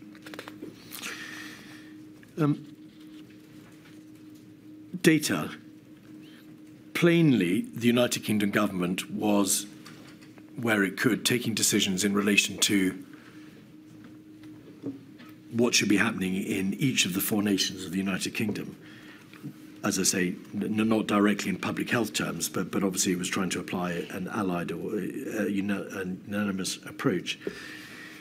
Did you feel that you, as the Prime Minister of the United Kingdom government, had sufficient data, sufficient scientific advice as to what the position was on the ground in each of the other nations epidemiologically? Well, I think that when the the, the pandemic broke out, we uh, we were short of data about many things. I, we didn't even know the number. I think I said in my statement, we didn't even know the number of beds in the NHS, and it, and it took a long time to extract relevant data. There was a a general continuing concern raised with you because uh, Ms Sturgeon uh, wrote to you in September 2020 about whether or not the devolved administrations were receiving enough financial support in order to be able to enable them to put into place the public health measures that they had ordained.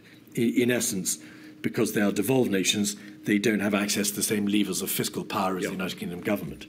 How was that issue resolved, or did it continue throughout the crisis? I think that the the issue of financial support was obviously uh, allied or, with the issue of, or, uh, of, of divergence of approach, because clearly, uh, if it was open to a, um, a, a DA to take a, a, for instance, a much more precautionary approach, or to, or to say that they wanted to uh, to do X, Y, Z policy that would be more expensive, um, then that was something that we were going to, that the whole of the UK exchequer was going to have to, to cover. Um, now, uh, that it, it, wasn't that um, I wanted unity of message for that reason, uh, but that was an that was certainly an extra complication. In his statement, Michael Gove says in the early stages of the response, there were occasions when insufficient notice was given to the devolved administrations of decisions that were likely to be taken.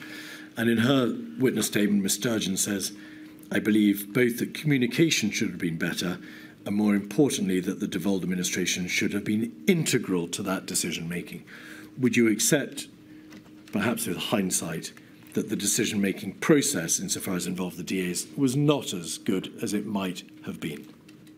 I think um, some some form of integrated decision making that doesn't leak is what you're after. Local government. It would seem that in March 2020, there was a deliberate decision within Downing Street not to invite the Mayor of London to meetings until the 16th of March. Um, he says that he made repeated requests to attend. He requested to attend Cobra on the 2nd, 9th, and 12th of March, but was not permitted to do so. Did you know that? Do, do you agree with that? Uh, certainly, London was very, very much in the in the, the, forefront in the early stages of the pandemic, and I, I know that uh, the mayor of London was repeatedly consulted by uh, my advisors in in, in number 10, I'm sure there, there, was a lot of traffic between them and, and uh, Sadiq Khan. I think that he was invited to a meeting on the, from memory, on the 16th. I may have that wrong, uh, but I certainly spoke to him uh, pretty early on. But as you said right at the end of the last session, um, you know, we, we, we began by thinking we might uh, do London first, but then we dropped that idea the Mayor of London was not invited to the government's formal crisis machinery, COBRA, until after the first national measures had been imposed by the United Kingdom government. Is that correct? And, and that is because we, we didn't, in the end, uh, do London first measures, and there was some sensitivity about um, other metro mayors.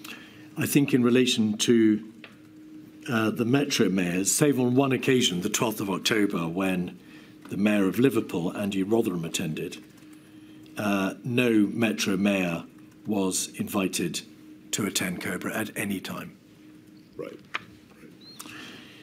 The evidence from Sadiq Khan, from Mr. Burnham, and, and, and Mr. Rotheram is to the effect that there was generally insufficient information given to local leaders. And in the context, Mr. Johnson, of the local restrictions in the summer of 2020, and of course the tier system in October and December Yeah. of 2020, th- that was a very significant failing, was it not?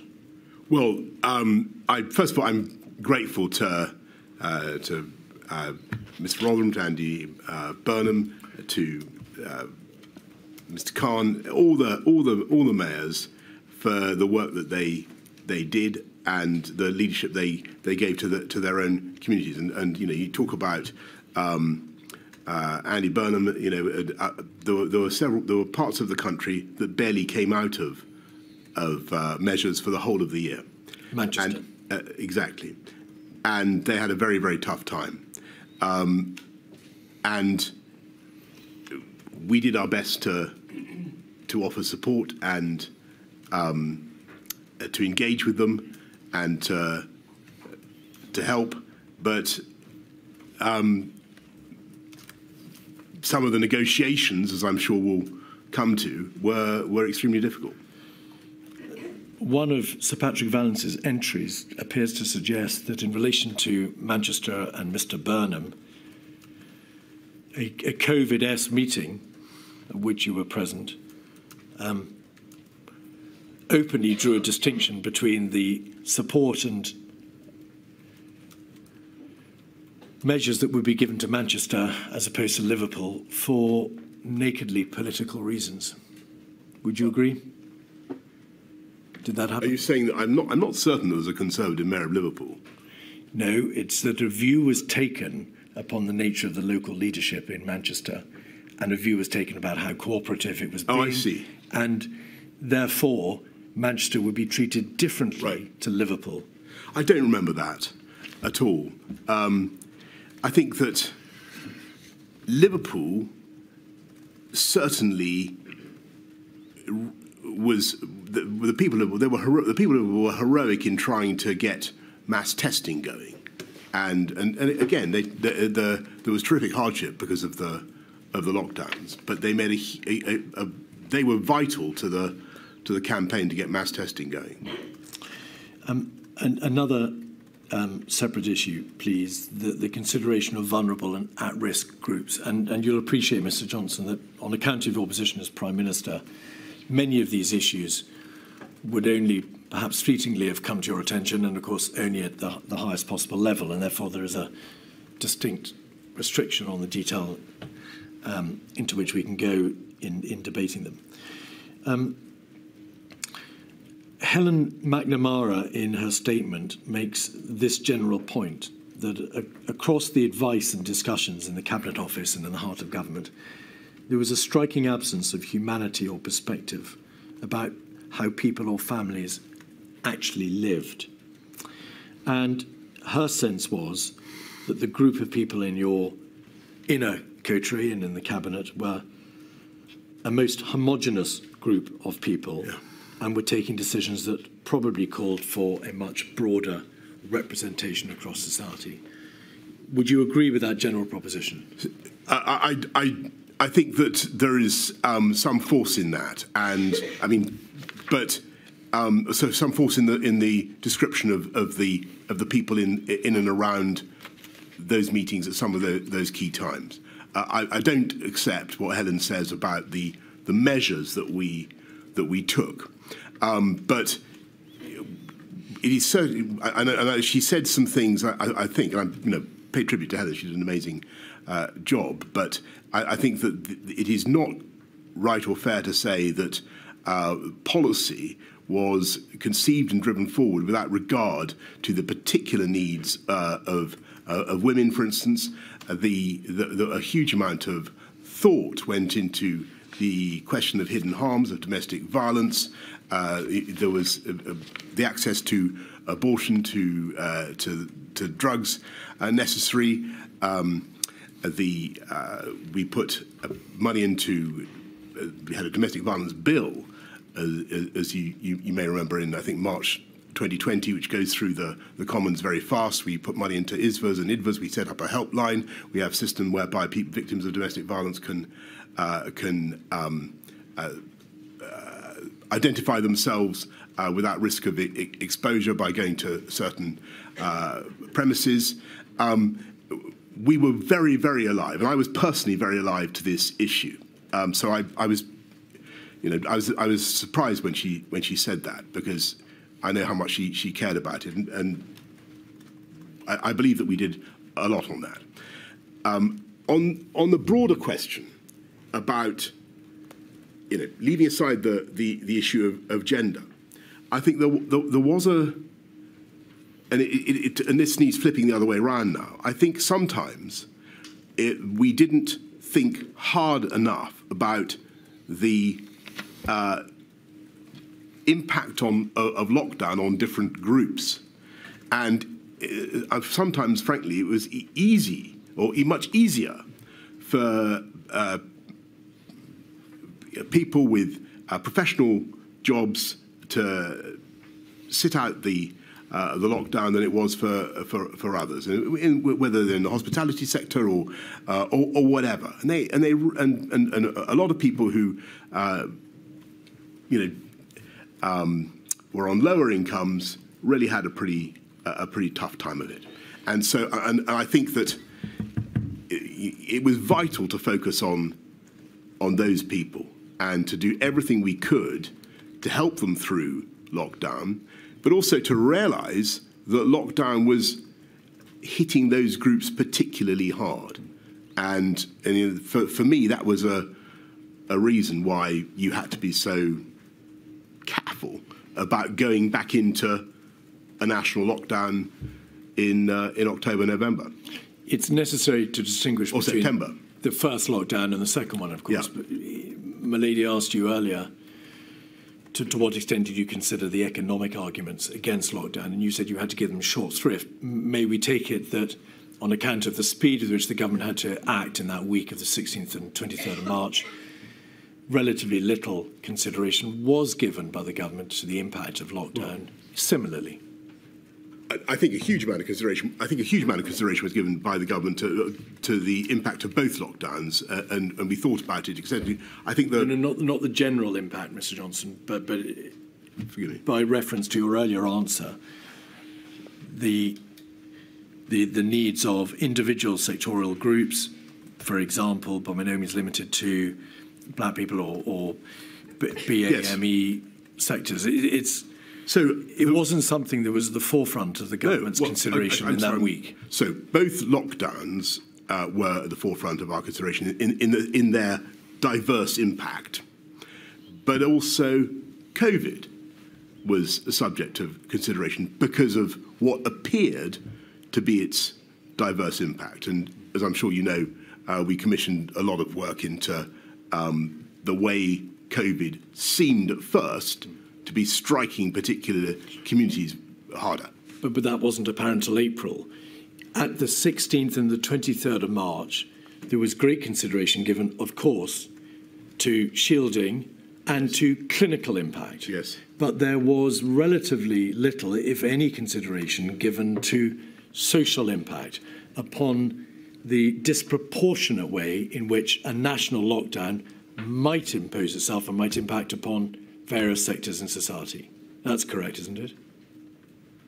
Well, where in the where in, I, I, in, the, in the notes and the minutes that you've been shown to is there open debate about the likely impact on the vulnerable and at risk of the national lockdown that was imposed on the 23rd of March? I think that you can find, well, I, I, I couldn't point you off the top of my head to any particular text, but what I can tell you is that the whole time we were thinking, uh, look, uh, who gets hit when you close non essential retail and you close hospitality and uh, you, you stop people moving around?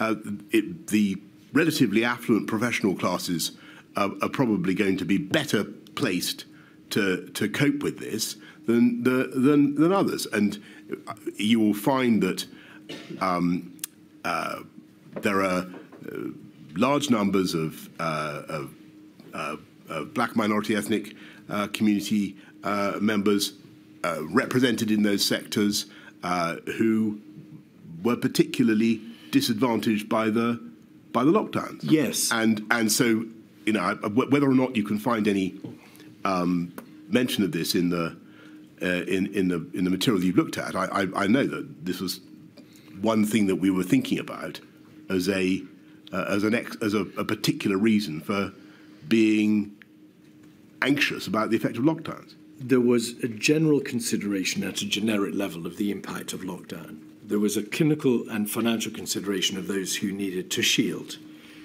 There was a, a broad understanding that if the R rate could be brought below one and prevalence reduced, that would be for the greater benefit of all.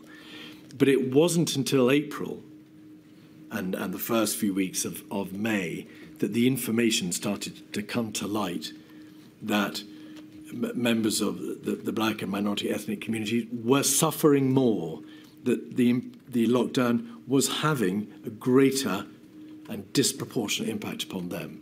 That's correct, isn't it? Uh, I don't remember exactly when it came to, to light, but it was intuitively obvious that it was uh, going to happen, and it was one of the reasons that we were. I was very cautious about going back into a, a national lockdown. That's later, of course, and and and to be fair, you as one of the reasons. Sorry, put it the other way around. It's one of the reasons I was keen to to see if we could get moving again. Right, and and you instituted a review. We've heard evidence that that Kemi yeah. um, MP carried out a, a very extensive review um, over a number of, of years. I think over two years there were uh, perhaps maybe a year there were four quarterly reports. That's right. You were, I think, less sympathetic to the needs of those persons suffering from long-term sequelae, that is to say, suffering from the condition known as long COVID. You questioned for quite some time whether or not that condition truly existed, and you equated it to Gulf War syndrome uh, repeatedly. Okay. Is that fair?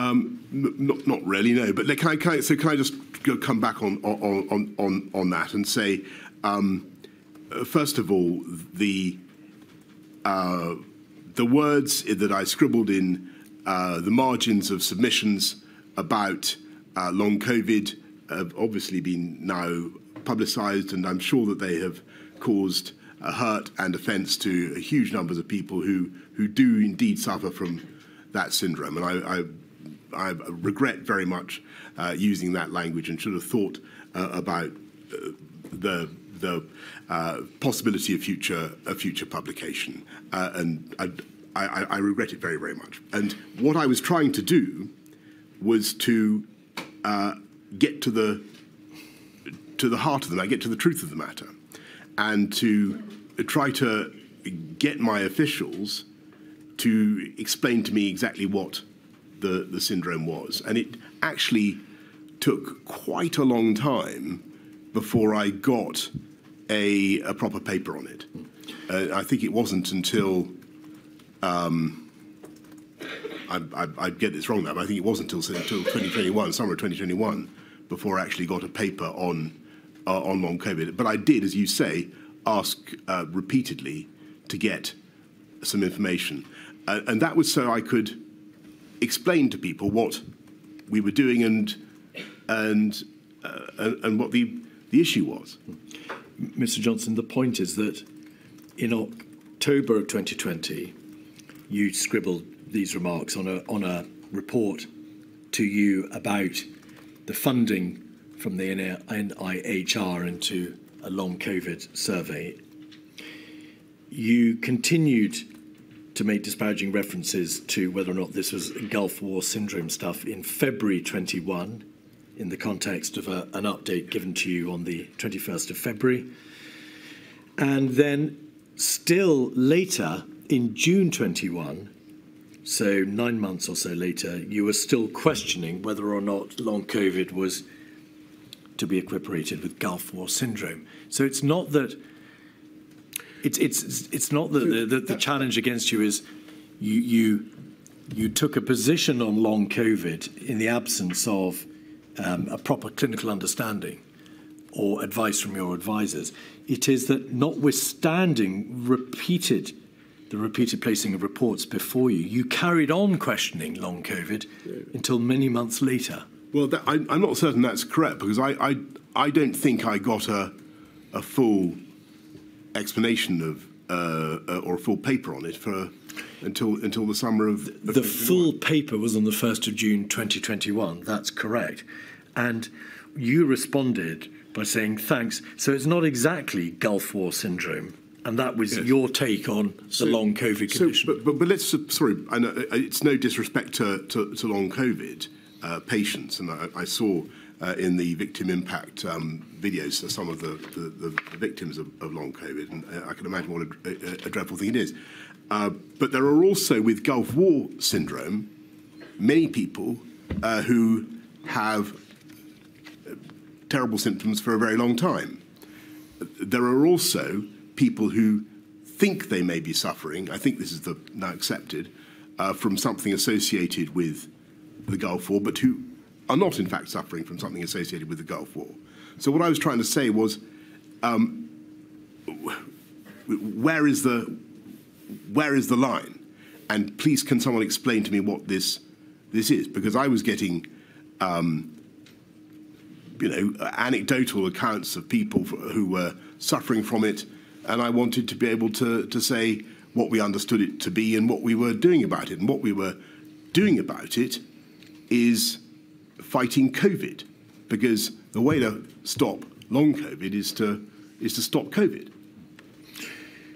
One final topic in relation to, to, to the broad overarching issue of, of um, disparity.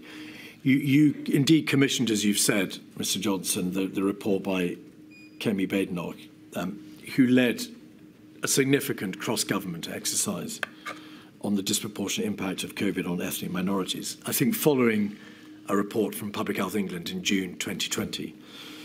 Do you happen to know why it was that that report, uh, that work done by Kemi Badenoch, didn't cover disabled persons? it's it's it's a technical question. It's a it's a very it's good. Not it's clear why it didn't. It's a very good question, Mr. Keith. I, I, I will uh, make sure that the inquiry gets an answer, but I, I can't I can't give it to you off the top of my head.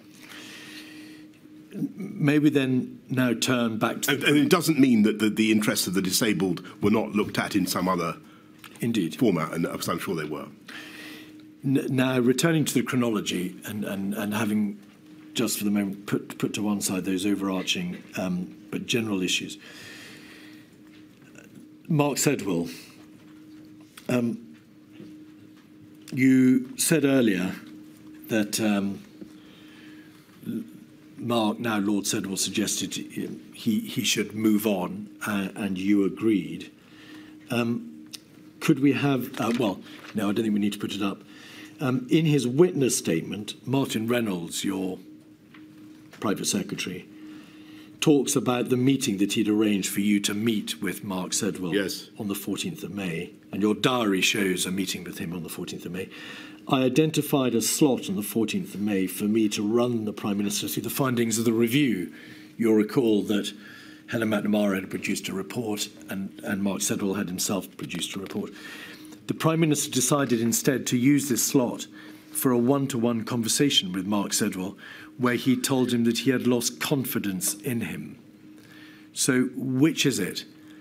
Is it that you lost confidence in him, which is the question I asked you earlier, or is it that Mark Sedwill told you he wanted to move on and you agreed? Well, uh, Mark Sedwill did an outstanding job for this country uh, for a long time, and he was uh, a very distinguished uh, uh, permanent secretary, I think, of the Home Office. He was a national security advisor. He's, he, he's done everything. And um, I, I, I, was and remain hugely grateful to his service. Uh, he wanted to move on. The evidence from Mr. Cummings and Martin Reynolds and Helen MacNamara is that, regardless of the genesis of why he moved on or was effectively sacked, whichever way my lady concludes,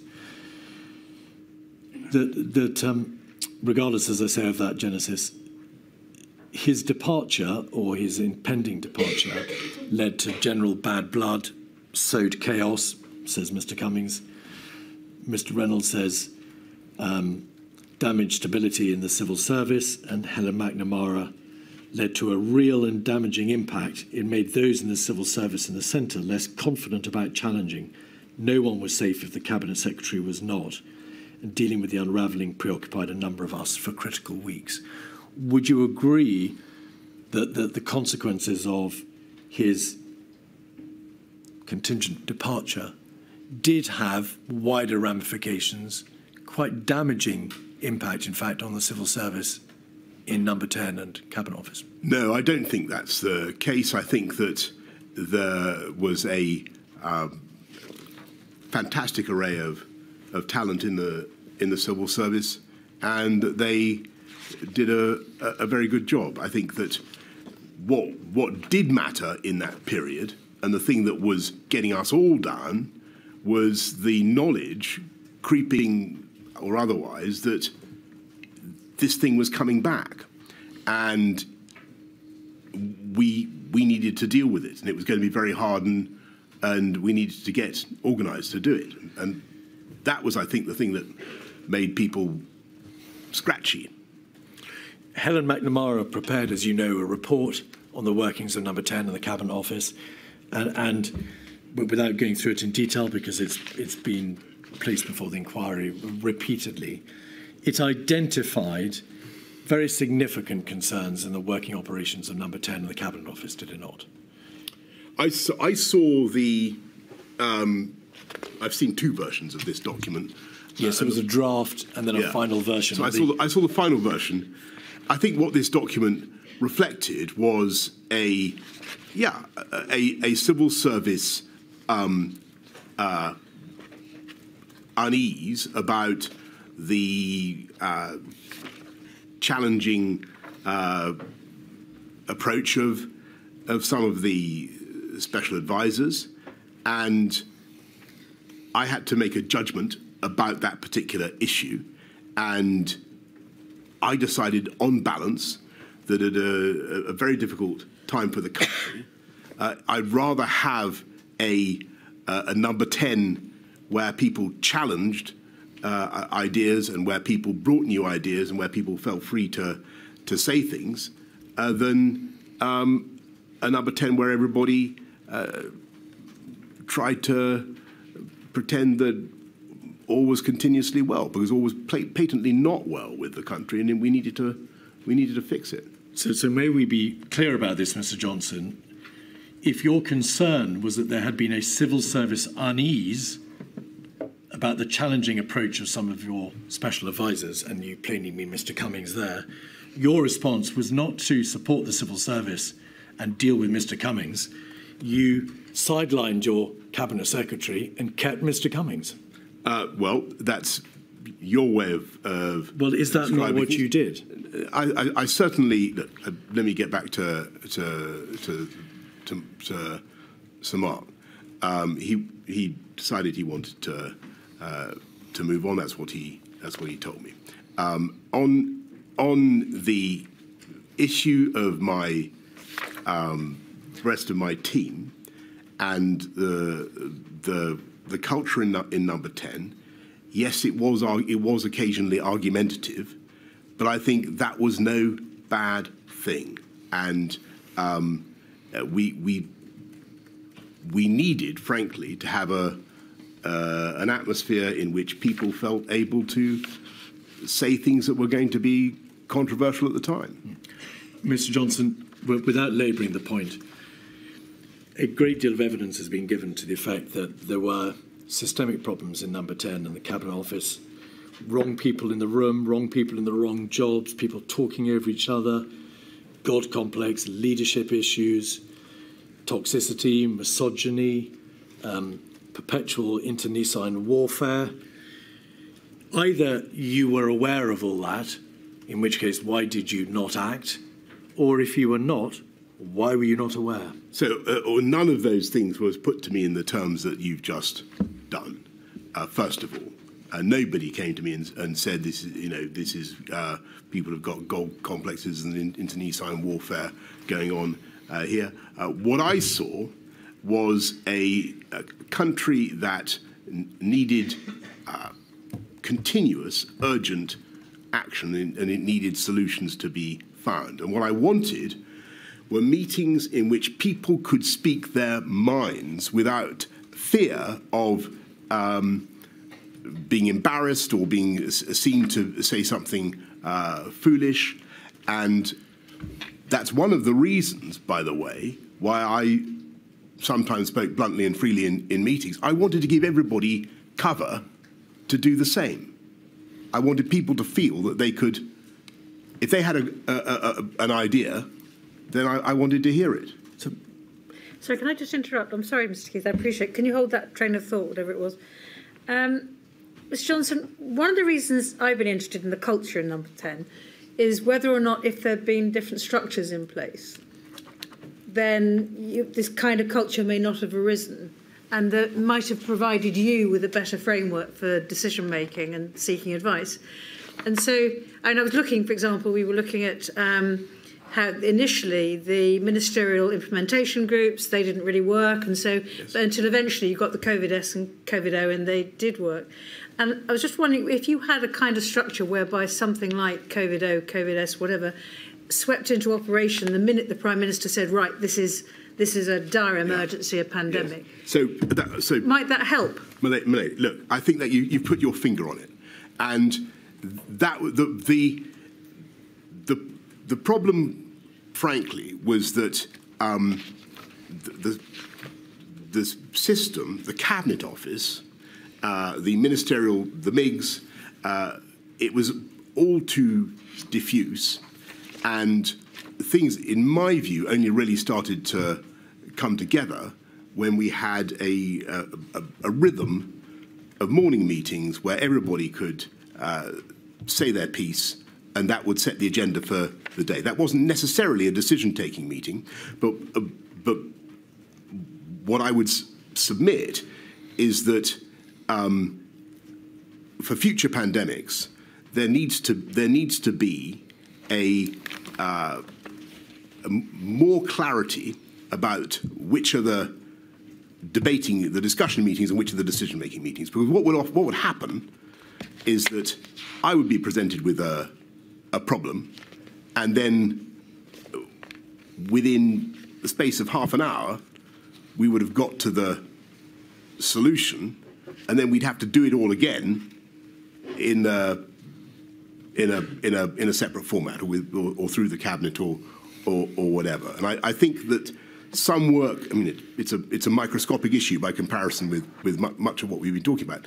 But some work needs to be done on those procedures so that the prime minister has a uh, he, when he goes into some meetings knowing that these are decision taking meetings and is given all the evidence on both uh, sides of the argument because that, that, that was not happening. What was happening was we were having a, a meeting, we'd say, this is the, uh, here's the problem, uh, the R is taking off, we, the, the, the tiers aren't working, what do we do now?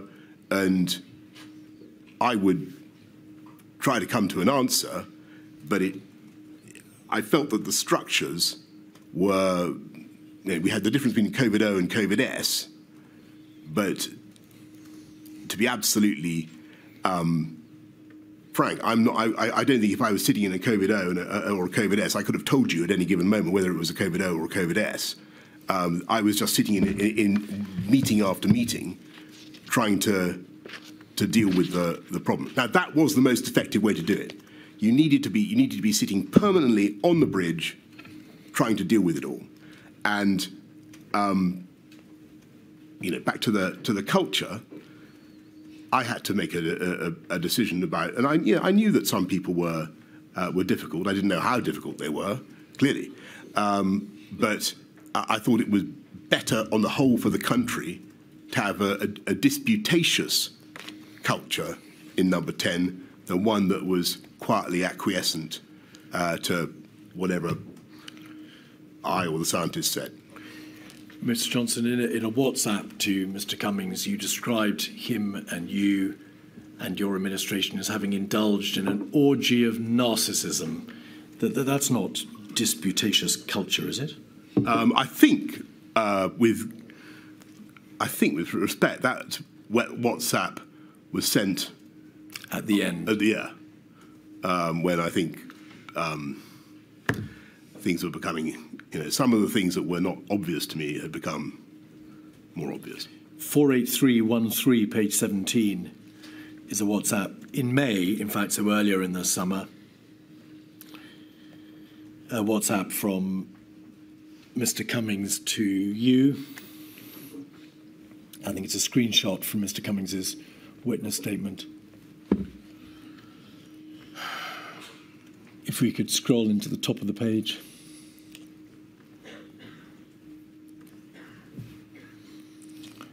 If Hancock text really coming to meetings number 10, please just ignore. We urgently need to have meetings without him. That's Mr. Cummings. And, and then this, all too recognisable, we need to rebuild the government from top to bottom. We need to take over the cabinet office and run the whole thing. Yeah, is this, this, is, this is me on the left, is it?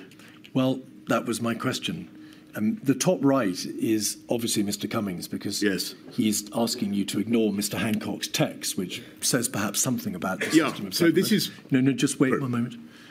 Um, is it Mr. Cummings or you who says we need to rebuild the government from top to bottom, take over the cabinet office, and run the whole thing? So what I'm what I'm getting at here, and what this is this is a, a reference. Uh, is this in May? It is the 13th of May. Yeah. So this is this is a reference to a, a plan that we we hatched to try to um, do have a massive data-driven revolution in government, and to, to use COVID and the uh, this moment when we um, were finding out so much about people's um, propensities to, to illness of all kinds, to, to, to try to run a much more effective government. And we, and we, we opened a, a, a big office in 70 Whitehall, a, a big open plan, um, a bit like this actually, uh, where the idea was that we would assemble data and we would, we would try and do things in a different way. I have to tell you, it was not a success.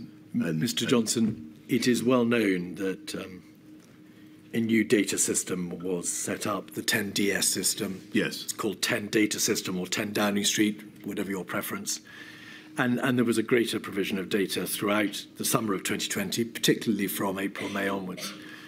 But, but this message it doesn't refer to data, does it? It doesn't refer to setting up a new data stream. no, it it, talks about rebuilding the government from top to bottom and taking over the cabinet office, Yes. which wasn't, of course, itself responsible for data. It had multifarious functions, not one of which was the provision of data to central government. But but sorry, the, the what I meant the, the the office that we were that we created was in the cabinet office, or it it was in seventy. What is it was in seventy Whitehall, and so uh, that was what I was talking about. I want I I, I agreed that things needed to, to change, and I wanted uh, a data a data driven reform of government. Two further points on, the, on this topic, please. Firstly, um, Mr. Case's WhatsApp messages with his predecessor, Mark Sedwill, 303245, page 1. Um, I don't want to go through this line by line, Mr. Johnson, but if you just scroll your scroll your eyes down the page, you, you'll see multiple references to the behaviour in Downing Street, and in essence, Mark Sedwill saying, I've agreed to stay on for now, subject to various conditions about behaviour and systems. Um, the, the fact that he says, I, well, I've agreed to stay on may say something about his departure.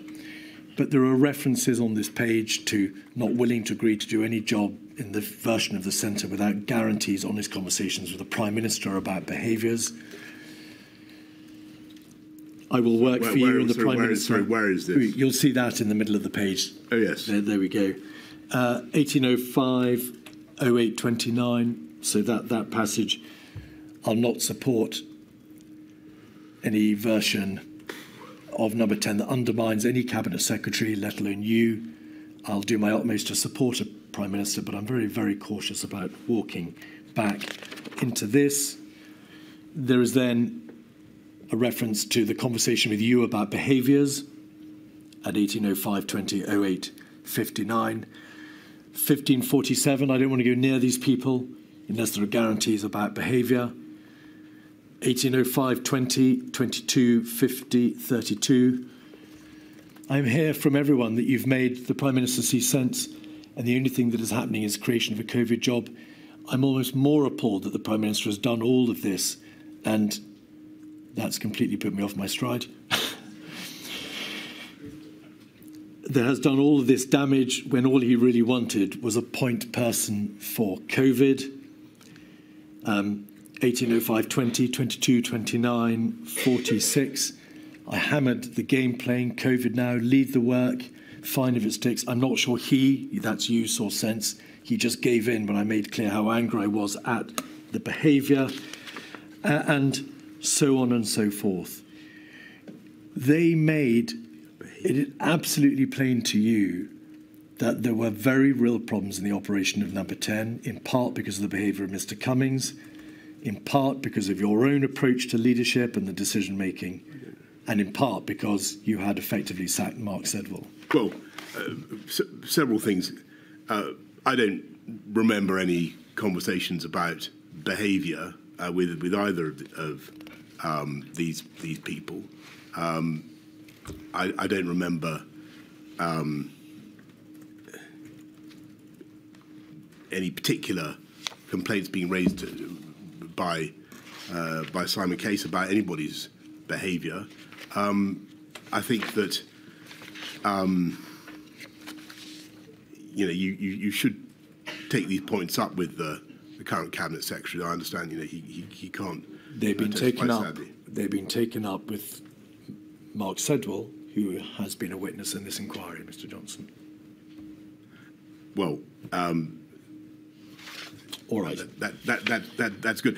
But finally, what I, what I would say is that uh, I, I don't think it was a bad thing to have people who were willing to challenge the consensus and get things done. And you know, whatever you, you may say about the government, it did get a, an awful lot of things done, and, uh, and I think that's what the country needed at the time. And a lot of things were not done as well as they might otherwise have been done.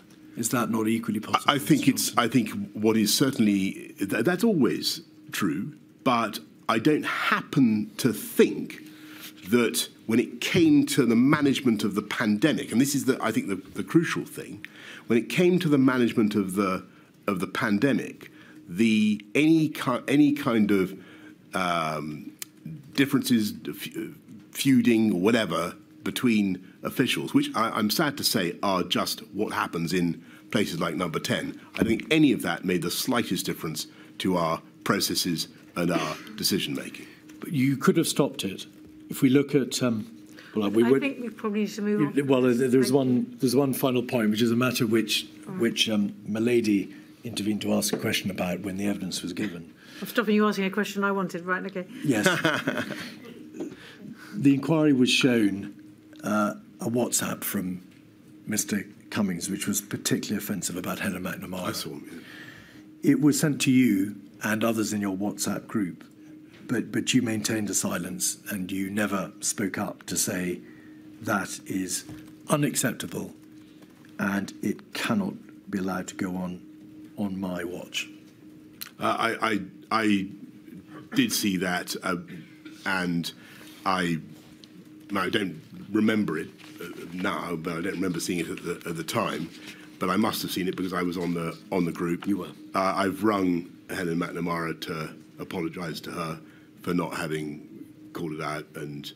Um, uh, uh, you know, so that, if, uh, if, you've if you've done that, and I've, apolo- I've apologised to her.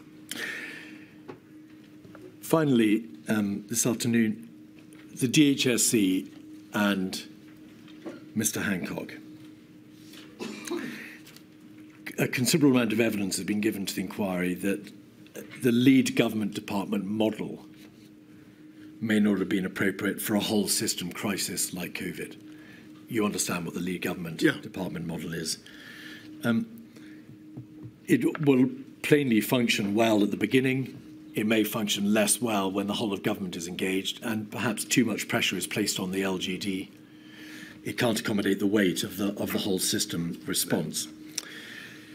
there is considerable material in Sir Patrick Vallance's diaries and in the witness statement of Mr. Cummings to the effect that there was a high degree of chaos in the DHSC, that there was operational inefficiency. Sir Patrick Vallance talks about this all the way through to May 2021. Were you aware that competent, very senior advisors in your administration held the view that the DHC had been overwhelmed and was operationally inefficient? Um, I was certainly aware that the um, the DH, the Department of Health, and Matt Hancock were coming under fire. Uh, and but I want to go back to the high level point I made earlier about uh, what all this signifies and the, the, ways in which it should be read and understood.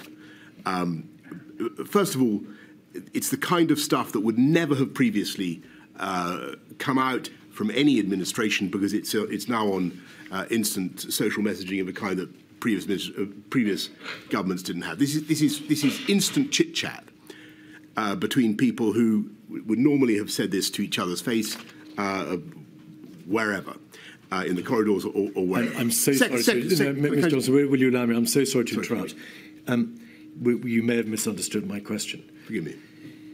The material consists not just of WhatsApps and evening notes, but also witness statements, sure. which yes. talk about a high level of operational inefficiency or chaos, however you yes. So, so in in the in the DHSC. I'm not talking about the, the more you. personal or intimate no, no, remarks in the WhatsApp. No, I, I, totally understand. Were you aware that that view was taken I, I was, generally of the DHSC? I was aware. Yes, certainly. I, certainly, I was aware that the DHSC was under fire from loads of people. But that was hardly surprising because the country was going through a horrific pandemic. And I just want to say what I should have got quickly, more quickly to the point. The point is, you've got a lot of very talented, uh, sometimes uh, super confident, sometimes egotistical uh, people who are crushed with anxiety about what is happening to their country, uh, who are racked secretly with self doubt and self criticism, and who externalize that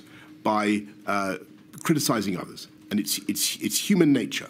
And one of the, when you're the leader in those circumstances, your job is to work out what is justified and what is people sounding off and what is political nonsense.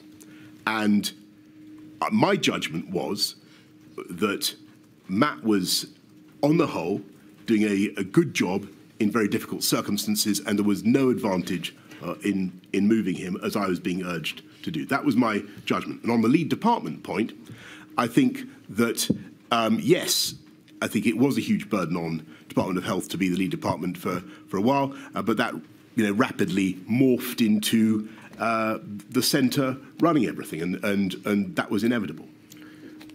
Why were, well, you, you suggest in, in response to my question that these criticisms were made because people were crushed with anxiety and racked secretly with self-doubt and self-criticism. Whatever the psychological mood of Sir Patrick Vallance,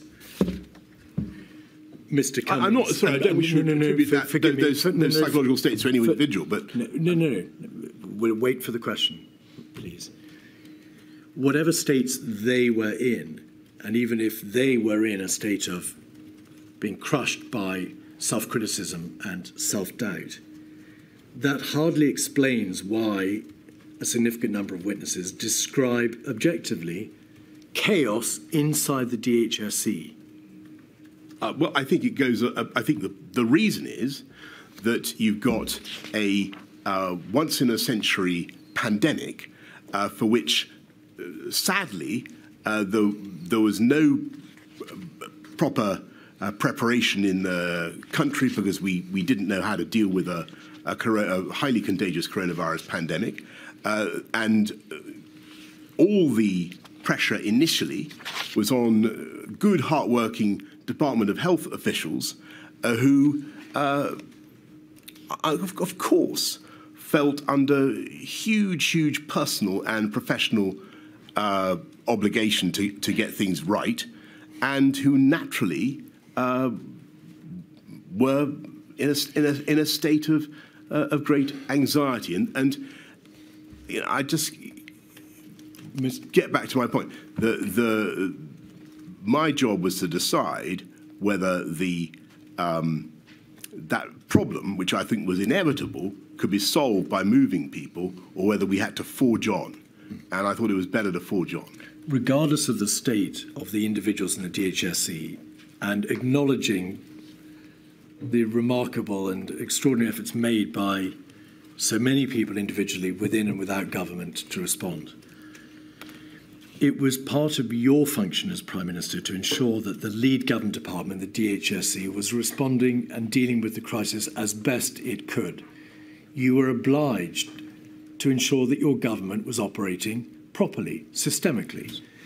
You knew that other advisors, senior advisors in your administration, were telling you that the DHSC was not operating well. It was chaotic and dysfunctional, and there were very real concerns being expressed about its Secretary of State.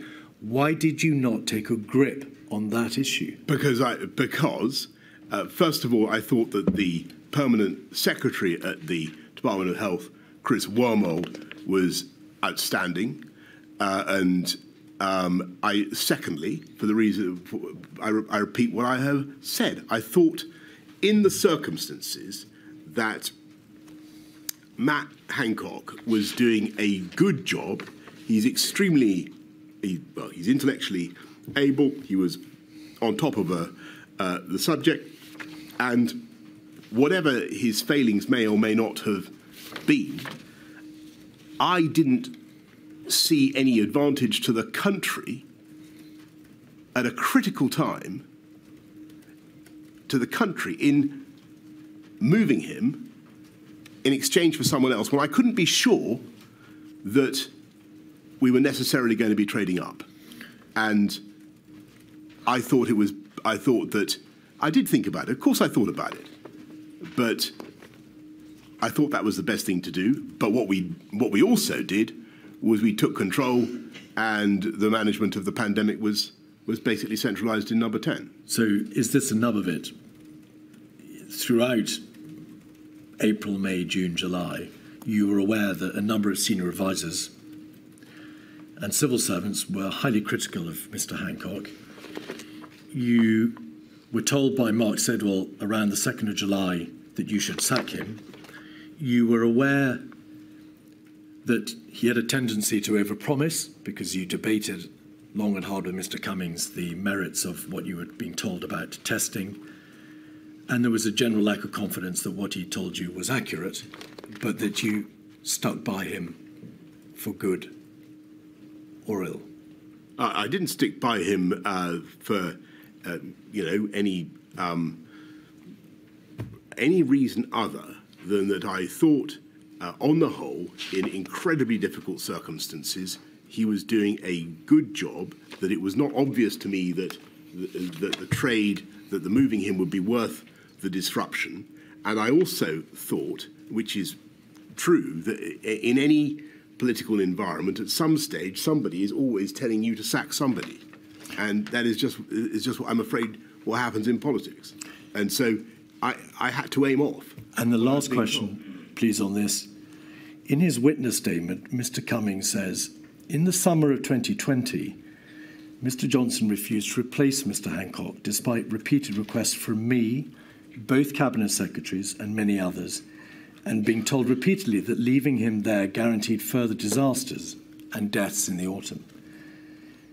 His political secretary told me the Prime Minister wanted to keep Mr. Hancock as the sacrifice for the inquiry.